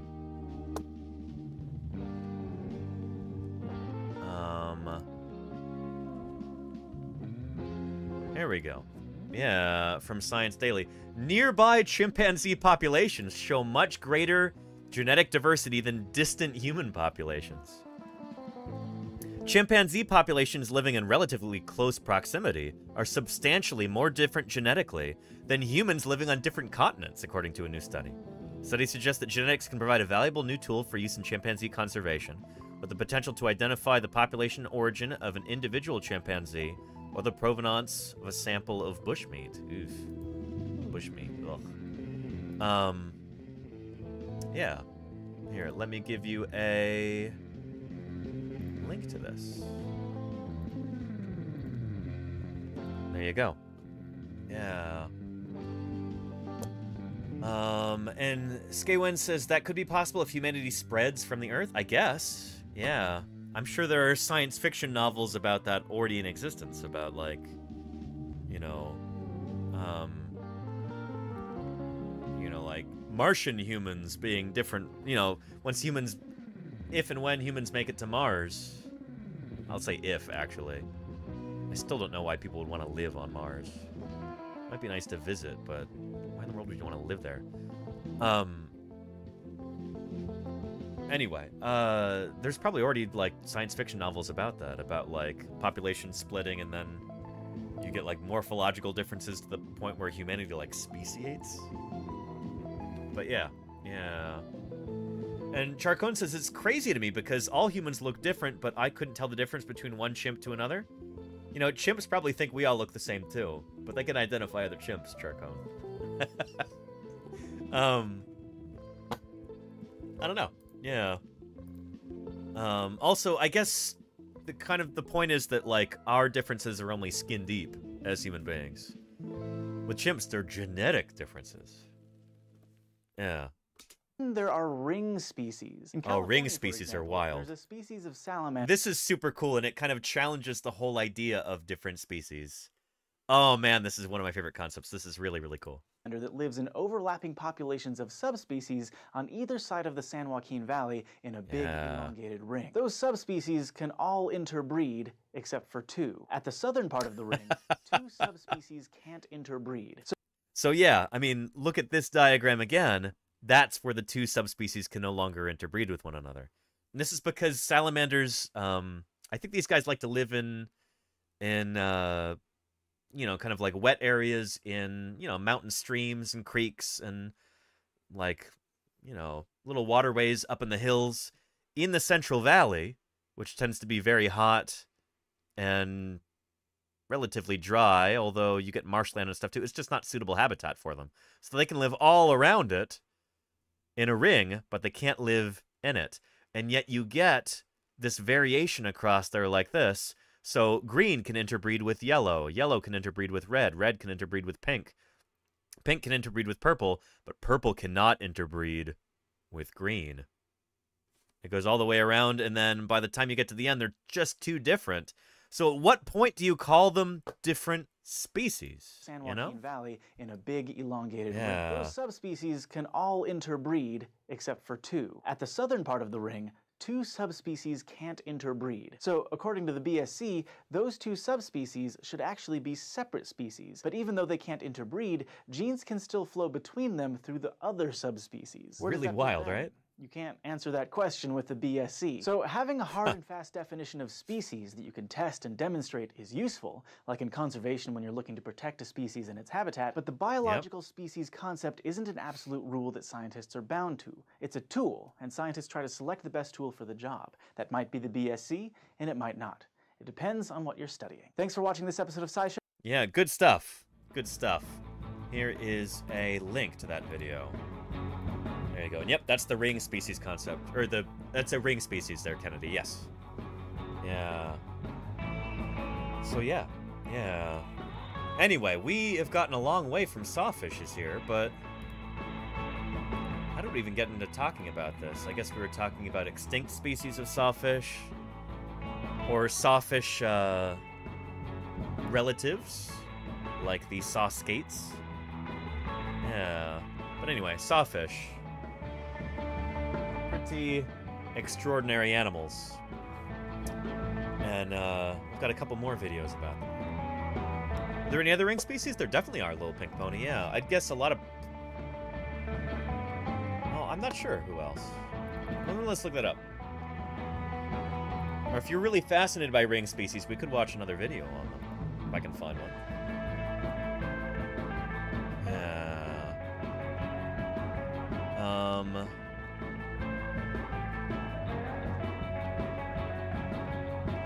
Well, maybe we'll watch this one about the salamanders again. I guess this is kind of your classic example. We'll see if they mention any others. The oh, this is cool. of Northern California can be perilous.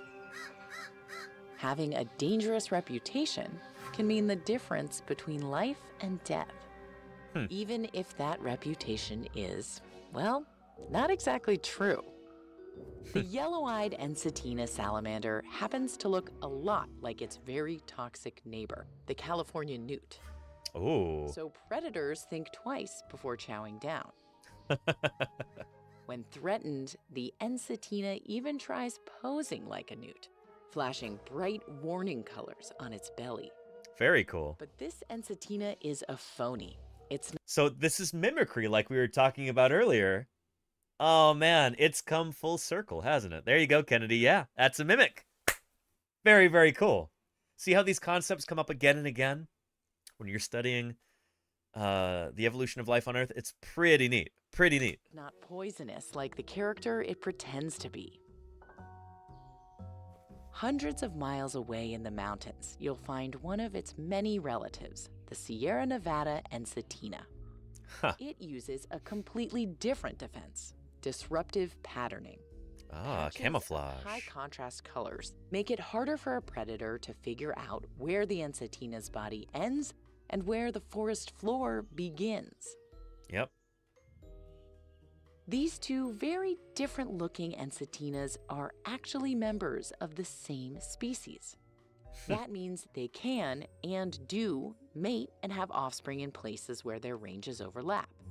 Cool. And they aren't the only two branches of this eclectic family tree. Ensatinas are part of a sprawling clan of salamanders, separated cool. and shaped by place and time, evolving different ways to avoid predators.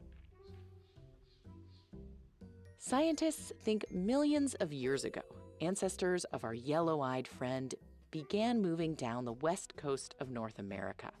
Hmm. Their newt disguise became more convincing with each generation. The more they looked like poisonous newts, the better they fared. Yep. For our spotted pal, its ancestors took a different path, inland, along the forest floors of the Sierra Nevada mountains. They passed splotches that helped them survive from generation to generation.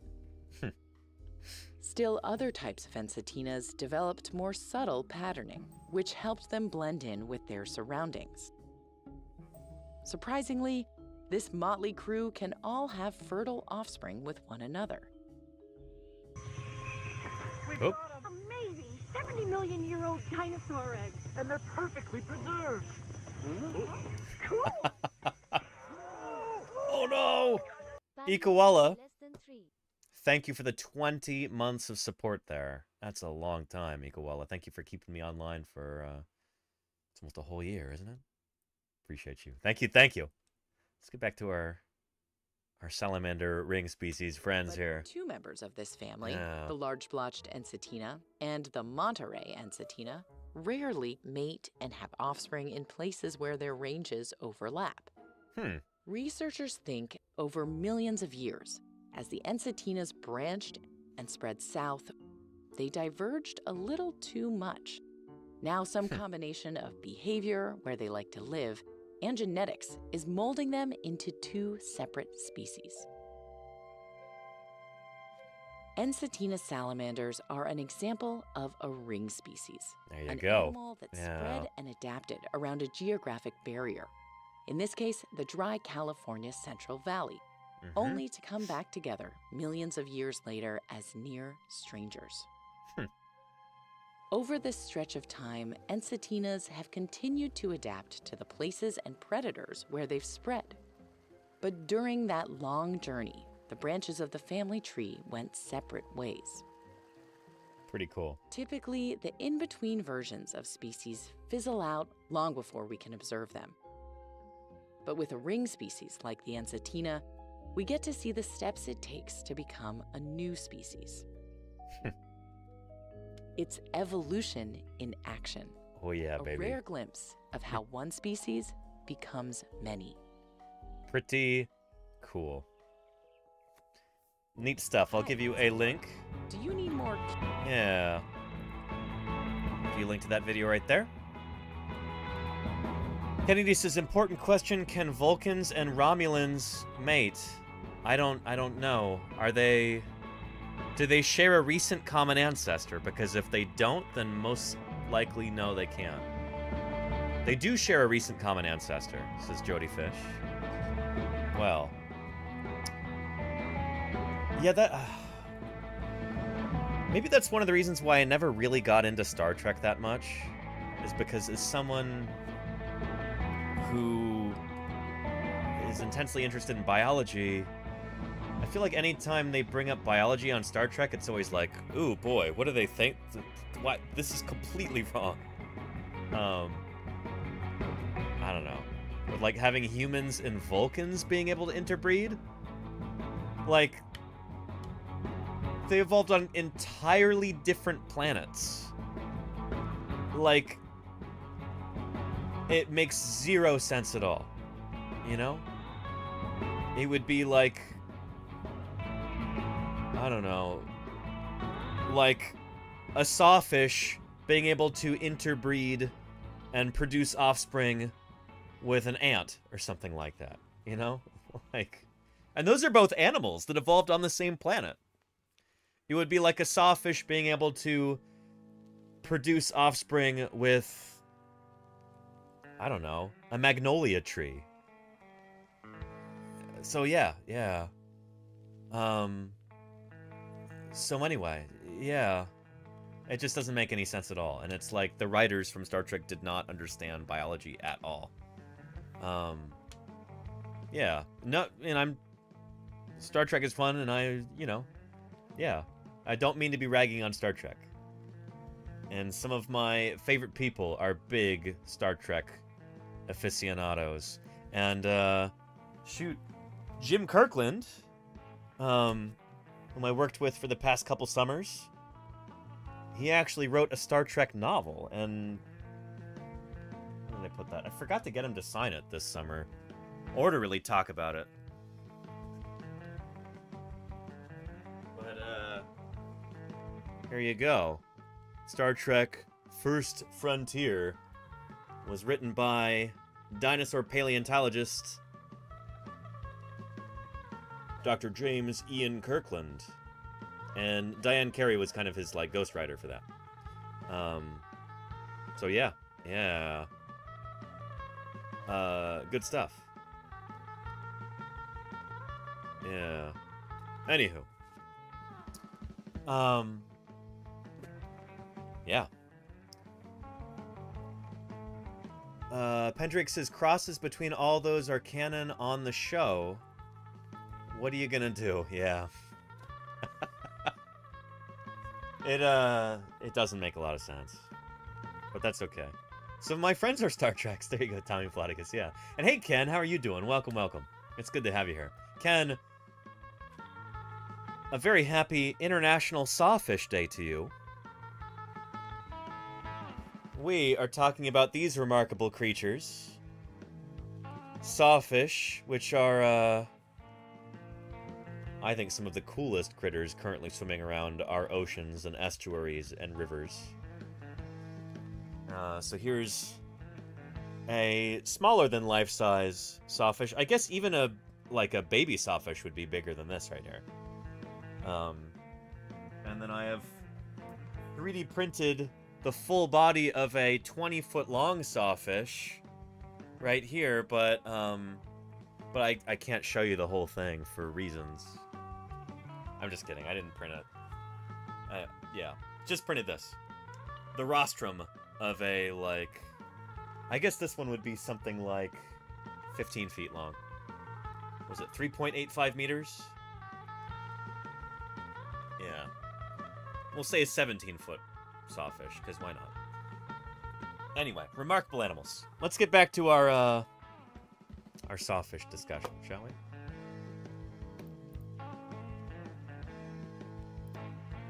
There we go. Um, uh, where did that go? Well, we haven't watched the International Sawfish Day video. Uh, here we go. From Hi SeaWorld guys, my Orlando. name is Julie and I'm an Aquarist here at SeaWorld Orlando. I'm here today to talk to some of our ambassadors about our sawfish in support of International Sawfish Day. Yeah, International Sawfish Day. False, sawfish are actually fish. What do you think, chat? Are sawfish considered fish? Yes or no? Hmm. Test your knowledge a little bit. Dex Phantom says no. Jody Fish says no. Hmm. Patrick Crusader says yes. Freelancer says yes. Anakin Gabriel has preempted my joke I was going to make. They are not fish, they are actually saws.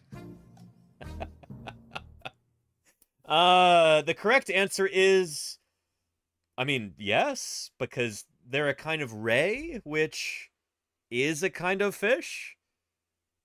But, uh, yeah, but strictly speaking, I am also a fish, and so are all of you watching. Uh, because Sarcopterygian fishes are what gave rise to tetrapods, land-living vertebrate animals, etc. So they they are fish, but they're not bony fish.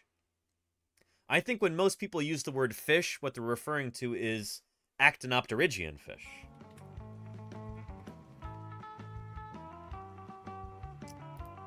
So, let's see.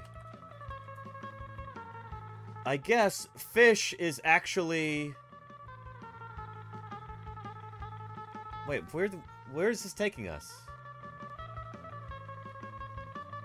I typed in vertebrata. Where is it?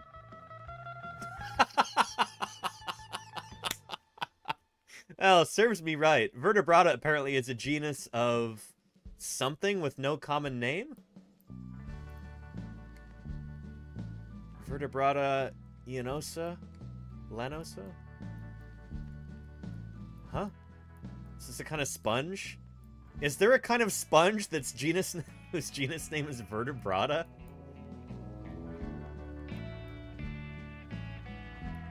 These all have no common name. What are these? Really thrown me for a loop here.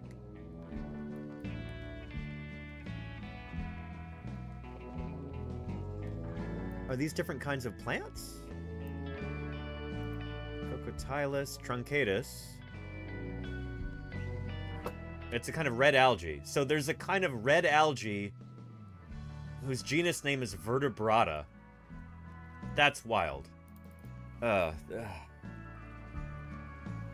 So what I was trying to show you is vertebrates. Thank red algae. Thank you, diagonal. Yes, that's really funny. Um. Anyway, vertebrates. I guess if we're talking about fishes, to me, vertebrata is synonymous with fishes. All of these animals are fishes. Because they all evolved from a fishy ancestor. Your jawed vertebrates here, gnathostomes. Fishes. Bony vertebrates. But I guess when most people hear the word fish, they're thinking of ray-finned fishes.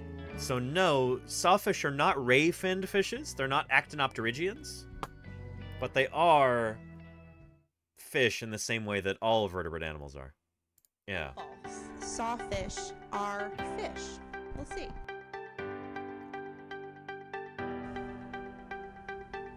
Yeah. True. Sawfish are indeed fish. They're They are? one of the largest species of fish and can get up to 23 feet long. That's actually, well, one of the largest species of aquatic fish. well, but that would also include whales if we're ah ah these things are difficult to explain sometimes. Um one of the largest species of non-tetrapod fish. Yeah. Sawfish Question two. are most closely related to sharks. Oh, what do you think, chat? Are they most closely related to sharks? Hmm. Jody Fish says no.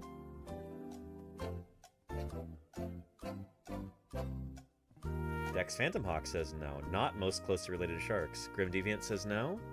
Yes ish, says Araya Thalia. Interesting. Seahorses Forever says yes.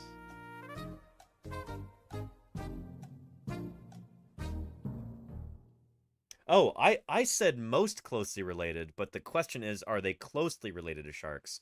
Well, that's subjective. They are more closely related to rays and guitarfish, I think, than they are to sharks. But they're also kind of close to sharks. They're both chondrichthyan fishes, so this should have been worded in a different way. I think I actually know this. I think it's false because I'm pretty confident I remember it's stingrays. Yep. It's actually false. The sawfish have the tail end of a shark, but they actually have their gills and their mouth underneath their body, which is exactly Yep. how a stingray is built. Yep, this is true, and this is one of the ways that you can tell. You know, sometimes morphology is really, really helpful like that. Where, if you look at the sawfish model here, yeah, you turn that over, and they, just like a stingray, or any other kind of batoid, they've got the gills underneath, the mouth underneath. Those, I don't think those are nostrils, those are spiracles or something, aren't they? I've been calling them nostrils. Ontogeny. But anyway, yeah. And what about their ontogeny? They're not like flounders where they where they go flat through ontogeny. No, they're born like this. In fact, they're born looking like a miniature version of the adults. They give birth to live young sawfish. Um, so yeah, yeah. Let's continue. So they are actually most closely related to stingrays. And Thagomismer says, at what point do you stop being related to another creature? That's a good question. Close close relatives means that you share a a recent common ancestor. But like how recent? It kind of depends on who you ask. But when we say that that these are not closely related to sharks, well, what we're talking about here is uh We'll jump to uh to sawfishes up there. Yeah. I guess that means that they're more closely related to other creatures. Like for instance, guitarfish, rays, stingrays, etc. Does that make sense? So in order to get to sharks, You to go, gotta go further up here. Past the skates and the guitar fish. And then... uh, yeah. See, rays, skates, and sawfish, they form a clade with these other critters. They are close related, closely related to them. They're more distantly related to sharks. See? Sharks are over here. But they're closer to sharks than they are to, I don't know, trout or something. Way closer to sharks than they are to trout. So it's all relative, you know? Yeah. Um. Anyway. And yeah, didn't the model come out really cool? Totally tubular? Pretty happy. So let's continue. A sawfish's Question number three. or saw is used for A. Defense, B. Trimming underwater hedges, C. Detecting prey and feeding, D. Dueling with other sawfish.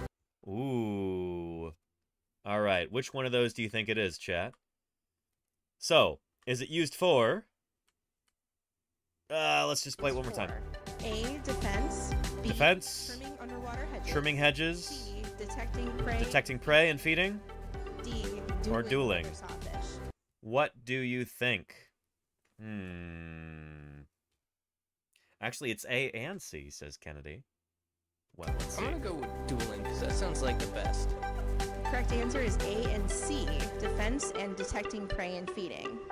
There you go. A ding ding ding. Yeah, very nice. Very nice. And look at look at how they use that. That's so cool that they have footage of this right here. Um really neat. So that's a, a previously dead fish, I think. I don't think that's a live fish right there. It's just kind of drifting there on the bottom. But watch. Prey and feeding. The no, no, rostrum is no, no, used for defense and is packed with receptors that help them find prey in soft sediment. They also Yeah. use it to hit and stun fish to help them get their next meal. Well, and they'll use it as, you know, they'll accidentally get you with it if they're defending themselves, I guess, or like they'll they'll maybe swing it at you if you're trying to hurt them. So they can use it for defense also. Oh wait, wa- was defense C? If it was, then great. Reaganation, holy cow! Holy cow, Reaganation. Reganation Thank you for those five gift subs there. Five gift subs. I really appreciate that. Thank you, thank you, Reaganation.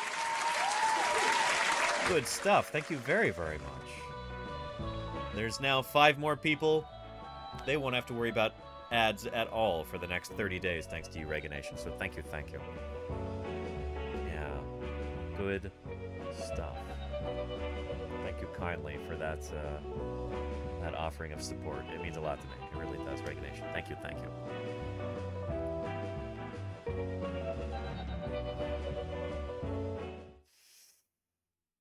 It's because of that kind of support that I can continue to, you know, bring you information about these remarkable creatures. Let's continue.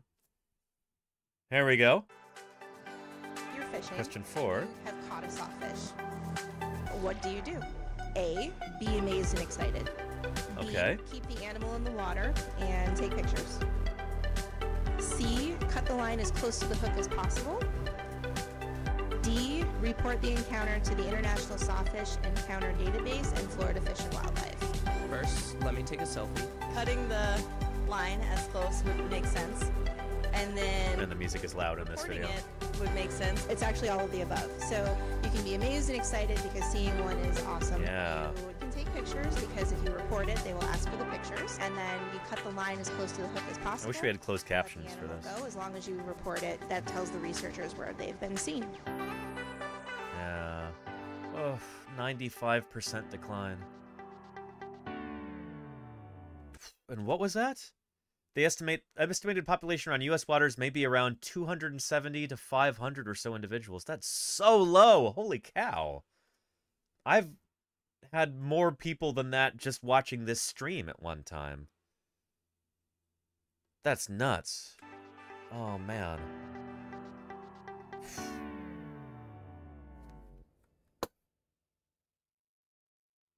Well, shoot. Let's uh Let's talk about celebrating International Sawfish Day and let's talk about their conservation. I'll tell you another way. And Maelstrom Doll. Holy cow.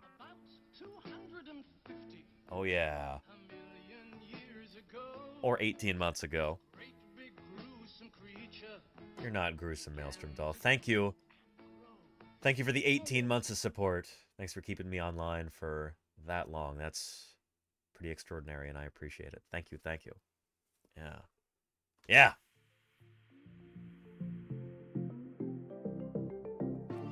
Really spectacular. Spared no expense. And Kitefish, Gifted a tier 1 sub to Ninja Kidfish. underscore Duck 93. thank you very, very much for that gift sub there. I appreciate that, Kidfish. Thank you, thank you. Yeah. And Ninja Duck is a happy viewer there. I'm glad you got that from Kidfish. Thank you, Kidfish. Good stuff. Yeah.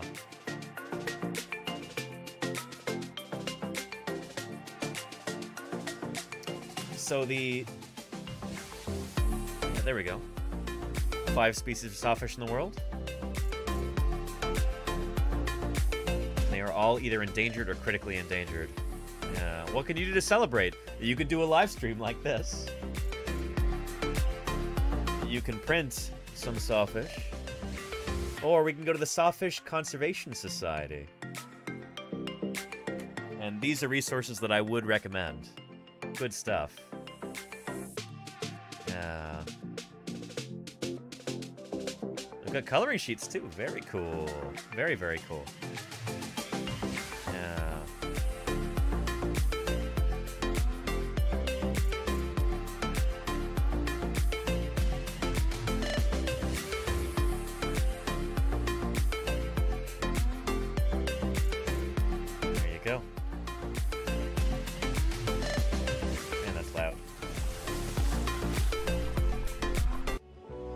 Stuff. Cool stuff.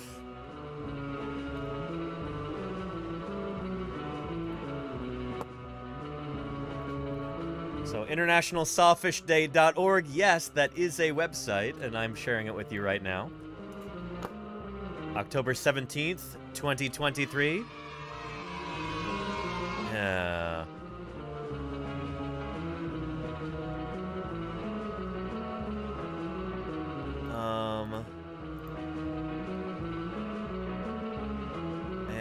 Like they they don't have like a 20 well posters. Oh, that's pretty cool. Yeah. Oh man. Oof.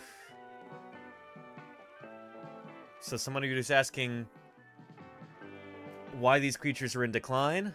Well, tangled in fishing, that's probably the number one thing that happens to them. This big rostrum, that gets stuck inside of nets, and that is... Heck, it's pretty much a death sentence for these animals. They're often hunted for trophies. Trophies as well. A rostrum can sell for more than $1,000 on illegal markets. I've seen them on eBay for like $3,000. Uh, or not eBay, it was some other website like that, but you can find them online. They like, I saw one for like six thousand dollars. They're sometimes killed for shark fin soup. Ugh, yeah, and wiped out by habitat pollution and habitat destruction, um, by development of their habitats, wiping out mangrove forests, um, and estuaries like that where these animals, you know, raise their young. Um, yeah, yeah.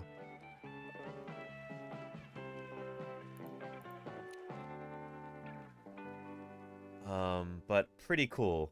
Uh, I'm gonna make a big deal about International Sawfish Day. I think next year, maybe we can interview some researchers and stuff. Yeah.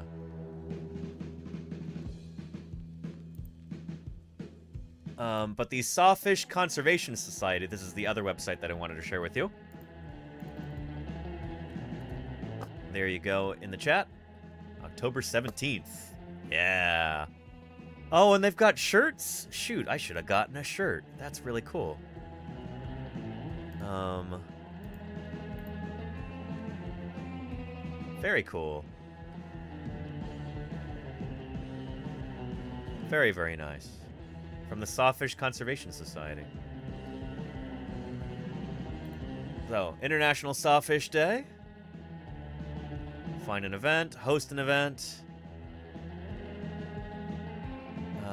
You can take a survey, you can download a poster, all this other good stuff. They've got brochures. If you're an educator yourself, this, there's some good resources here. There's some good resources here.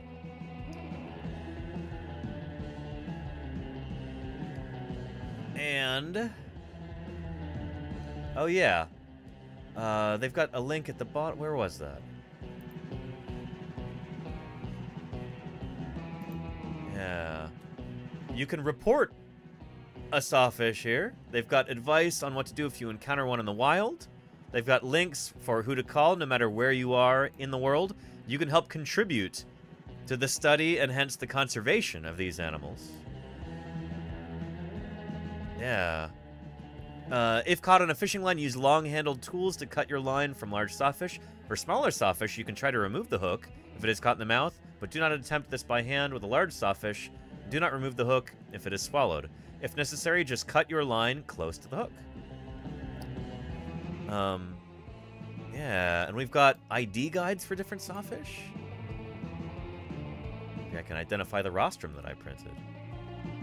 Yeah, but also, this goes for any museum people who are here. You can actually contribute to sawfish research like this.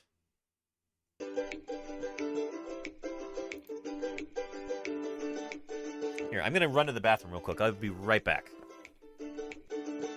Welcome to the CSAW Citizen Science Sawfish Project.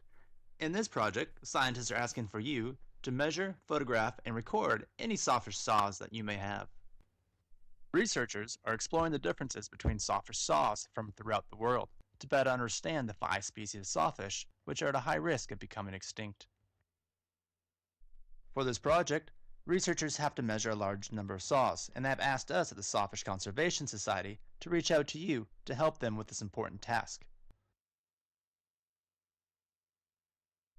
Although we would like you to report any saws that you already have, we do not want anyone to remove these from live sawfish, as the sawfish need these to hunt and protect themselves.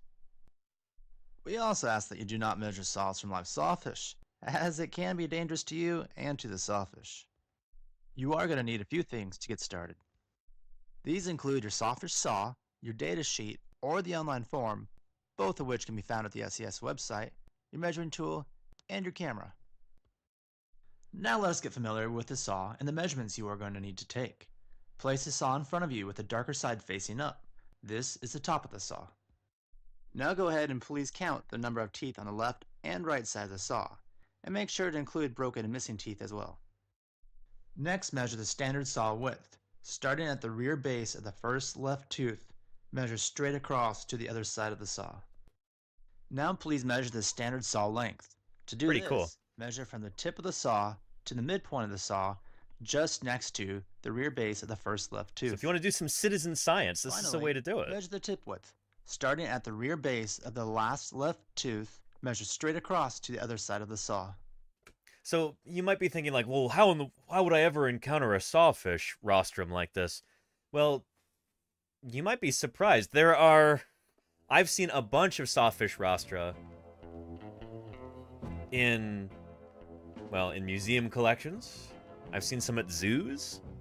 I've seen some in curiosity shops before. Um, I've even seen some in bars before. Like I've seen at least two different sawfish rostra inside of tiki bars. Bait shops, says Sculpin. Yeah, like uh, like uh, Jeremy Wade showed us in River Monsters. Yeah, yeah. Um. So yeah, Neon Coffee Cat says that's my university. Very cool, Neon Coffee Cat. Very cool. Yeah. And thank you, Lenina, for redeeming Rebecca Saurus for Matt M33. Good stuff. Good stuff. Yeah. Uh, maybe we'll do that tomorrow, Lenina. I think that's great. So yeah, yeah. There are sawfish rostra all over the place. And you un you encounter them in unexpected places sometimes. So, yeah. Now prepare to take a picture of your saw by placing the saw on the ground in front of you with a darker top side facing up. Hmm.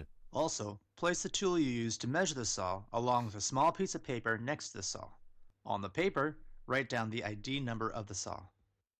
If your saw already has an ID number, which will be the case if it came from a museum, then please use that number. Otherwise, if it does not have an ID number, then please use saw 1 for the first saw you measure, saw 2 for the second, and so on and so forth. Hmm.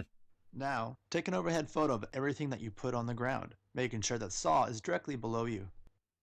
Once you've collected all your information, you can submit your data and photograph to the SCS through our website or by email. Pretty In addition cool. to your measurements, we also ask for other information, such as your email address. All information is optional, but is important to researchers. Unless required by law, your personal information will be kept confidential and will only be used to contact you if researchers need further information. For further details about this project, please visit the SCS website at www.sawfishconservationsociety.org. Pretty cool. If you have any Pretty questions, feel free to email us at sawfishconservationsociety at gmail.com or join our Facebook group. Neat. Thank you for helping us to better understand these rare fishes, and make sure to check out the SCS website for updates on this project. Anyway, good stuff. Um, and here's a link to that video right there.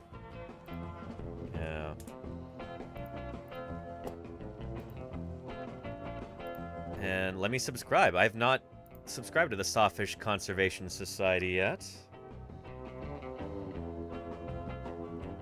How many videos do they have? Okay, cool. You can even make a paper sawfish if this is the sort of thing that you're interested in. If you've got kids at home who might be interested in this. Oh, pretty neat. Oh, very cool. That's actually pretty darn nifty. Little simple papercraft sawfish. Very, very cool. Very, very cool. Of course, I didn't have to do that. Got something a bit more advanced here, but uh yeah, if you don't have a 3D printer at home and you want your very own sawfish up on the wall, don't go purchasing a rostrum off of eBay or something like that. Make a paper one. Very cool. Yeah. And you want to make one? Well, here is a link to that video right there in the chat for you. Yeah. Uh, Third says, I have never seen this fish. Well, let's pull up another quick video on sawfish. There we go. Check this out. Looks like a shark with a hedge trimmer for a nose. Uh, we watched this video earlier, didn't we? But let's watch it one more time, and then I'll show you a couple more things. You can't confuse it for very much out there in the ocean. Let me put it to you that way. My name's Greg Poulakis. I spend most of my time working on the small tooth sawfish and endangered species that we have here in, in our estuary. Did we see him in another video too? Or am I just having deja vu? Greg and his we team watched are this on video a earlier. tagging mission. They've worked with babies before, but today they want to go big. Goal for the day is going to be to to catch five, six, seven, eight foot, you know, uh, meter and a half to, you know, three meter sawfish, and uh, put a variety tags on them so we can see where they go. Our hypothesis is that they hang around in the estuary for a small amount of time, maybe move, start to move south toward the Florida Keys, and Pretty then once cool. they're mature, they would come back here in an every other year pattern to give birth in our nurseries.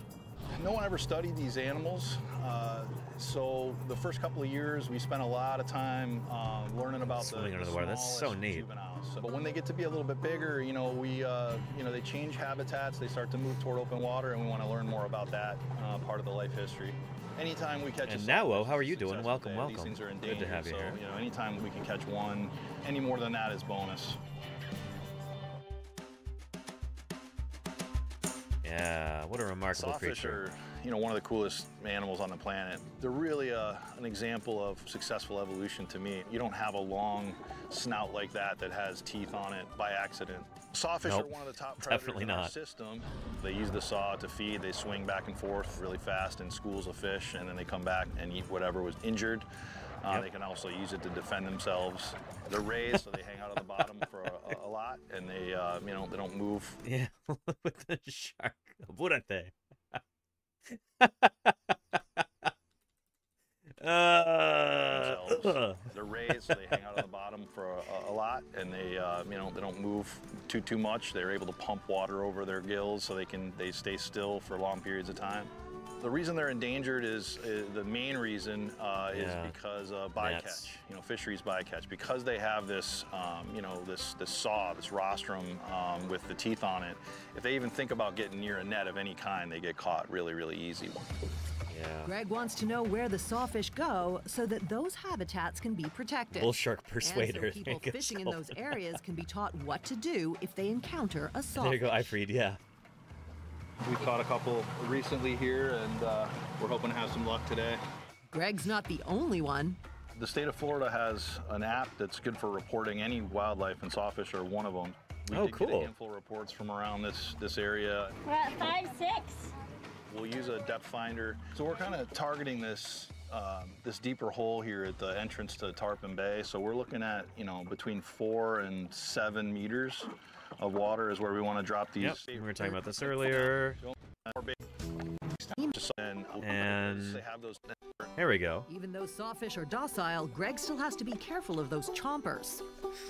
But once we get it to shallow water, and uh, usually we use welding gloves and we hold those teeth, and the sawfish is secure so that it's safe and we're safe. We wear the It's always really cool actually to see like the tools that different scientists use to do their work that were not designed because there are not enough, you know, sawfish researchers in the world, I think to uh for there really to be a market for companies to make sawfish proof gloves, so they use welding gloves. It's like how we in you know, in paleontology use various tools um you know, like awls for uh for digging fossils um because there are not like purpose built tools for this. There's not enough of this in the world. So it's always really cool to like see different like hacks that scientists have pulled together.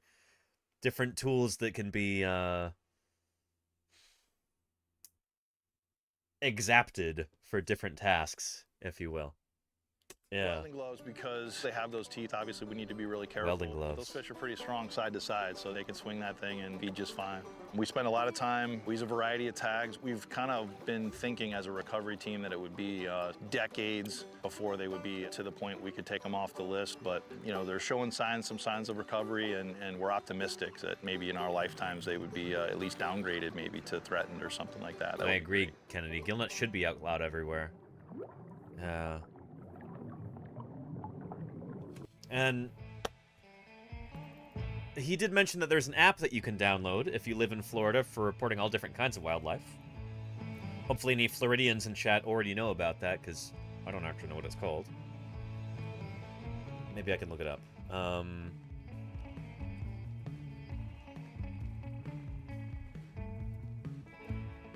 yeah. Uh, the FWC Wildlife Alert. Yeah. There we go. Fish and Wildlife something releases new app to report fish, comma, wildlife sightings. There you go. I'm sure you can find it through this link. But I wanted to talk to you about a different app also. Um, I know many people here in chat probably eat seafood on occasion. And there is there is a way to be responsible about your seafood consumption so that you're not going and paying for seafood that was harvested in a really environmentally harmful way or unethical way. You know, maybe fishermen are using gill nets and that's killing beautiful animals like sawfish. You want to be as, uh, you know, you don't want your consumption habits to be driving these creatures further toward extinction. So, the Seafood Watch app from the Monterey Bay Aquarium here in coastal California, um, this is a great thing to have on your phone if you're a seafood aficionado. Maybe you know about this already if you are into seafood, but we've got people in chat who I'm sure are already very familiar with this. People are going to eat lots of seafood. They're going to eat more seafood going into the future. And if we're going to protect the oceans, we've got to be as sustainable as we can. And the people that Seafood Watch has recruited have a really good feel for how the business has to work and understanding how markets work, but still having that environmental ethos is kind of unique. See, somebody like me who gets grouchy about these things might be like, you know, shoot, if I were president of the world, I'd be like, nope, no more seafood. you can't have it anymore. Shown you can't handle it, world. But maybe that's not the most realistic approach. So something like the Seafood Watch app and Seafood Watch as an organization, they're trying to actually work with people who make their living through, you know, harvesting creatures from the sea. Part of the reason why the Seafood Watch standard is so credible is because they have such a strong scientific background. The Seafood Watch team really gets out there and understands the fisheries and the aquaculture that they're assessing. We don't just look at expertise from the United States. We really go into the regions where the seafood's being produced, the regions that are importing the most seafood. We really want to understand the realities of what's going on out there. No more fish. They're says really President working with of range of Yes, Dr. In developing countries, in data poor situations. I think in general, the credibility that Seafood Watch brings to us as a company in our sourcing is amazing. And it's really good to know that what you put into your products comes from sustainable sources. This is not some sort of greenwashing nonsense. This is really to use markets to drive change. This is real here. We are at a really critical point where we can really affect change on the water and have healthy oceans for future generations.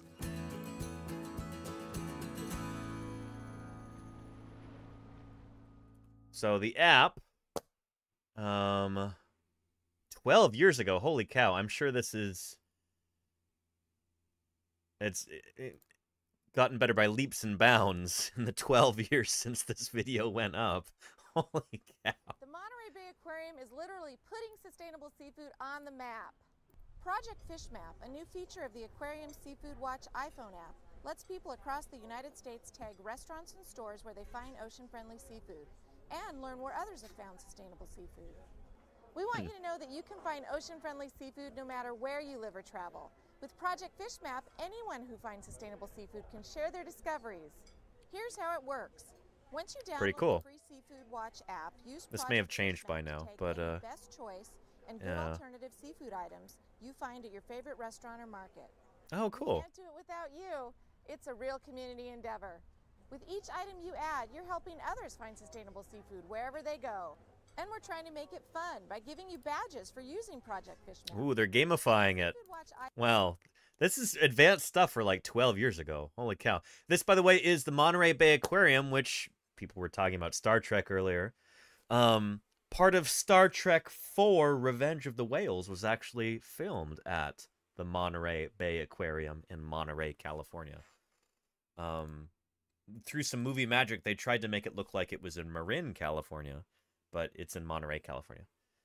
Um, anyway, yeah. Our ocean is in trouble. Fisheries across the globe are rapidly declining due to unsustainable fishing practices. And many sea creatures will disappear in our lifetime. The question is, Let's make what sure can it's you not do about it? sawfish. Yeah. The answer, you can do a lot. Jackie is at our local store and she's shopping for dinner. She wants to buy fish because it's a healthy option, but she wants to make sure it's sustainable. In the ocean, fish populations are declining, but our demand for seafood continues to grow. Yeah. We take more than a half a billion pounds of seafood out of the ocean each day. It's not just that we're taking too many fish out of the sea, there are also problems with how we fish. Some boats drag Yeah. fishing gear across the seafloor, damaging sensitive habitats like corals. And others use nets and hooks and accidentally kill species like seabirds, seals, and turtles.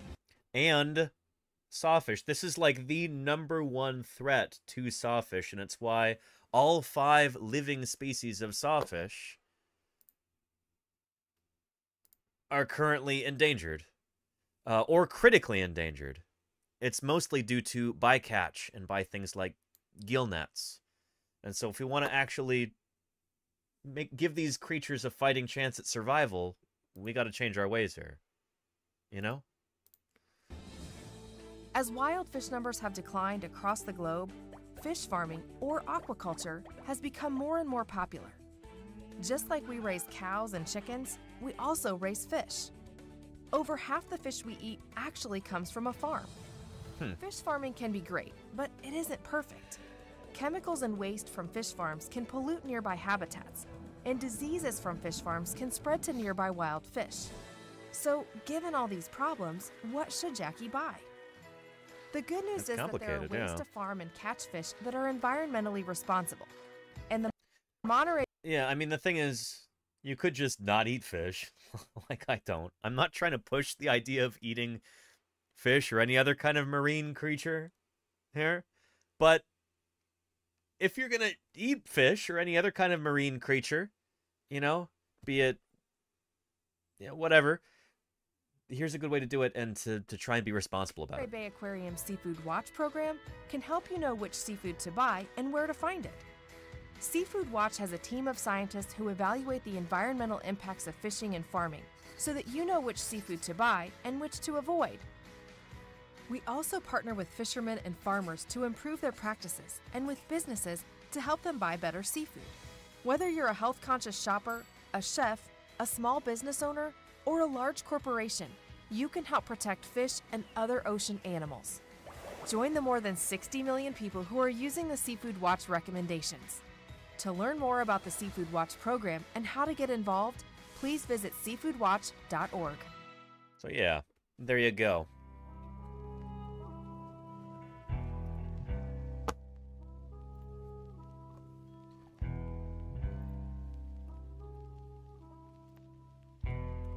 Good stuff. Now is just don't buy gas station sushi. I think that's probably sound advice all the way around. Um yeah. You know, if you're trying to avoid getting sick, that's probably sound advice. I don't know. I'm not, I'm not a snob about gas station food. But I don't know. If you're in the middle of Kansas and you're getting gas station sushi. There were sushi restaurants in Bozeman, Montana, and I'm like, why? What?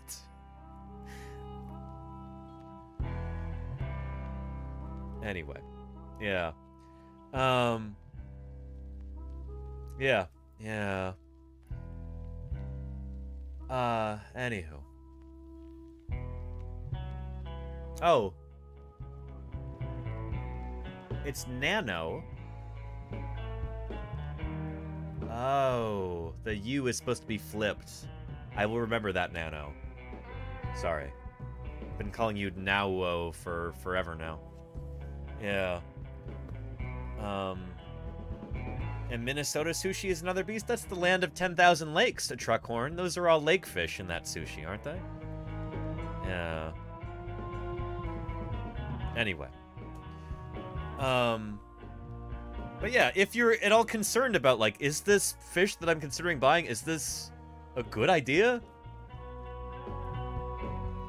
This is a great way, a great resource for you.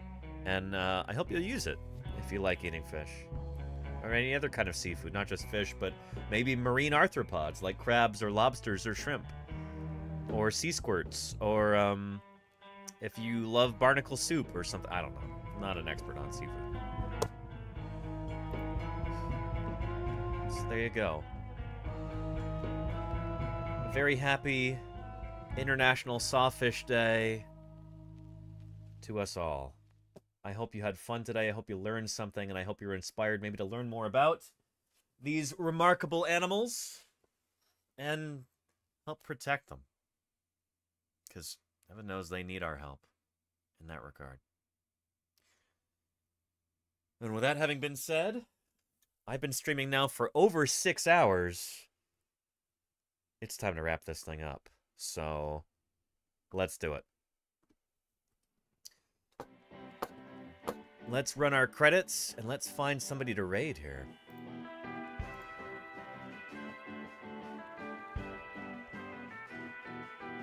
Well, thank you, Tommy Plodicus. And uh, Otter Do It to see you this weekend. Oh yeah, shoot, hang on a second. Hang on. Don't go away just yet, chat.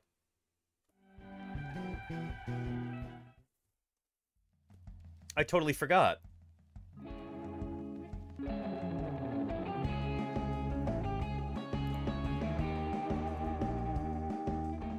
Hmm.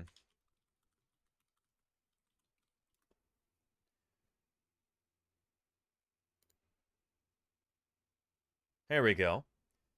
Uh, I will not be streaming later on this week because I'm going to be going to TwitchCon in Las Vegas. So no stream Thursday, no stream Friday, and no stream next Monday.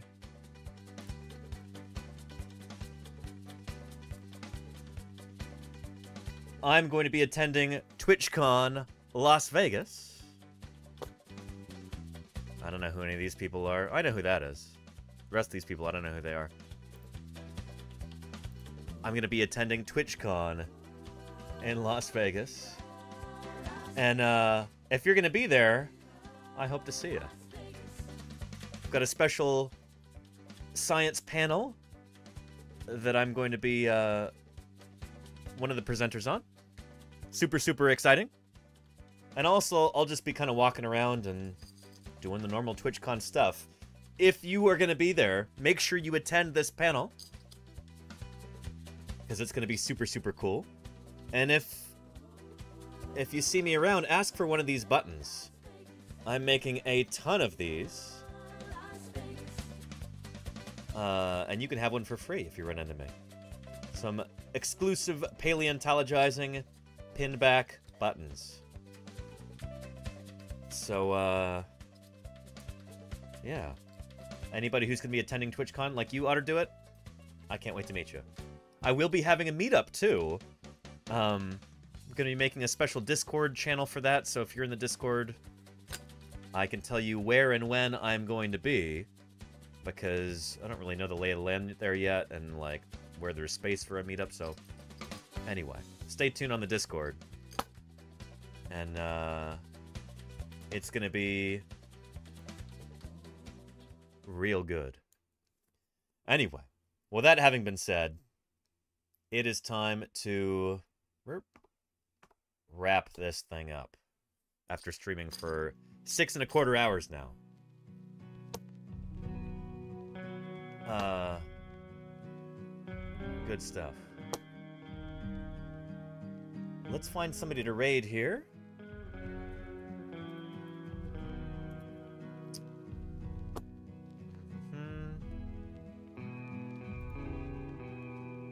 Do we have on?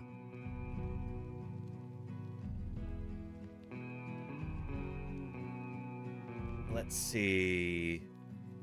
Oh, Melissa is streaming right now. We might go say hello to Melissa from Melissa in Denial.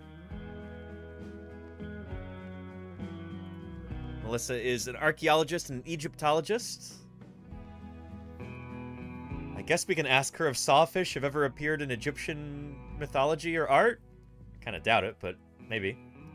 Anyway, she's always just fun to hang out with. So, uh, yeah, join me in raiding into Melissa. Everybody, thank you so much for a wonderful stream. I hope you've got a newfound love and appreciation and respect for sawfish and a desire to, to make sure that they do not go extinct.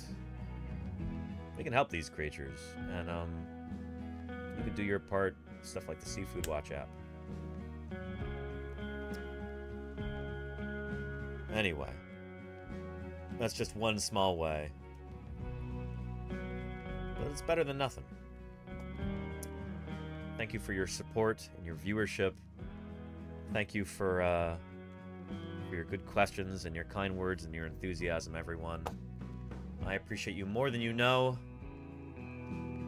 Let's go say hello to Melissa here and I'll catch you all tomorrow for our last stream of the week. Take care, everybody. Bye-bye. I think it's a pretty good theory, but I'm